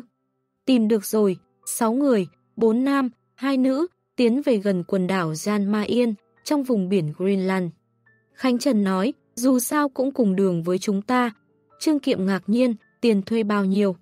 Khánh Trần ngồi trên bong tàu nhếch miệng cười, 70.000 euro, cung cấp ăn ngủ trong vòng 7 ngày. Có điều, bọn họ muốn vận chuyển thiết bị hành lý, cùng nghe theo sắp xếp của họ. Hơn nữa, chúng, ta cần ký hợp đồng giữ bí mật. Trương Kiệm ngây người ra. Vậy mà thằng nhóc này kiếm lời 10.000 euro. Thực tế, càng đi xa giá tiền càng giảm. Nhưng đám người kia còn muốn giúp đỡ khuân vác hành lý, thiết bị thì chẳng khác nào mướn nhân công, phục vụ ăn ngủ cả trong đó. Ương ương nhìn Khánh Trần, đám người này không bình thường. Một người thuê thuyền đàng hoàng, sao có thể bỏ ra nhiều tiền kèm theo nhiều chi phí bên ngoài như vậy? Hơn nữa, còn phải ký hợp đồng giữ bí mật. Khánh Trần mỉm cười, tất nhiên không bình thường rồi, nếu bình thường sao chúng ta thu hồi vốn được. Ương ương nhíu mày, cậu tìm tin tức người thuê ở đâu? Khánh Trần nói, một trang web đen. Ương ương thở dài, người thuê ở trang web đen, bình thường mới là lạ. Chẳng trách có người bỏ ra số tiền lớn như vậy để thuê thuyền Bắc Cực. Cô nhìn thiếu niên trước mặt, chẳng hiểu đầu óc tên này hình thành thế nào, sao có lắm thao tác như vậy được. Trương Kiệm bên cạnh cũng bắt đầu nghi ngờ cuộc sống này. Tinh thần tự do ưa mạo hiểm của anh ta bị tấn công sắp vỡ nát rồi. Ương ương vẫn còn nghi ngờ, nếu như chỉ đến quần đảo Gian Ma Yên, cũng không cần phải dựa vào hình thức thuê người lén lút như vậy. Thật sự kỳ lạ. Mặc kệ đi, nếu gặp phải đám người bình thường, thì ném xuống biển, sau đó đổi nhóm khác. Khánh Trần trả lời, chờ đã, việc vận chuyển hành lý với thiết bị của bọn họ. Cậu không tính cả sức lao động của mình vào đây chứ? Ương ương nhíu mày hỏi. Khánh Trần trả lời, bạn bè phải đồng cam cộng khổ chứ. Giỏi. Thực tế, ương ương biết tại sao Khánh Trần phải tìm người thuê trên web đen. Bởi vì, những nơi bình thường sẽ phải đưa rất nhiều loại giấy tờ, mà web đen thì không. Người lén lút tìm kiếm ở trong này, phần lớn là người nhập cư trái phép, muốn che giấu hành động của mình. Làm như vậy, tin tức thuyền Bắc Cực ra khỏi vùng biển Barents mới được bảo đảm không bị lộ. Mà bên trong web đen, phần lớn là phần tử tội phạm. Khánh Trần muốn giở trò, ném đám người này xuống biển, cũng không cảm thấy trái với lương tâm. Dù sao, Khánh Trần chỉ muốn thu hồi lại tiền thuê thuyền thôi mà. Khánh Trần nhìn Trương Kiệm, vị thuyền trưởng này giống người ngủ mê, chẳng biết trả lời thế nào. Có điều, anh ta nghĩ tới một vấn đề sau đó nói với Khánh Trần, phòng nhỏ trên thuyền chỉ có thể cung cấp cho 8 người. Trong đó, phòng thuyền trưởng đủ để cung cấp cho hai người con gái. Nhưng chúng ta có tới 5 người, người thuê thuyền 6 người. Vẫn còn có người không có nơi ngủ. Khánh Trần mỉm cười nói, không sao, tôi không cần ngủ. Ương ương nói, tôi cũng không cần ngủ, để vị trí đó cho mọi người nằm. Trương Kiệm, châu bò. Đây là câu mà anh ta dùng tiếng Trung để nói, cũng là một trong số ít từ tiếng Trung anh ta nói được. Trên thực tế, ương ương vẫn cần ngủ, nhưng cô ấy ở hoang dã quá lâu. Cho nên theo cách giải thích nào đó, ở đâu cô cũng thiết lập một trận trường lực để ngủ được. Vì vậy điều đó không hề nói quá. Thật ra, bởi vì cô không muốn dọa đám người trương kiệm. Nên không bay thẳng lên trời mà ngủ, dù sao trường lực không bị mưa phả vào, hơn nữa còn chẳng phải chịu cái lắc lư trên thuyền. Một ngày sau, trên vùng biển Barents, tàu Aps của Crest đã đến tọa độ được ghi lại trước đó, là vị trí của trại cua Hoàng Kim. Sự thật chứng minh, vị trí mà thuyền Bắc Cực tìm đến quá tốt. Dù bọn họ đã thả xuống 179 lồng, mà số cua hoàng đế còn lại cũng đủ cho ba thuyền Abs, Hồ Kình, Trường Vĩ kiếm được dư giả. Mà xung quanh đó còn có 7 cua cực lớn. Theo Chris nghĩ, thuyền Bắc Cực sẽ về lại đây, tìm kiếm xung quanh xem có thể đặt lồng tiếp không. Nhưng, trên mặt biển mênh mông bát ngát, chẳng thấy tăm hơi con thuyền Bắc Cực ở đâu. Thần đại thương đứng trên bong tàu nhìn Chris nói, chẳng phải ông nói bọn họ sẽ ở đây sao? Tôi nói dựa theo lẽ thường. Chris nhìn họng súng đen ngòm trước mặt, bình tĩnh giải thích, những năm nay thuyền Bắc Cực khá kỳ lạ, có lẽ bọn họ nghĩ trại cua này đã bị bắt hết, nên muốn đổi vị trí khác. Biển Barents lớn như vậy, nơi có trại cua còn rất nhiều. Chúng ta tới nơi khác tìm xem sao, đồng thời mở ra đa, một khi bọn họ ở quanh đây sẽ biết được. Mà cũng có thể nhìn thấy phao của bọn họ, sau đó chờ bọn họ xuất hiện. Một thuyền bắt cua muốn tìm một thuyền bắt cua khác, đầu tiên là dựa vào ra đa. Cách khác nữa là tìm những phao đang lơ lửng dưới nước. Có điều, thuyền Aps đã lênh đênh trên vùng biển Baren tận 8 giờ, cũng không thể nào phát hiện ra vị trí của thuyền Bắc Cực. Trong quá trình đó, bọn họ gặp được Hổ Kình và Trường Vĩ hai lần.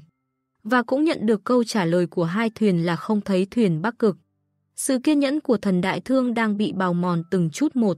Hiện tại có vẻ đã không còn, nên gã cười nhạt nói, đám người sống ở bến cảng như các người, cố tình để lộ tin tức.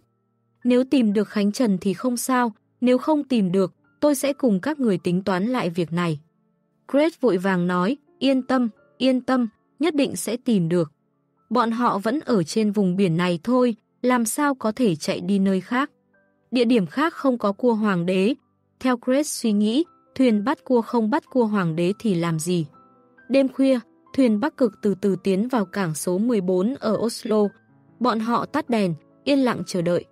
Lão John, Trương Kiệm, đép ngồi trong khoang thuyền, mỗi người cầm một điếu thuốc, khiến khói trong này trở nên nghi ngút. Đây chính là món đồ ưa thích của thủy thủ, mọi lúc mọi nơi đều cần nicotine duy trì tỉnh táo. Bọn họ nhìn Khánh Trần và Ương Ương, hai người định làm gì vậy? Khánh Trần vừa đốt một cây gỗ, sau đó dùng than vẽ lên mặt Ương Ương. Biến một cô gái xinh đẹp trở thành một cô gái bắt cua xấu xí. Còn bản thân Khánh Trần lập tức sử dụng vật cấm kỵ ACE 005 thay đổi khuôn mặt mình, khiến nó trông rất bẩn thỉu. Trương Kiệm tò mò nói, hai người sợ người khác nhận ra sao. Nhưng nếu chỉ có hai người hóa trang còn chúng tôi thì không, chẳng phải vẫn sẽ bị lộ sao. Khánh Trần nhìn Trương Kiệm nói, cảm ơn đã nhắc nhở. Sau đó, Khánh Trần cũng hóa trang cho ba người một chút. Hắn giải thích, hai người chúng tôi rất dễ nhận ra, nên hóa trang cần phải cẩn thận. Dù sao, đám người thuê thuyền lần này của các người cũng không giống người thường. Vào lúc này, tại bến cảng số 14, đã có hai chiếc xe Việt dã cùng một chiếc xe tải đi tới. Bọn họ đã tắt hết đèn, cố gắng di chuyển nhẹ nhàng nhất có thể. Ương ương nói nhỏ, xem ra, cũng không muốn người khác phát hiện. Không biết bọn họ tới quần đảo Gian Ma Yên làm gì, Khánh Trần tò mò. Lúc này, Khánh Trần cầm đèn pin, chiếu vào ba chiếc xe kia, theo ký hiệu hai ngắn một dài. Sau đó, hắn nhảy từ trên thuyền bắt cua xuống thuyền nhỏ. Khi đó, có bốn nam hai nữ đi ra từ ba chiếc xe. Trong đó, có một người trung niên da trắng nói với Khánh Trần, nhanh chóng đưa đồ vật trên xe xuống thuyền. Mỗi cái dương đều có ký hiệu, mà bên trong đó toàn là đồ quý giá, không được phép làm hỏng. Người này nói xong, ngay lập tức sáu người đứng qua hai bên. Bọn họ không muốn giới thiệu, cũng không muốn giúp đỡ phụ một tay. Khánh Trần vui vẻ, sau đó quay đầu về phía thuyền gọi, xuống đây giúp đỡ, lão John điều khiển cần cầu. Chúng ta đưa đồ vật của họ lên thuyền.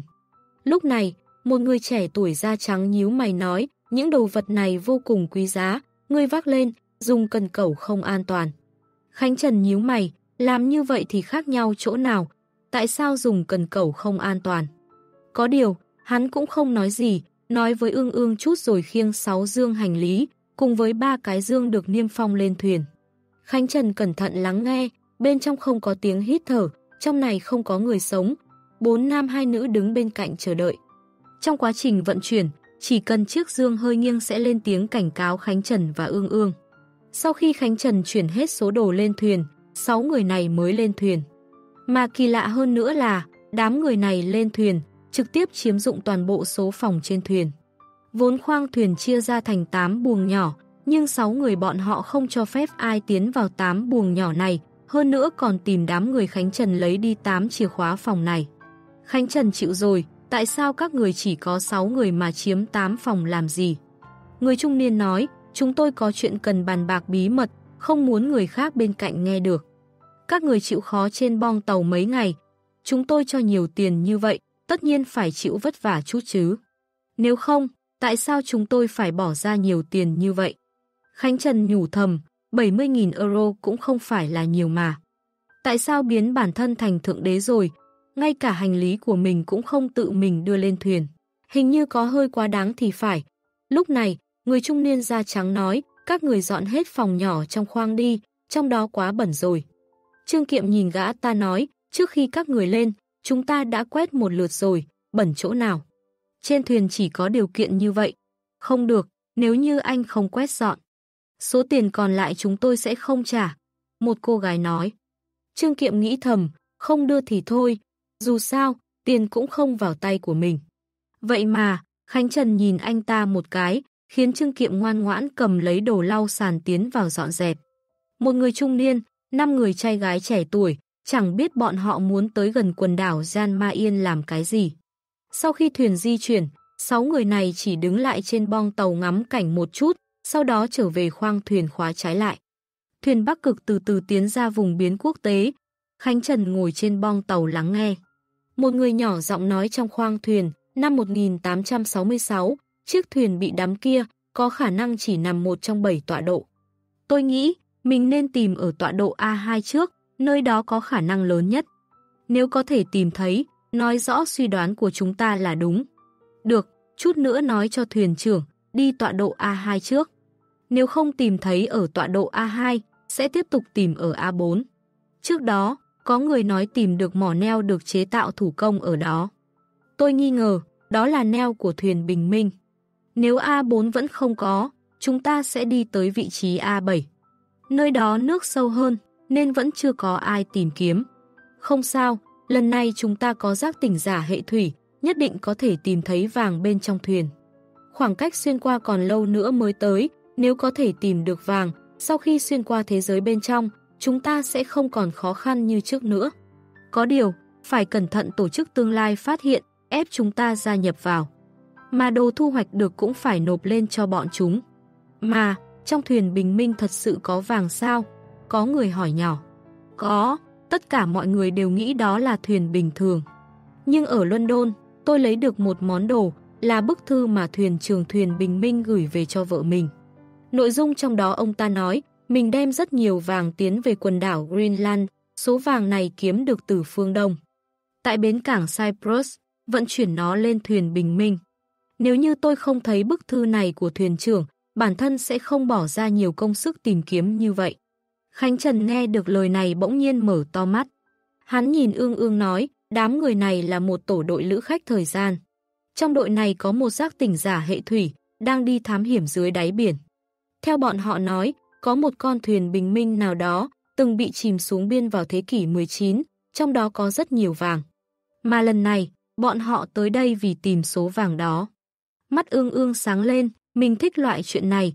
Khánh Trần suy nghĩ rồi nói, mình nghi, ngờ, đám người này sẽ có ý đồ giết người diệt khẩu.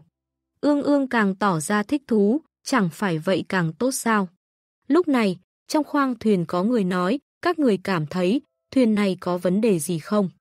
Có lẽ là không vấn đề gì, tôi nhìn thấy bọn họ giống phần lớn ngư dân khác. Chương 408, Hiểu lầm Không cần để ý những thuyền viên kia có vấn đề hay không. Tại thế giới bên ngoài, chúng ta chỉ cần tránh mấy tổ chức lớn kia ra, còn không cần phải lo lắng gì. Một thanh niên bình tĩnh nói, huống chi, đây là trên biển, là địa bàn của Isenia. Dù những lữ khách thời gian khác tới, cũng đừng mong thắng được cô ấy. Giọng nói trung niên vang lên, nhưng vẫn phải cẩn thận. Chút nữa, tôi sẽ lên bong tàu nói chuyện chút với bọn họ, xem tình trạng của bọn họ thế nào. Mặt khác, chúng ta vẫn nên che giấu thân phận của mình thật tốt. Trước hết, đừng để bọn họ biết chúng ta tới quần đảo Gian Ma Yên làm gì. Trước khi tìm được vàng, mọi thứ phải chỉn chu. Người trung niên quay qua Isenia nói, bây giờ cô có thể lặn bao nhiêu mét? Isenia nói, sau khi tôi thích nghi với nước, áp lực dưới biển không ảnh hưởng quá nhiều. Chỉ cần vận dụng khả năng thức tỉnh phù hợp nhằm kéo dài thời gian dưới đó. Hiện tại, dựa vào tốc độ và năng lực của tôi, dưới độ sâu 900 mét, tìm kiếm một giờ đồng hồ rất thoải mái. Trung niên gật đầu, cũng may, lần này chúng ta tìm được thuyền có cần cầu. Lúc tìm được đồ, có thể nối dây thừng xuống, kéo vàng lên. Vị trí A4, từng có người vớt được neo thủ công, gần đó cũng có thuyền đắm. Có điều, vị trí này nằm ở khu vực thềm lục địa, khiến người tìm kiếm vô cùng khó khăn. Mà bây giờ, bọn họ có Isenia, giác tỉnh giả hệ thủy, nên bọn họ có lợi thế hơn rất nhiều nhóm khác. Đúng rồi, sau khi chúng ta tìm được vị trí thuyền đắm, phải xử lý đám thủy thủ trên thuyền sao đây? Một thanh niên hỏi. Trung niên suy nghĩ rồi nói, lúc đó, vẫn là tôi xử lý. Hai từ xử lý này chẳng có ý đồ tốt gì. Có lẽ, trước đây bọn họ đã làm nhiều việc này rồi. Khánh Trần ngồi trên bong tàu nghe hết. Đám người này sao biết được, bọn họ thuê được một thuyền bắt cua, lại gặp ngay lữ khách thời gian trên đó. Dù sao, phần lớn lữ khách gian đang lợi dụng cơ chế xuyên qua, có thể đi qua đi lại giữa hai thế giới mà làm giàu cho bản thân. Chứ thật ra bọn họ chưa vận dụng hết khả năng của lữ khách thời gian. Trương Kiệm nhìn Khánh Trần hỏi, cậu đừng ngồi đó mà không nói lời nào. Rốt cuộc là đám người này từ đâu đến, bọn họ định đi đâu và muốn làm gì. Anh đừng hỏi tôi vấn đề tâm linh này có được không? Khánh Trần nhìn anh ta, người ta thuê thuyền mình, chúng ta chỉ cần đi theo sự chỉ dẫn của họ là được rồi. Bọn họ không phải muốn đi bắt cá voi đấy chứ. Trương Kiệm tò mò. Vào thế kỷ 17, quần đảo Jan Ma Yên từng xây dựng một vị trí bắt cá voi, nhưng thời cận đại dần trở nên hoang. Vế, khi đó, bắt cá voi là nghề nguy hiểm nhất thế giới, vượt xa nghề bắt cua hoàng đế bây giờ. Lúc này người trung niên đi tới bong tàu, mỉm cười nói chuyện, xin chào mọi người, tôi là Chinton. Khánh Trần và mọi người chào lại. Chinton tò mò, tôi nhìn thấy trên thuyền của mọi người có để rất nhiều lồng bắt cua. Thuyền của mọi người chắc từ bến cảng bắt cua đúng không? Tại sao lại không đi bắt cua nữa? Khánh Trần trả lời, năm ngoái chúng tôi tìm không ra trại cua, cho nên không thể thu hồi vốn. Hơn nữa, bắt cua quá nguy hiểm, mà chúng tôi vừa tới vùng biển Barents đã nhìn thấy thuyền gặp nạn, có người còn nói dưới biển có quái vật. Cho nên, chúng tôi quay trở lại, nghĩ làm việc đơn giản, để thu hồi vốn bỏ ra. Trương Kiệm ở bên ngạc nhiên. Bởi vì trong từng câu nói chắc chắn có lời nói thật, nhưng ghép cả đoạn lại toàn là điều giả dối. Đúng vậy, năm ngoái thuyền Bắc Cực không tìm ra trại cua, nhưng năm nay tìm được. Dưới đáy biển đúng là có quái vật, nhưng Khánh Trần không nói quái vật đó chính là cậu ta. Đây là nghệ thuật lừa dối sao? Trương Kiệm có cảm giác mình học được điều gì đó. Trên thế giới này, những câu lừa kinh điển, trong đó nhất định phải có điều là thật, nhưng nội dung của cả đoạn là lời nói dối. Chinton nhìn mọi người hỏi, vậy thuyền trưởng của các người là ai? Khánh Trần chỉ chỉ Trương Kiệm, là anh ta. Chinton quan sát kỹ mấy người và nhận ra trên thuyền chẳng có vũ khí gì cần lo lắng cả. Thật ra, tất cả thủy thủ trên thuyền đều có cầm theo dao, nhưng Chinton là người có kinh nghiệm, ông ta biết bọn họ cầm theo dao để cắt dây thừng. Vì vậy, thuyền này không có vũ khí nóng, việc ngày càng thuận lợi rồi. Có điều, Chinton vẫn quyết định ở lại bong tàu một giờ đồng hồ để trò chuyện cùng đám người Khánh Trần. Cuối cùng, ông ta kết luận, đây đúng là người bắt cua. Mặc dù, đám người này không phải người bắt cua giỏi, nhưng vấn đề liên quan đến bắt cua lại biết rất rõ ràng. Dựa theo tính toán của Chinton, nếu đây là người bắt cua thật, chuyến đi này có lẽ không có nhiều biến số. Bọn họ là lữ khách thời gian, cần gì lo lắng một nhóm ngư dân cơ chứ. Khánh Trần nhìn Chinton, tỏ vẻ tò mò, các người đi đến quần đảo Jan Ma Yên làm gì vậy? Chinton mỉm cười giải thích, tôi là một giáo sư nghiên cứu địa lý. Tôi dẫn theo mấy đứa học trò tới đó nghiên cứu, hơn nữa quần đảo Jan Ma Yên còn có rất nhiều dấu hiệu của núi lửa. Mấy cái dương kia để đựng dụng cụ nghiên cứu của tôi. Khánh Trần nghĩ thầm, nếu tôi không có thính giác tốt, khả năng sẽ tin. Chinton tỏ ra tò mò, xin hỏi, tôi có thể ngắm một chút phòng điều khiển của thuyền trưởng được không?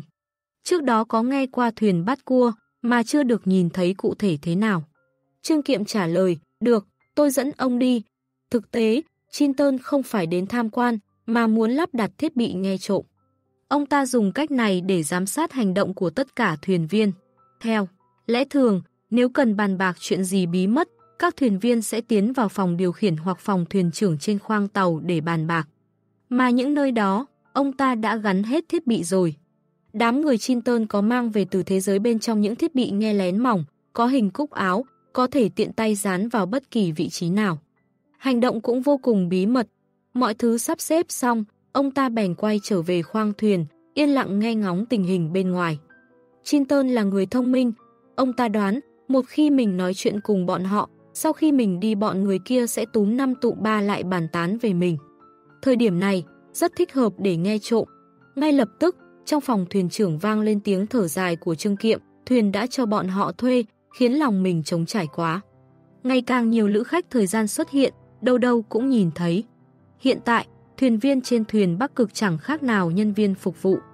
Có lẽ, sắp đến thời điểm vùng biển Barents là vùng đất của lữ khách thời gian rồi. Khả năng bắt cua của bọn họ chẳng phải người thường có để sánh được. Thật ra, câu nói này của anh ta nói về Ương Ương và Khánh Trần. Bọn họ dùng mạng sống của mình để nhận lấy kinh nghiệm tìm cua. Nhưng đứng trước khả năng khống chế trường lực của Ương Ương, căn bản là rác rưởi.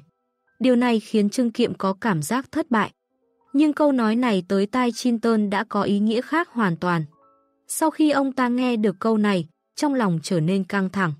Ông ta không ngờ, tầm nhìn của đám thuyền viên kia đáng sợ như vậy, chỉ mới nhìn qua bọn họ đã nhận ra là lữ khách thời gian rồi. Hơn nữa, nói đến vấn đề thuê thuyền, không phải họ thì là ai. Lúc này, người trung niên da trắng nhìn lại đồng bọn của mình. Trong đó, đã có người lấy súng từ trong hành lý ra. Chinton vội vàng giữ đồng bọn lại, ra hiệu cần phải nghe thêm. Lúc này, tiếng lão John vui vẻ nói, năm nay, kiếm tiền về khá dễ. Tôi và đám thuyền trưởng các người không giống nhau, không có lòng ưa mạo hiểm đến vậy. Tôi chỉ cần kiếm đủ tiền, sau đó xuống thuyền uống rượu là đủ rồi. Cho nên, những lữ khách thời gian này muốn làm gì thì tùy, tôi không quan tâm. Thuyền cho bọn họ thuê cũng được, ít ra bản thân cũng yên tâm phần nào. Chinton nghe được những câu này, có vẻ yên tâm ơn rất nhiều. Đầu tiên, đây là những người bắt cua thật, sau nữa đối phương không hề có ý định tham gia vào chuyện của họ. Nhưng sự thật là, Lão John và Trương Kiệm đang nói đến Khánh Trần và Ương Ương, rõ ràng không nói gì đến bọn họ. Có người lên tiếng, tôi cảm thấy đám người này rất được, hơn nữa chẳng có nguy hiểm nào. Một người khác lên tiếng, đó là do họ chưa nhìn thấy vàng. Cậu nhớ lại lần đầu tiên chúng ta tìm thuyền đắm dưới đáy biển không? Lúc đó như thế nào? Tôi cảm thấy, ngay cả thiên thần nhìn thấy cảnh tượng đó cũng biến thành ác quỷ. Một người khác cười hì hì, chúng ta chẳng. Phải cũng biến thành ác quỷ sao? Không sao, chỉ cần đáp ứng tôi hưởng thụ cuộc sống tại Miami, trở thành ác ma có là gì. Lúc này, Trương Kiệm nói tiếp, đúng rồi, năm sau tôi định sửa lại thuyền Bắc Cực cẩn thận lại. Năm sau, tôi vẫn tiếp tục đi vùng biển Barents, lão John ông có tiếp tục làm thủy thủ trên thuyền tôi không? Ông thật sự bỏ được vùng biển này sao? Lão John im lặng chút rồi nói, qua năm rồi nói. Chinton nghe được những lời này, đã thấy yên tâm rồi. Anh ta nghiêm túc suy nghĩ, sau đó đi lên bong tàu nói với Trương Kiệm, chỗ này tôi có một tọa độ, cần mọi người đi tới đó trong 20 giờ tới. Gã ta nói xong bèn đưa cho Trương Kiệm tờ giấy, trên đó có ghi một tọa độ. Khánh Trần biết, đây có thể là tọa độ A2 mà bọn họ từng nói. Hắn liếc nhìn qua đã biết đó nằm ở nơi nào. Vị trí này cách quần đảo Jayma Yên khoảng 60 hải lý. Sau đó, đám người này xử lý rất khôn khéo.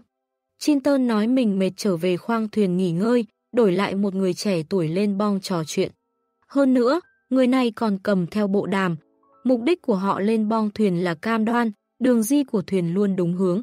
Bọn họ cũng đề phòng thuyền viên phát hiện ra máy nghe trộm, nên dùng giấy bút trao đổi với nhau. Đến trưa, Isenia đi ra từ căn phòng nhỏ, người thấy mùi cá tuyết mà nhíu mày, cơm trưa của chúng tôi đâu. Đã thanh toán cho các người 70.000 euro, đã bao gồm 3 bữa cơm đúng không? Các người có thể khống chế thời gian cơm nước đúng giờ được không? Tôi không muốn giờ ăn của mình ảnh hưởng. Ương ương chỉ vào Khánh Trần nói với Isenia, đây là đầu bếp của chúng tôi, cô đi nói với cậu ấy. Khánh Trần nghe xong thì chỉ im lặng, cô gái này hình như đùa mình phát nghiện rồi. Rõ ràng, đầu bếp là đép, vậy mà nói qua mình, sau này hắn phải trở thành đầu bếp rồi. Isenia nhìn Khánh Trần, làm cơm nhanh lên, chúng tôi đang chờ đấy. Giờ phút này, Apps vẫn chưa tìm thấy thuyền Bắc Cực và Khánh Trần. Cuối cùng để thuyền Hồ Kình có chở Hà Kim Thu tìm được. Thần Đại Thương đứng ở phòng điều khiển, hét lớn về phía Crete, tăng tốc lên, đừng để thuyền Hồ Kình tới trước. Hiện tại, gã ta thật sự muốn giết Crete. Nếu như không phải thằng này lộ ra tin tức, sao tên quái vật Hà Kim Thu biết được? Các bạn đang nghe chuyện dạ mệnh danh thuật, ác mộng của đêm, của tác giả hội thuyết thoại trừ tử tại thư viện sách nói miễn phí, chuyện đọc việt.com Chương 409, Radiant Giải thích, Radiant là top 5 du thuyền đắt nhất thế giới. Hết giải thích. Dự báo thời tiết, 3 ngày sau, tại vùng biển Greenland sẽ đón một đợt gió bão hiếm thấy. Cơn gió này đến từ vùng cực Bắc đi thẳng tới phía Nam, tốc độ lên tới 70 hải lý một giờ. Hệ thống định vị vệ tinh Galileo thông báo tình hình thời tiết đơn giản nhưng vô cùng quan trọng. Ngay cả mặt biển cũng nhẹ nhàng hơn rất nhiều. Gợn sóng giống như những đường vân trên chiếc thảm lông. Dê màu xanh đều đều xuất hiện. Đây là biển cả mà mọi người muốn nhìn, chứ không phải sóng biển gào thét kèm theo một vùng đen kịt xám xịt. Khánh Trần ngồi trong khoang điều khiển nghe được dự báo thời tiết thì biết cơ hội của mình tới rồi. Tốc độ gió lên tới 70 hải lý một giờ, khả năng sẽ có gió lốc. Cơn gió này có thể đạt tới vận tốc 30 km một giờ, đồng thời tạo ra những cơn sóng lớn. Mà kỵ sĩ vượt qua bão tố tẩy lễ sẽ nhận lấy sự thay đổi lớn lao. Dựa vào kế hoạch của Khánh Trần, hắn giống như lã võng buông cần câu cá, đợi đám tội phạm đưa tới cho mình một khoản tiền, sau đó vứt hết đám tội phạm kia xuống biển cho cá ăn. Khi đó, hắn chỉ việc nhàn nhã chờ bão tới. Trước đó, hắn thông báo trên kênh ăn trộm, chỉ vì muốn kiếm lại chút gì đó mà thôi. Nhưng, khi hắn nhận ra đám người Chinton là lữ khách thời gian, sự việc bỗng trở nên thú vị. Khánh Trần tò mò, không biết lữ khách thời gian Bắc Mỹ ở thế giới bên ngoài có gì thay đổi. Hắn cũng muốn biết bọn họ và hắn có điểm khác biệt nào không, máy móc thay thế là giống nhau. Có điều, thuốc biến đổi gen bên phía Bắc Mỹ nhiều hơn, đồng thời khiến mọi người có suy nghĩ lạm dụng vào nó. Tại liên bang, có rất ít người biết được phương pháp sản xuất thuốc biến đổi gen. Phần lớn công thức nằm trong tay tập đoàn, bởi vì bọn họ chỉ giữ lại những loại thuốc đạt tiêu chuẩn và loại bỏ những loại gây ra tác dụng phụ quá rõ ràng. Ví dụ như tiêm vào loại thuốc BBC001 sẽ khiến sau lưng người mọc một đôi cánh. Tiêm vào thuốc NCC001 sẽ khiến lông đùi biến thành gai. Đây là những loại thuốc không hoàn thiện từng xuất hiện bên trong liên bang, còn bây giờ đã biến mất không thấy nhưng danh sách thuốc biến đổi gen của Bắc Mỹ có rất nhiều, bọn họ vô tư phát triển. Giống như tại thế giới bên ngoài, Bắc Mỹ cho phép sử dụng súng một cách rộng rãi. Thuốc biến đổi gen cũng vậy, cho phép dân chúng tự phối chế. Đây là văn hóa của đôi bên đưa tới kết quả khác nhau. Có điều, Khánh Trần rất tò mò, vì Bắc Mỹ cũng có vật cấm kỵ. Chẳng biết trên người Chinton có món nào hay không. Khánh Trần bất ngờ, bởi vì sau khi đám Chinton đặt máy nghe trộm, biết được Trương Kiệm nhận ra thân phận lữ khách thời gian của họ, thì không còn lén lút bàn kế hoạch nữa. Bọn họ ngồi trong phòng bếp, ăn sandwich Khánh Trần làm. Chinton nói, trước khi bão tới, chúng ta cần phải kiểm tra thật kỹ ba vị trí A2, A4, A7. Thứ mà thuyền trưởng nói trong thư khiến tôi thấy hứng thú vô cùng. Khánh Trần nghe mà không hiểu. Trên thuyền có đồ vật gì có thể khiến lữ khách thời gian cảm thấy vô vùng hứng thú đây? Lúc này, Isenia tò mò hỏi, đúng rồi, sau khi chúng ta lấy được vàng trong con thuyền đám kia, sẽ làm gì tiếp theo? Một thanh niên lên tiếng, lần trước, sau khi tôi xuyên qua thế giới bên trong, đã cẩn thận suy nghĩ một vấn đề. Nếu như châu Âu ở thế giới bên, ngoài không có điều kiện trở thành lữ khách thời gian, thì vị trí tương ứng của nơi này tại thế giới bên trong khẳng định chưa có người phát hiện ra. Có khi đó lại là vùng đất vô cùng màu mỡ. Đến lúc đó, khi chúng ta quay trở về thế giới bên trong, dùng vàng đổi lấy một chiếc phi thuyền bay. Nói không chừng, chúng ta có thể giống Columbus năm đó, tìm ra đại lục mới. Dù gì, nơi đó cách chúng ta không xa. Chinton mỉm cười, chuyện cậu nghĩ tới, tổ chức tương lai cũng nghĩ tới. Bọn họ không tiến hành khai phá, chắc chắn có vấn đề. Trương Kiệm giật mình, các người là lữ khách thời gian. Chinton nhìn Trương Kiệm, cảm thấy chuyện này khá hài hước, không cần giả vờ, chẳng phải cậu đã biết rồi sao. Không ngờ, cậu diễn tốt như vậy, cảm giác ngạc nhiên, ngay cả thân thể cũng giống như vậy. Trương Kiệm như người ngủ mê, anh ta thật sự không biết mà. Lúc này, vị thuyền trưởng thuyền Bắc Cực bắt đầu nghi ngờ cuộc sống này. Anh ta không biết tại sao thuyền của mình trở thành nơi tụ tập của đám lữ khách thời gian rồi. Trước đó, tại quán ba Hồ Đào, mọi người vẫn thường nói chuyện về lữ khách thời gian. Nhưng châu Âu không có lữ khách thời gian, cho nên rất hiếm gặp được bọn họ. Trương Kiệm yên lặng quan sát đám người này. Anh ta tự hỏi, không biết đám người này có giống Khánh Trần và Ương Ương, một tay giữ được lồng cua không, hay là còn mạnh mẽ hơn nữa. Theo một cách giải thích nào đó, Khánh Trần và Ương Ương là lữ khách thời gian thứ nhất, thứ hai Trương Kiệm nhìn thấy. Cho nên trong suy nghĩ của anh ta, lữ khách thời gian đều mạnh mẽ vô cùng. Cho dù, Trương Kiệm đọc tin tức nói lữ khách thời gian rất khổ sở, nhưng mình tận mắt nhìn thấy khả năng của lữ khách thời gian quá kinh khủng. Cho nên, anh ta đoán đám người Chin Tơn cùng một loại với Khánh Trần và Ương Ương. Còn Khánh Trần bên cạnh nhìn Trương Kiệm mà suýt nữa không nhịn được cười. Bởi vì trên thuyền này, chỉ có hắn biết được sự thật. Nhưng, chủ đề mà đám người này nói lại hấp dẫn sự chú ý của hắn. Khánh Trần đã được cái bóng Khánh Thị nói vài vấn đề. Bây giờ, tập đoàn cũng có tình báo của mình về bên kia, nên cũng biết rõ tình huống của châu Âu. Thực tế, vị trí tương ứng với châu Âu tại thế giới bên trong, phần lớn chìm sâu vào đáy biển. Mà phần còn lại thì bị rừng rậm bao phủ, đó là do vùng đất cấm kỵ 001 nhanh chóng lấn chiếm, nuốt chửng một phần còn lại kia. Nhưng đám người kia không biết tin tức này. Nếu đám người này vất vả lắm mới kiếm được tiền, lại dùng số tiền ấy mua một chiếc phi thuyền bay. Bọn họ vượt qua nguy hiểm của vùng biển cấm kỵ, sau đó đến cái nơi mà họ gọi là châu Âu, chẳng biết sẽ có cảm nghĩ gì. Có điều, cái bóng đã từng nói qua, tại vùng đất cấm kỵ 001 rộng lớn kia, thật ra có dấu vết con người sinh sống. Vệ tinh đã vô tình chụp được một tấm hình. Trong tấm hình, giữa vùng đất cấm kỵ rậm rạp, có một diện tích rất nhỏ. Trên vùng đất đó có xuất hiện lác đác vài căn nhà gỗ, giống như một ngôi làng nhỏ, mà đến nay, liên bang chưa tìm cách xác định được. Tại trung tâm vùng đất cấm kỵ số 001, có ai ở đấy? Cũng không biết người nào có thể sống sót một nơi như vậy. Khánh Trần suy nghĩ chút sau đó hỏi thẳng, các người tìm thuyền đắm sao? Trong thuyền có món đồ rất quý giá à? Chinton nhìn Khánh Trần chút, sau đó thoải mái giải đáp thắc mắc của hắn. Chúng tôi tìm thấy một bức thư, thuyền trưởng con thuyền đắm kia gửi cho vợ mình. Nội dung thư mà người đó viết nói rằng, trên thuyền Bình Minh vẫn chuyển một lượng lớn vàng, còn có một món đồ khiến con người trở nên mạnh mẽ. Đồ vật đó cất giấu sức mạnh thần bí của phương Đông. Khánh Trần suy nghĩ, thì ra trên con thuyền kia còn có món đồ loại này. Là phương pháp tu hành giống chú Đại Bi sao? Có khả năng. Dù sao, chú Đại Bi có tồn tại ở thế giới bên ngoài.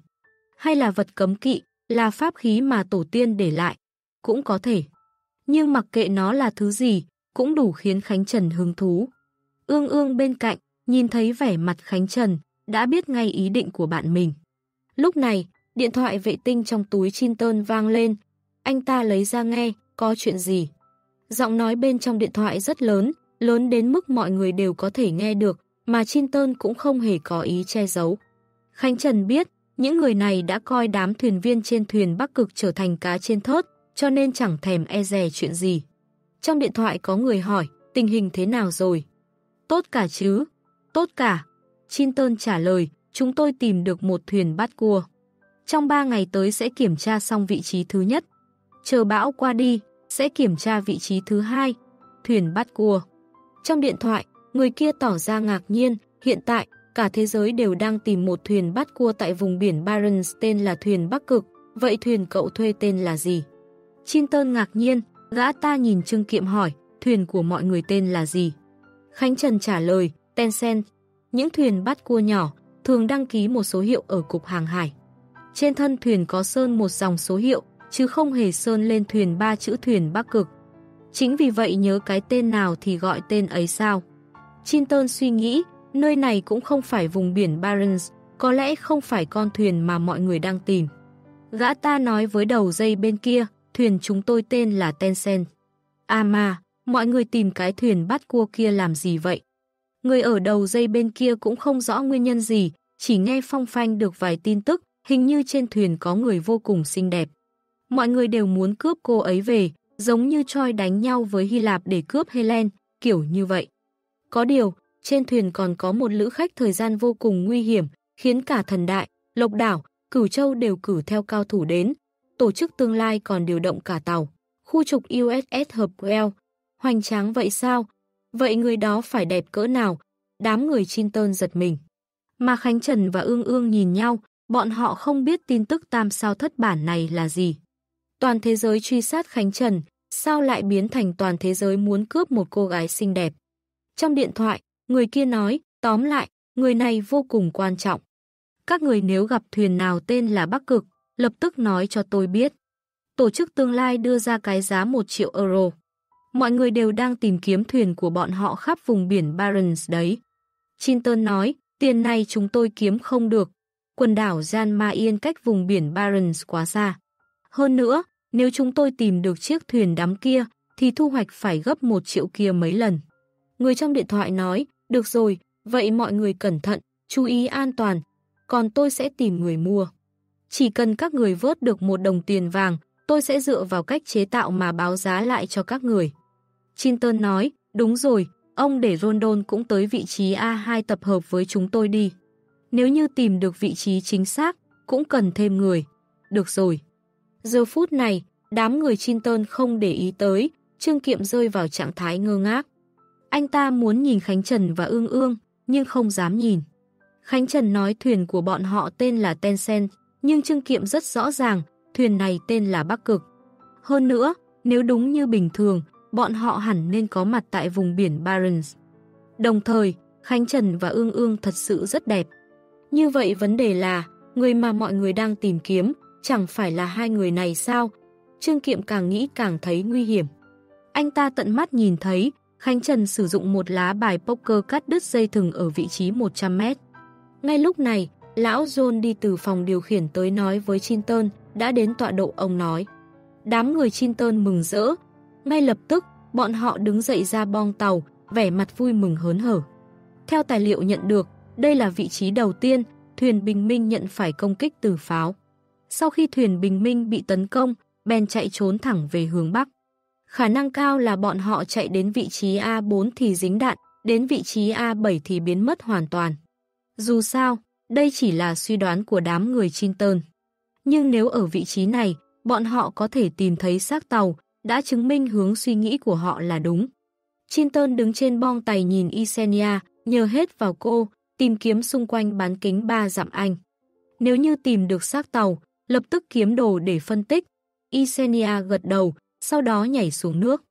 Hơn 30 phút sau, cô vui mừng trồi lên mặt nước, tiếp tục đi về phía trước theo tôi.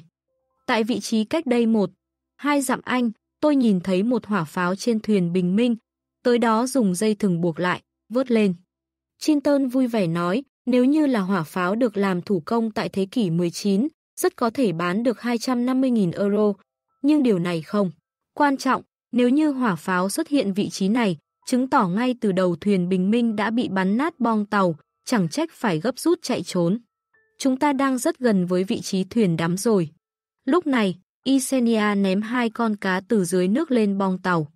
Đây là cô bắt được trong quá trình lặn xuống đáy biển, đồng thời chứng minh cô đã lặn rất sâu. Đây là cá gì? Nhìn rất thích, có thể nuôi sao? Ương ương ngồi xổm xuống gần hai con cá hỏi Khánh Trần. Khánh Trần bình tĩnh nói, cá chim Greenland thường xuất hiện dưới cát dưới đáy biển. Loại cá này lên bờ, sẽ sống không lâu, bởi vì không có áp lực của biển, sẽ khiến cơ thể dần dần bị hoại tử. Không có áp lực, ương ương nói nhỏ với hai chú cá chim Greenland, chúng mày phải mua nhà sao? Phải tìm bạn gái sao? Khánh Trần, không phải áp lực này. Ồ, ương ương đứng dậy, vậy đêm nay nướng ăn thôi.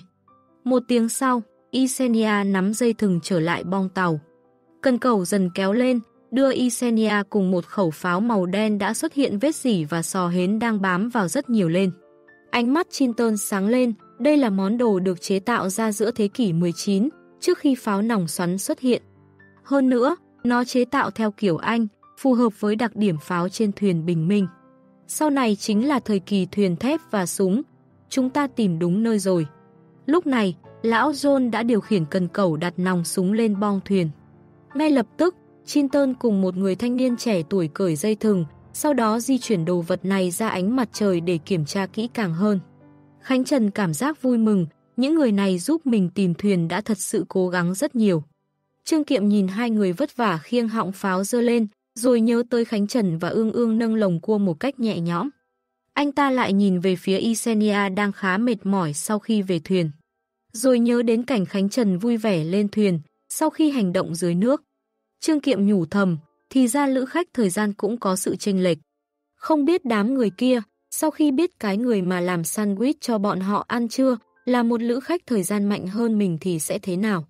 Mà cô gái bên cạnh Khánh Trần cũng rất đáng sợ, cô gặp nguy hiểm mà thản nhiên như không. Anh ta vừa quay đầu lại, bỗng nhìn thấy Khánh Trần đang mỉm cười nhìn mình, giống như đã biết anh ta nghĩ gì. Trương Kiệm vội vàng cúi đầu xuống, thật sự không dám ngẩng đầu lên nhìn. Lúc đám người đang vui mừng trên bong tàu, phía xa xa bỗng xuất hiện hai chiếc thuyền. Một cái là loại thuyền chở hàng bình thường, còn một cái khác là du thuyền vô cùng sang trọng. Là Rondon sao? Một thanh niên nói, anh ta đến đây để tập trung với chúng ta. Nhưng Chinton lấy ra ống nhòm nhìn, không phải, tàu hàng là Rondon, nhưng bên cạnh là du thuyền Radiant. Sao mà Rondon đủ tiền mua loại du thuyền này được? Radiant là một chiếc du thuyền vô cùng nổi tiếng, dài tới 109 mét, gần gấp 3 thuyền Bắc Cực. Trên, du thuyền có cả sân bay, thậm chí thủy pháo để đối phó với hải tặc. Vẻ mặt Isenia dần tái nhợt, tôi nghe nói, tháng trước, Cabri, thành viên tổ chức tương lai đã mua lại Zadian, chuyện này còn chưa lộ ra ngoài. Rondon đã bán đứng chúng ta, tên đó dùng chúng ta để được gia nhập tổ chức tương lai. Chinton nghe đến đây cũng trở nên lo lắng. Cabri là một lữ khách thời gian rất nổi tiếng trong tổ chức tương lai, là cao thủ cấp C. Hơn nữa, Cabri còn sở hữu một vật cấm kỵ, cũng có địa vị cực cao bên trong tổ chức tương lai. Gã ta xuất hiện ở đây chắc chắn không đi một mình. Bên trong du thuyền, không biết có bao nhiêu lữ khách thời gian. Chinton lạnh lùng nói, không nên nói cho Rondon biết suy đoán của chúng ta. Đúng là trên thế giới này không ai tin được được. Tin được chỉ có bản thân, hay chúng ta chạy đi?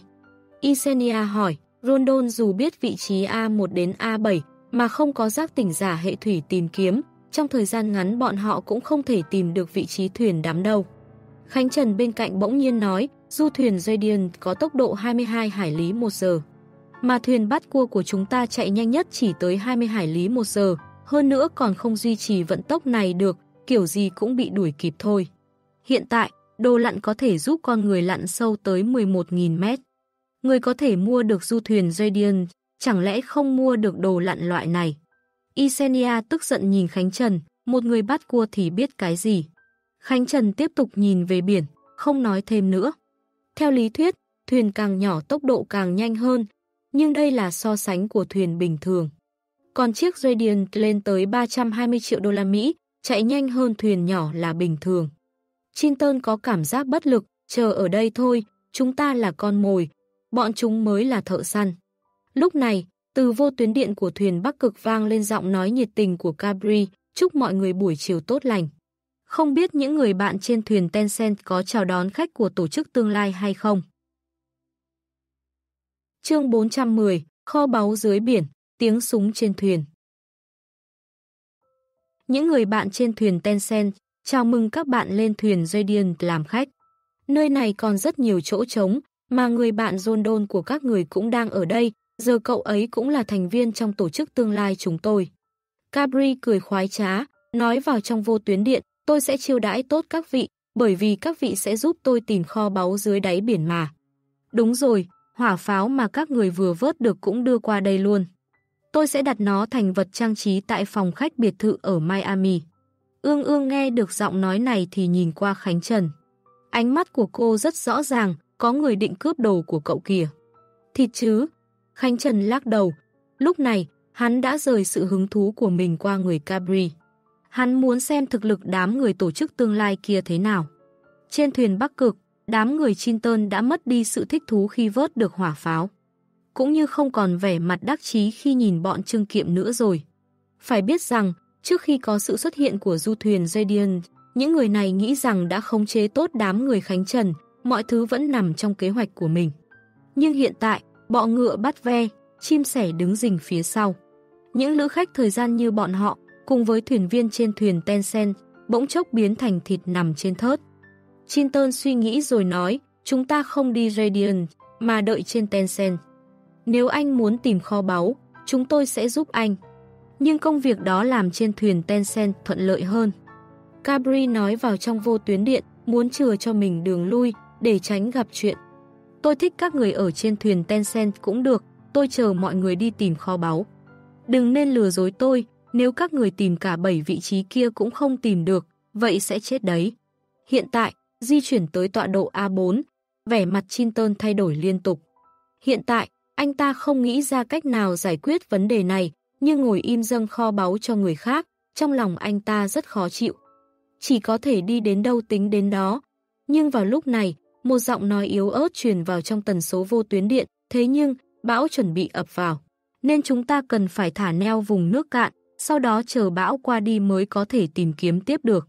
Lúc này, trên con thuyền Tencent, mọi người sợ hãi nhìn Trương Kiệm. Không ai ngờ, dưới tình huống này mà Trương Kiệm dám lên tiếng. Bên trong vô tuyến điện, vang lên giọng nói vui vẻ của Cabri, ai đang nói chuyện vậy? Thuyền trưởng Tencent. Chinton trả lời.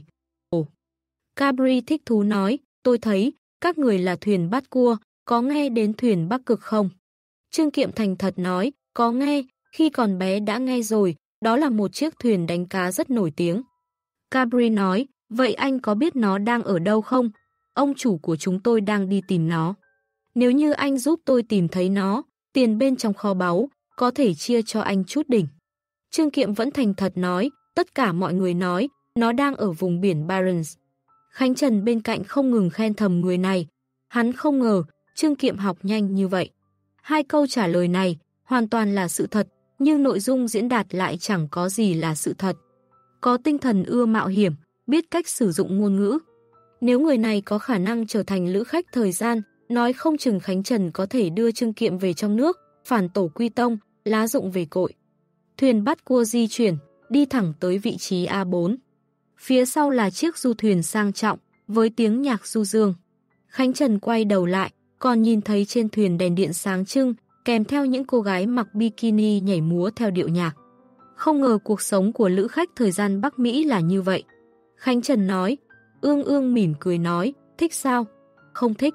Khánh Trần lắc đầu, cuộc sống thoải mái, khiến con người mất đi lòng phấn đấu. Những người này hưởng thụ cuộc sống xa hoa tại thế.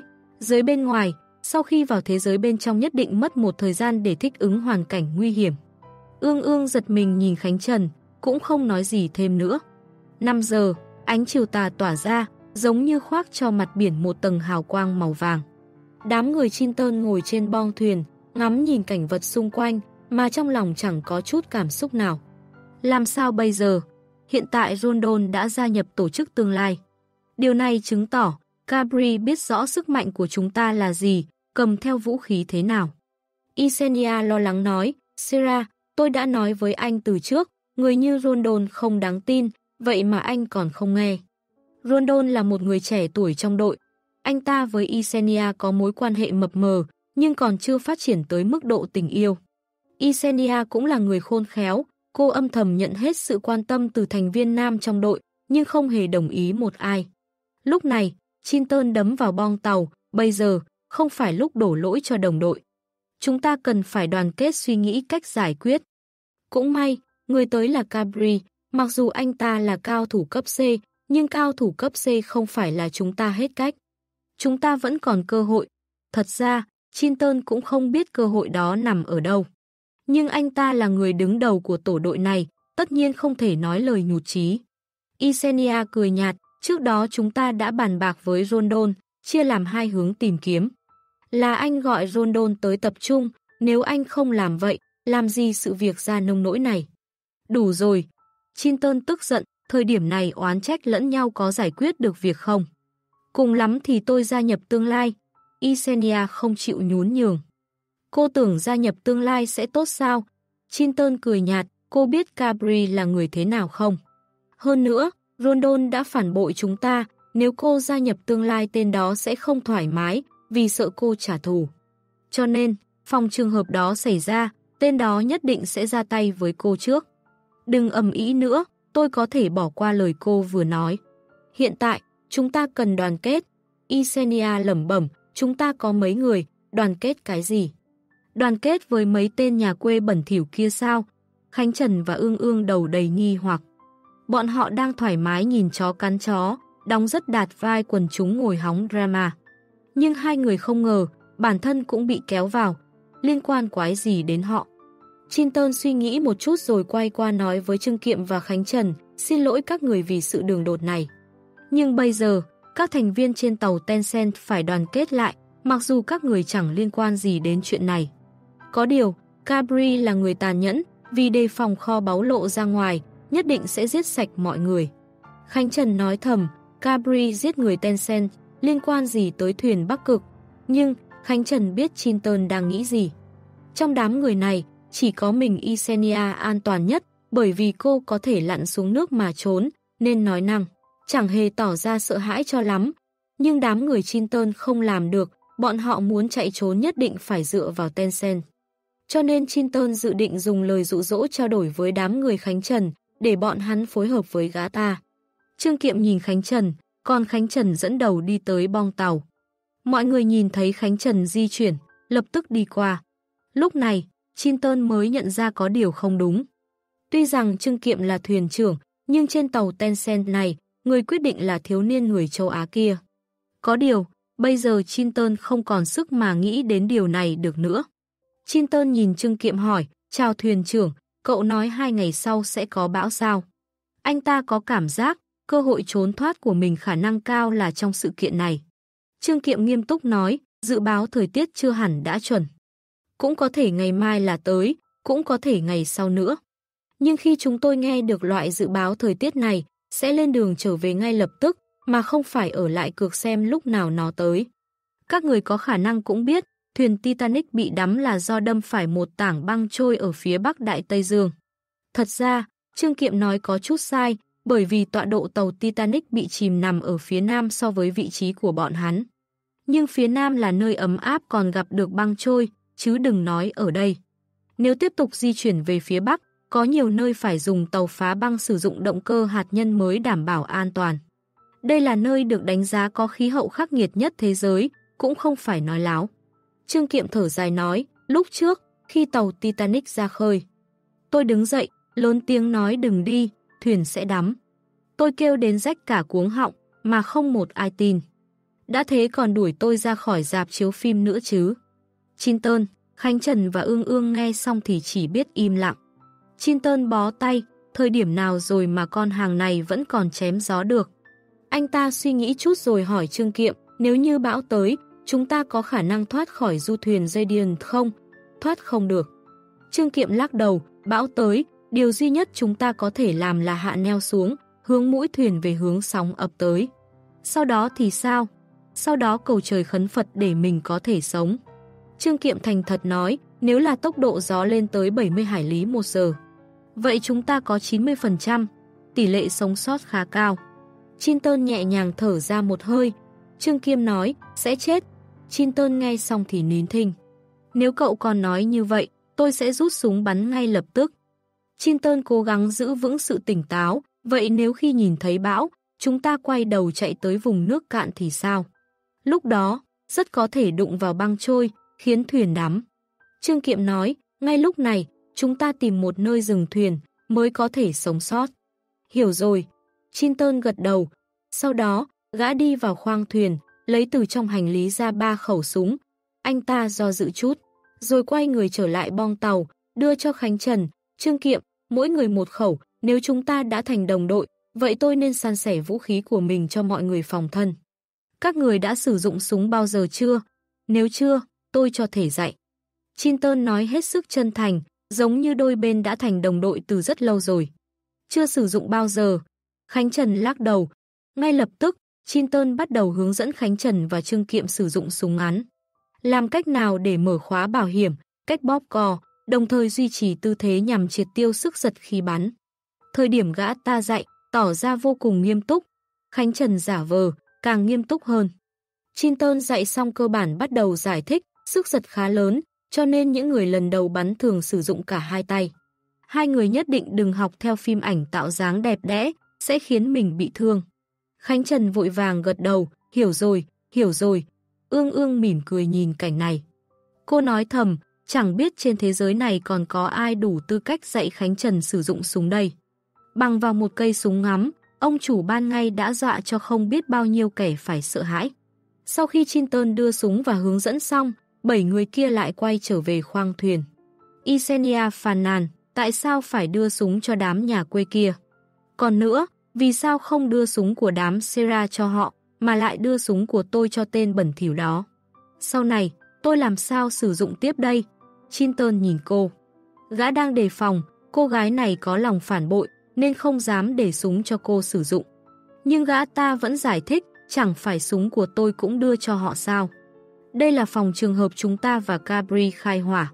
Khi đó, đám người kia sẽ hấp dẫn người bên kia để chúng ta có cơ hội tìm một nơi trốn tránh. Cứ để bọn chúng bắn hết băng đạn, trong lúc đó tôi sẽ đến lấy khẩu súng tự động đang giấu trong hòm gỗ. Đây mới là vũ khí bí mật của chúng ta. Trên biển, khoảng cách tối thiểu giữa hai thuyền thường là mấy trăm mét, gió biển lại lớn, súng ngắn thường không có tác dụng. Cho nên, Chinton dự định để Khánh Trần và Trương Kiệm ở ngoài hứng đạn. Sau đó, bọn họ sử dụng súng tự động kết thúc việc này. Có lẽ, súng tự động cũng không tốt như vậy, nhưng đây là hy vọng cuối cùng của bọn họ. Dựa vào tình thế hỗn loạn, khiến thuyền trưởng chết, sau đó ép lão John phải lái thuyền bỏ trốn. Đây là kế hoạch mà Chinton vạch ra, bọn họ cố gắng làm một cách hoàn hảo nhất. Chinton nhìn Isenia, nếu như tìm được vàng, cô cứ nói cho Cabri biết, đừng cố ý giấu giếm. Isenia ngạc nhiên, vì sao? Chinton nói, bởi vì chúng ta muốn lừa một phần bọn họ xuống biển vớt đồ, phía trên giảm bớt số người. Vị trí A4 không sâu, nhất định bọn họ sẽ xuống kiểm tra xem kho báu có những gì.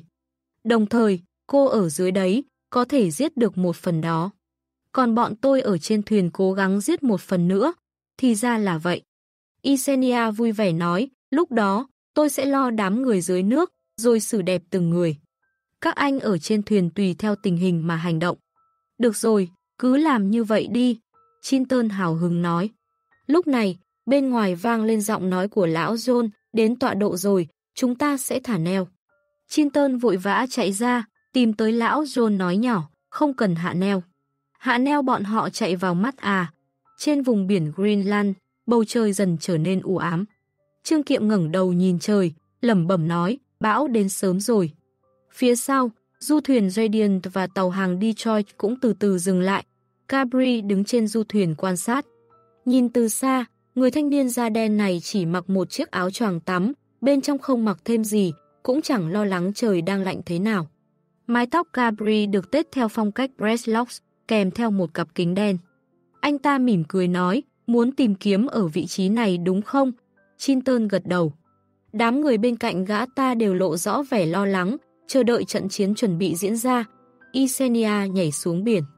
Có điều khiến người khác bất ngờ là bên thuyền hàng cũng có 12 tên thợ lặn, cầm theo súng phóng lao cùng với động cơ lặn, cũng nhảy xuống nước. Cabri muốn đôi bên cùng tìm kiếm, Isenia tìm kiếm kho báu, bọn họ cũng tìm cùng. Súng phóng lao có tốc độ không thua gì Isenia, nếu cô gái này muốn ra tay dưới nước, nếu không cẩn thận sẽ phải chết ở dưới đó. Mặc dù cô hoạt động thoải mái trong môi trường nước, biến thân thể hòa cùng nước, nhưng một khi bị súng phóng lao bắn trúng vị trí nguy hiểm, cũng sẽ chết. Chinton nhìn mặt biển, thời gian trôi qua nửa tiếng, Isenia lại lần nữa trồi lên mặt nước. Cô mừng rỡ đưa lên một đồng tiền vàng lớn nói, thuyền đắm không phải ở vị trí A7, mà ngay tại A4. Trong một cái rãnh ở dưới, có lẽ trước đó đám người tìm kiếm đã bỏ qua không tìm. Tất cả mọi người lộ rõ sự vui mừng. gabri liếc nhìn đám người phía sau. Ngay lúc đó, bên trên du thuyền đã có người mặc sẵn đồ lặn, nhảy xuống mặt biển. Cabri quay trở lại phòng bên trên du thuyền, tiếp tục chơi đùa với mấy cô gái, chờ đợi tin tốt dưới đáy biển. Bên trên bong tàu, chỉ còn lại hai tên bảo vệ, súng ống đầy đủ, quan sát nhất cử nhất động trên thuyền Tencent. Chinton lấy ra một khẩu súng tự động. Sarah lo lắng nói, anh làm vậy sẽ hại chết Isenia đấy. Cô ấy ở dưới nước, không thể nào đánh bại nhiều người vậy được. Chinton tức giận nói, cô ta có làm sao thì liên quan gì đến chúng ta. Vừa rồi, cậu không nghe cô ấy nói sao? Thật ra cô ấy đã chuẩn bị phản bội chúng ta rồi. Làm việc đi, mọi người cầm lấy súng của mình, chút nữa hai tên nhà quê kia sẽ hấp dẫn hỏa lực, chúng ta lập tức khai chiến. Sera, cậu đi khống chế lão John kia, bảo gã ta nghe lời lệnh là lập tức cho thuyền rời đi. Mọi thứ đã được chuẩn bị sẵn sàng. Trên mặt biển, mây đen kéo đến ngày càng dày đặc. Giống như một thần quốc từ trên trời xuất hiện khiến, tạo nên áp lực nặng nề. Gió lớn bắt đầu thổi, tựa như tiếng các vị thần gào thét. Sóng biển ngày càng cao. Gã ta nhìn du thuyền Radiant cách đó khoảng 100 mét, sau đó hét to về phía Trương Kiệm và Khánh Trần, ngay lập tức, nổ súng. Nhưng, gã ta vừa hô xong, lập tức chạy đến vị trí để lồng cua. Dựa vào những lồng cua xếp chẳng chịt, chắn đi đạn lạc. Đúng như gã dự đoán, một loạt tiếng súng vang lên. Hai tên nhà quê kia đúng là bị mình lừa. Hành động, Chinton quát lớn. Nhưng, gã ta vừa lách ra khỏi lồng cua, bỗng nhiên sợ hãi đến ngây người ra. Dưới màn đêm đen kịt, du thuyền Radiant vẫn đứng đó, ánh sáng tỏa ra bốn phía. Có điều, những nhân viên bảo vệ trên bong tàu đã ngã xuống toàn bộ. Trong mặt Chinton là hình ảnh vị thiếu niên đang đứng trên bong tàu mỉm cười nhìn mình. Cái nhếch mép đó lộ ra hàm răng trắng, khiến người khác phải sợ hãi. Trong hoàn cảnh tốc độ gió 30 hải lý một giờ, tại vị trí cách 170 mét, bắn ra 12 viên đạn, giết 12 người. Bây giờ, Chinton mới biết được điều kỳ lạ kia xuất phát từ đâu. Ngay vừa mới bắt đầu khai hỏa, gã chỉ nghe được tiếng súng ở gần, nhưng không hề nghe thấy tiếng súng phát ra từ du thuyền Radiant, cũng không nghe thấy tiếng đạn bắn vào thuyền Tencent.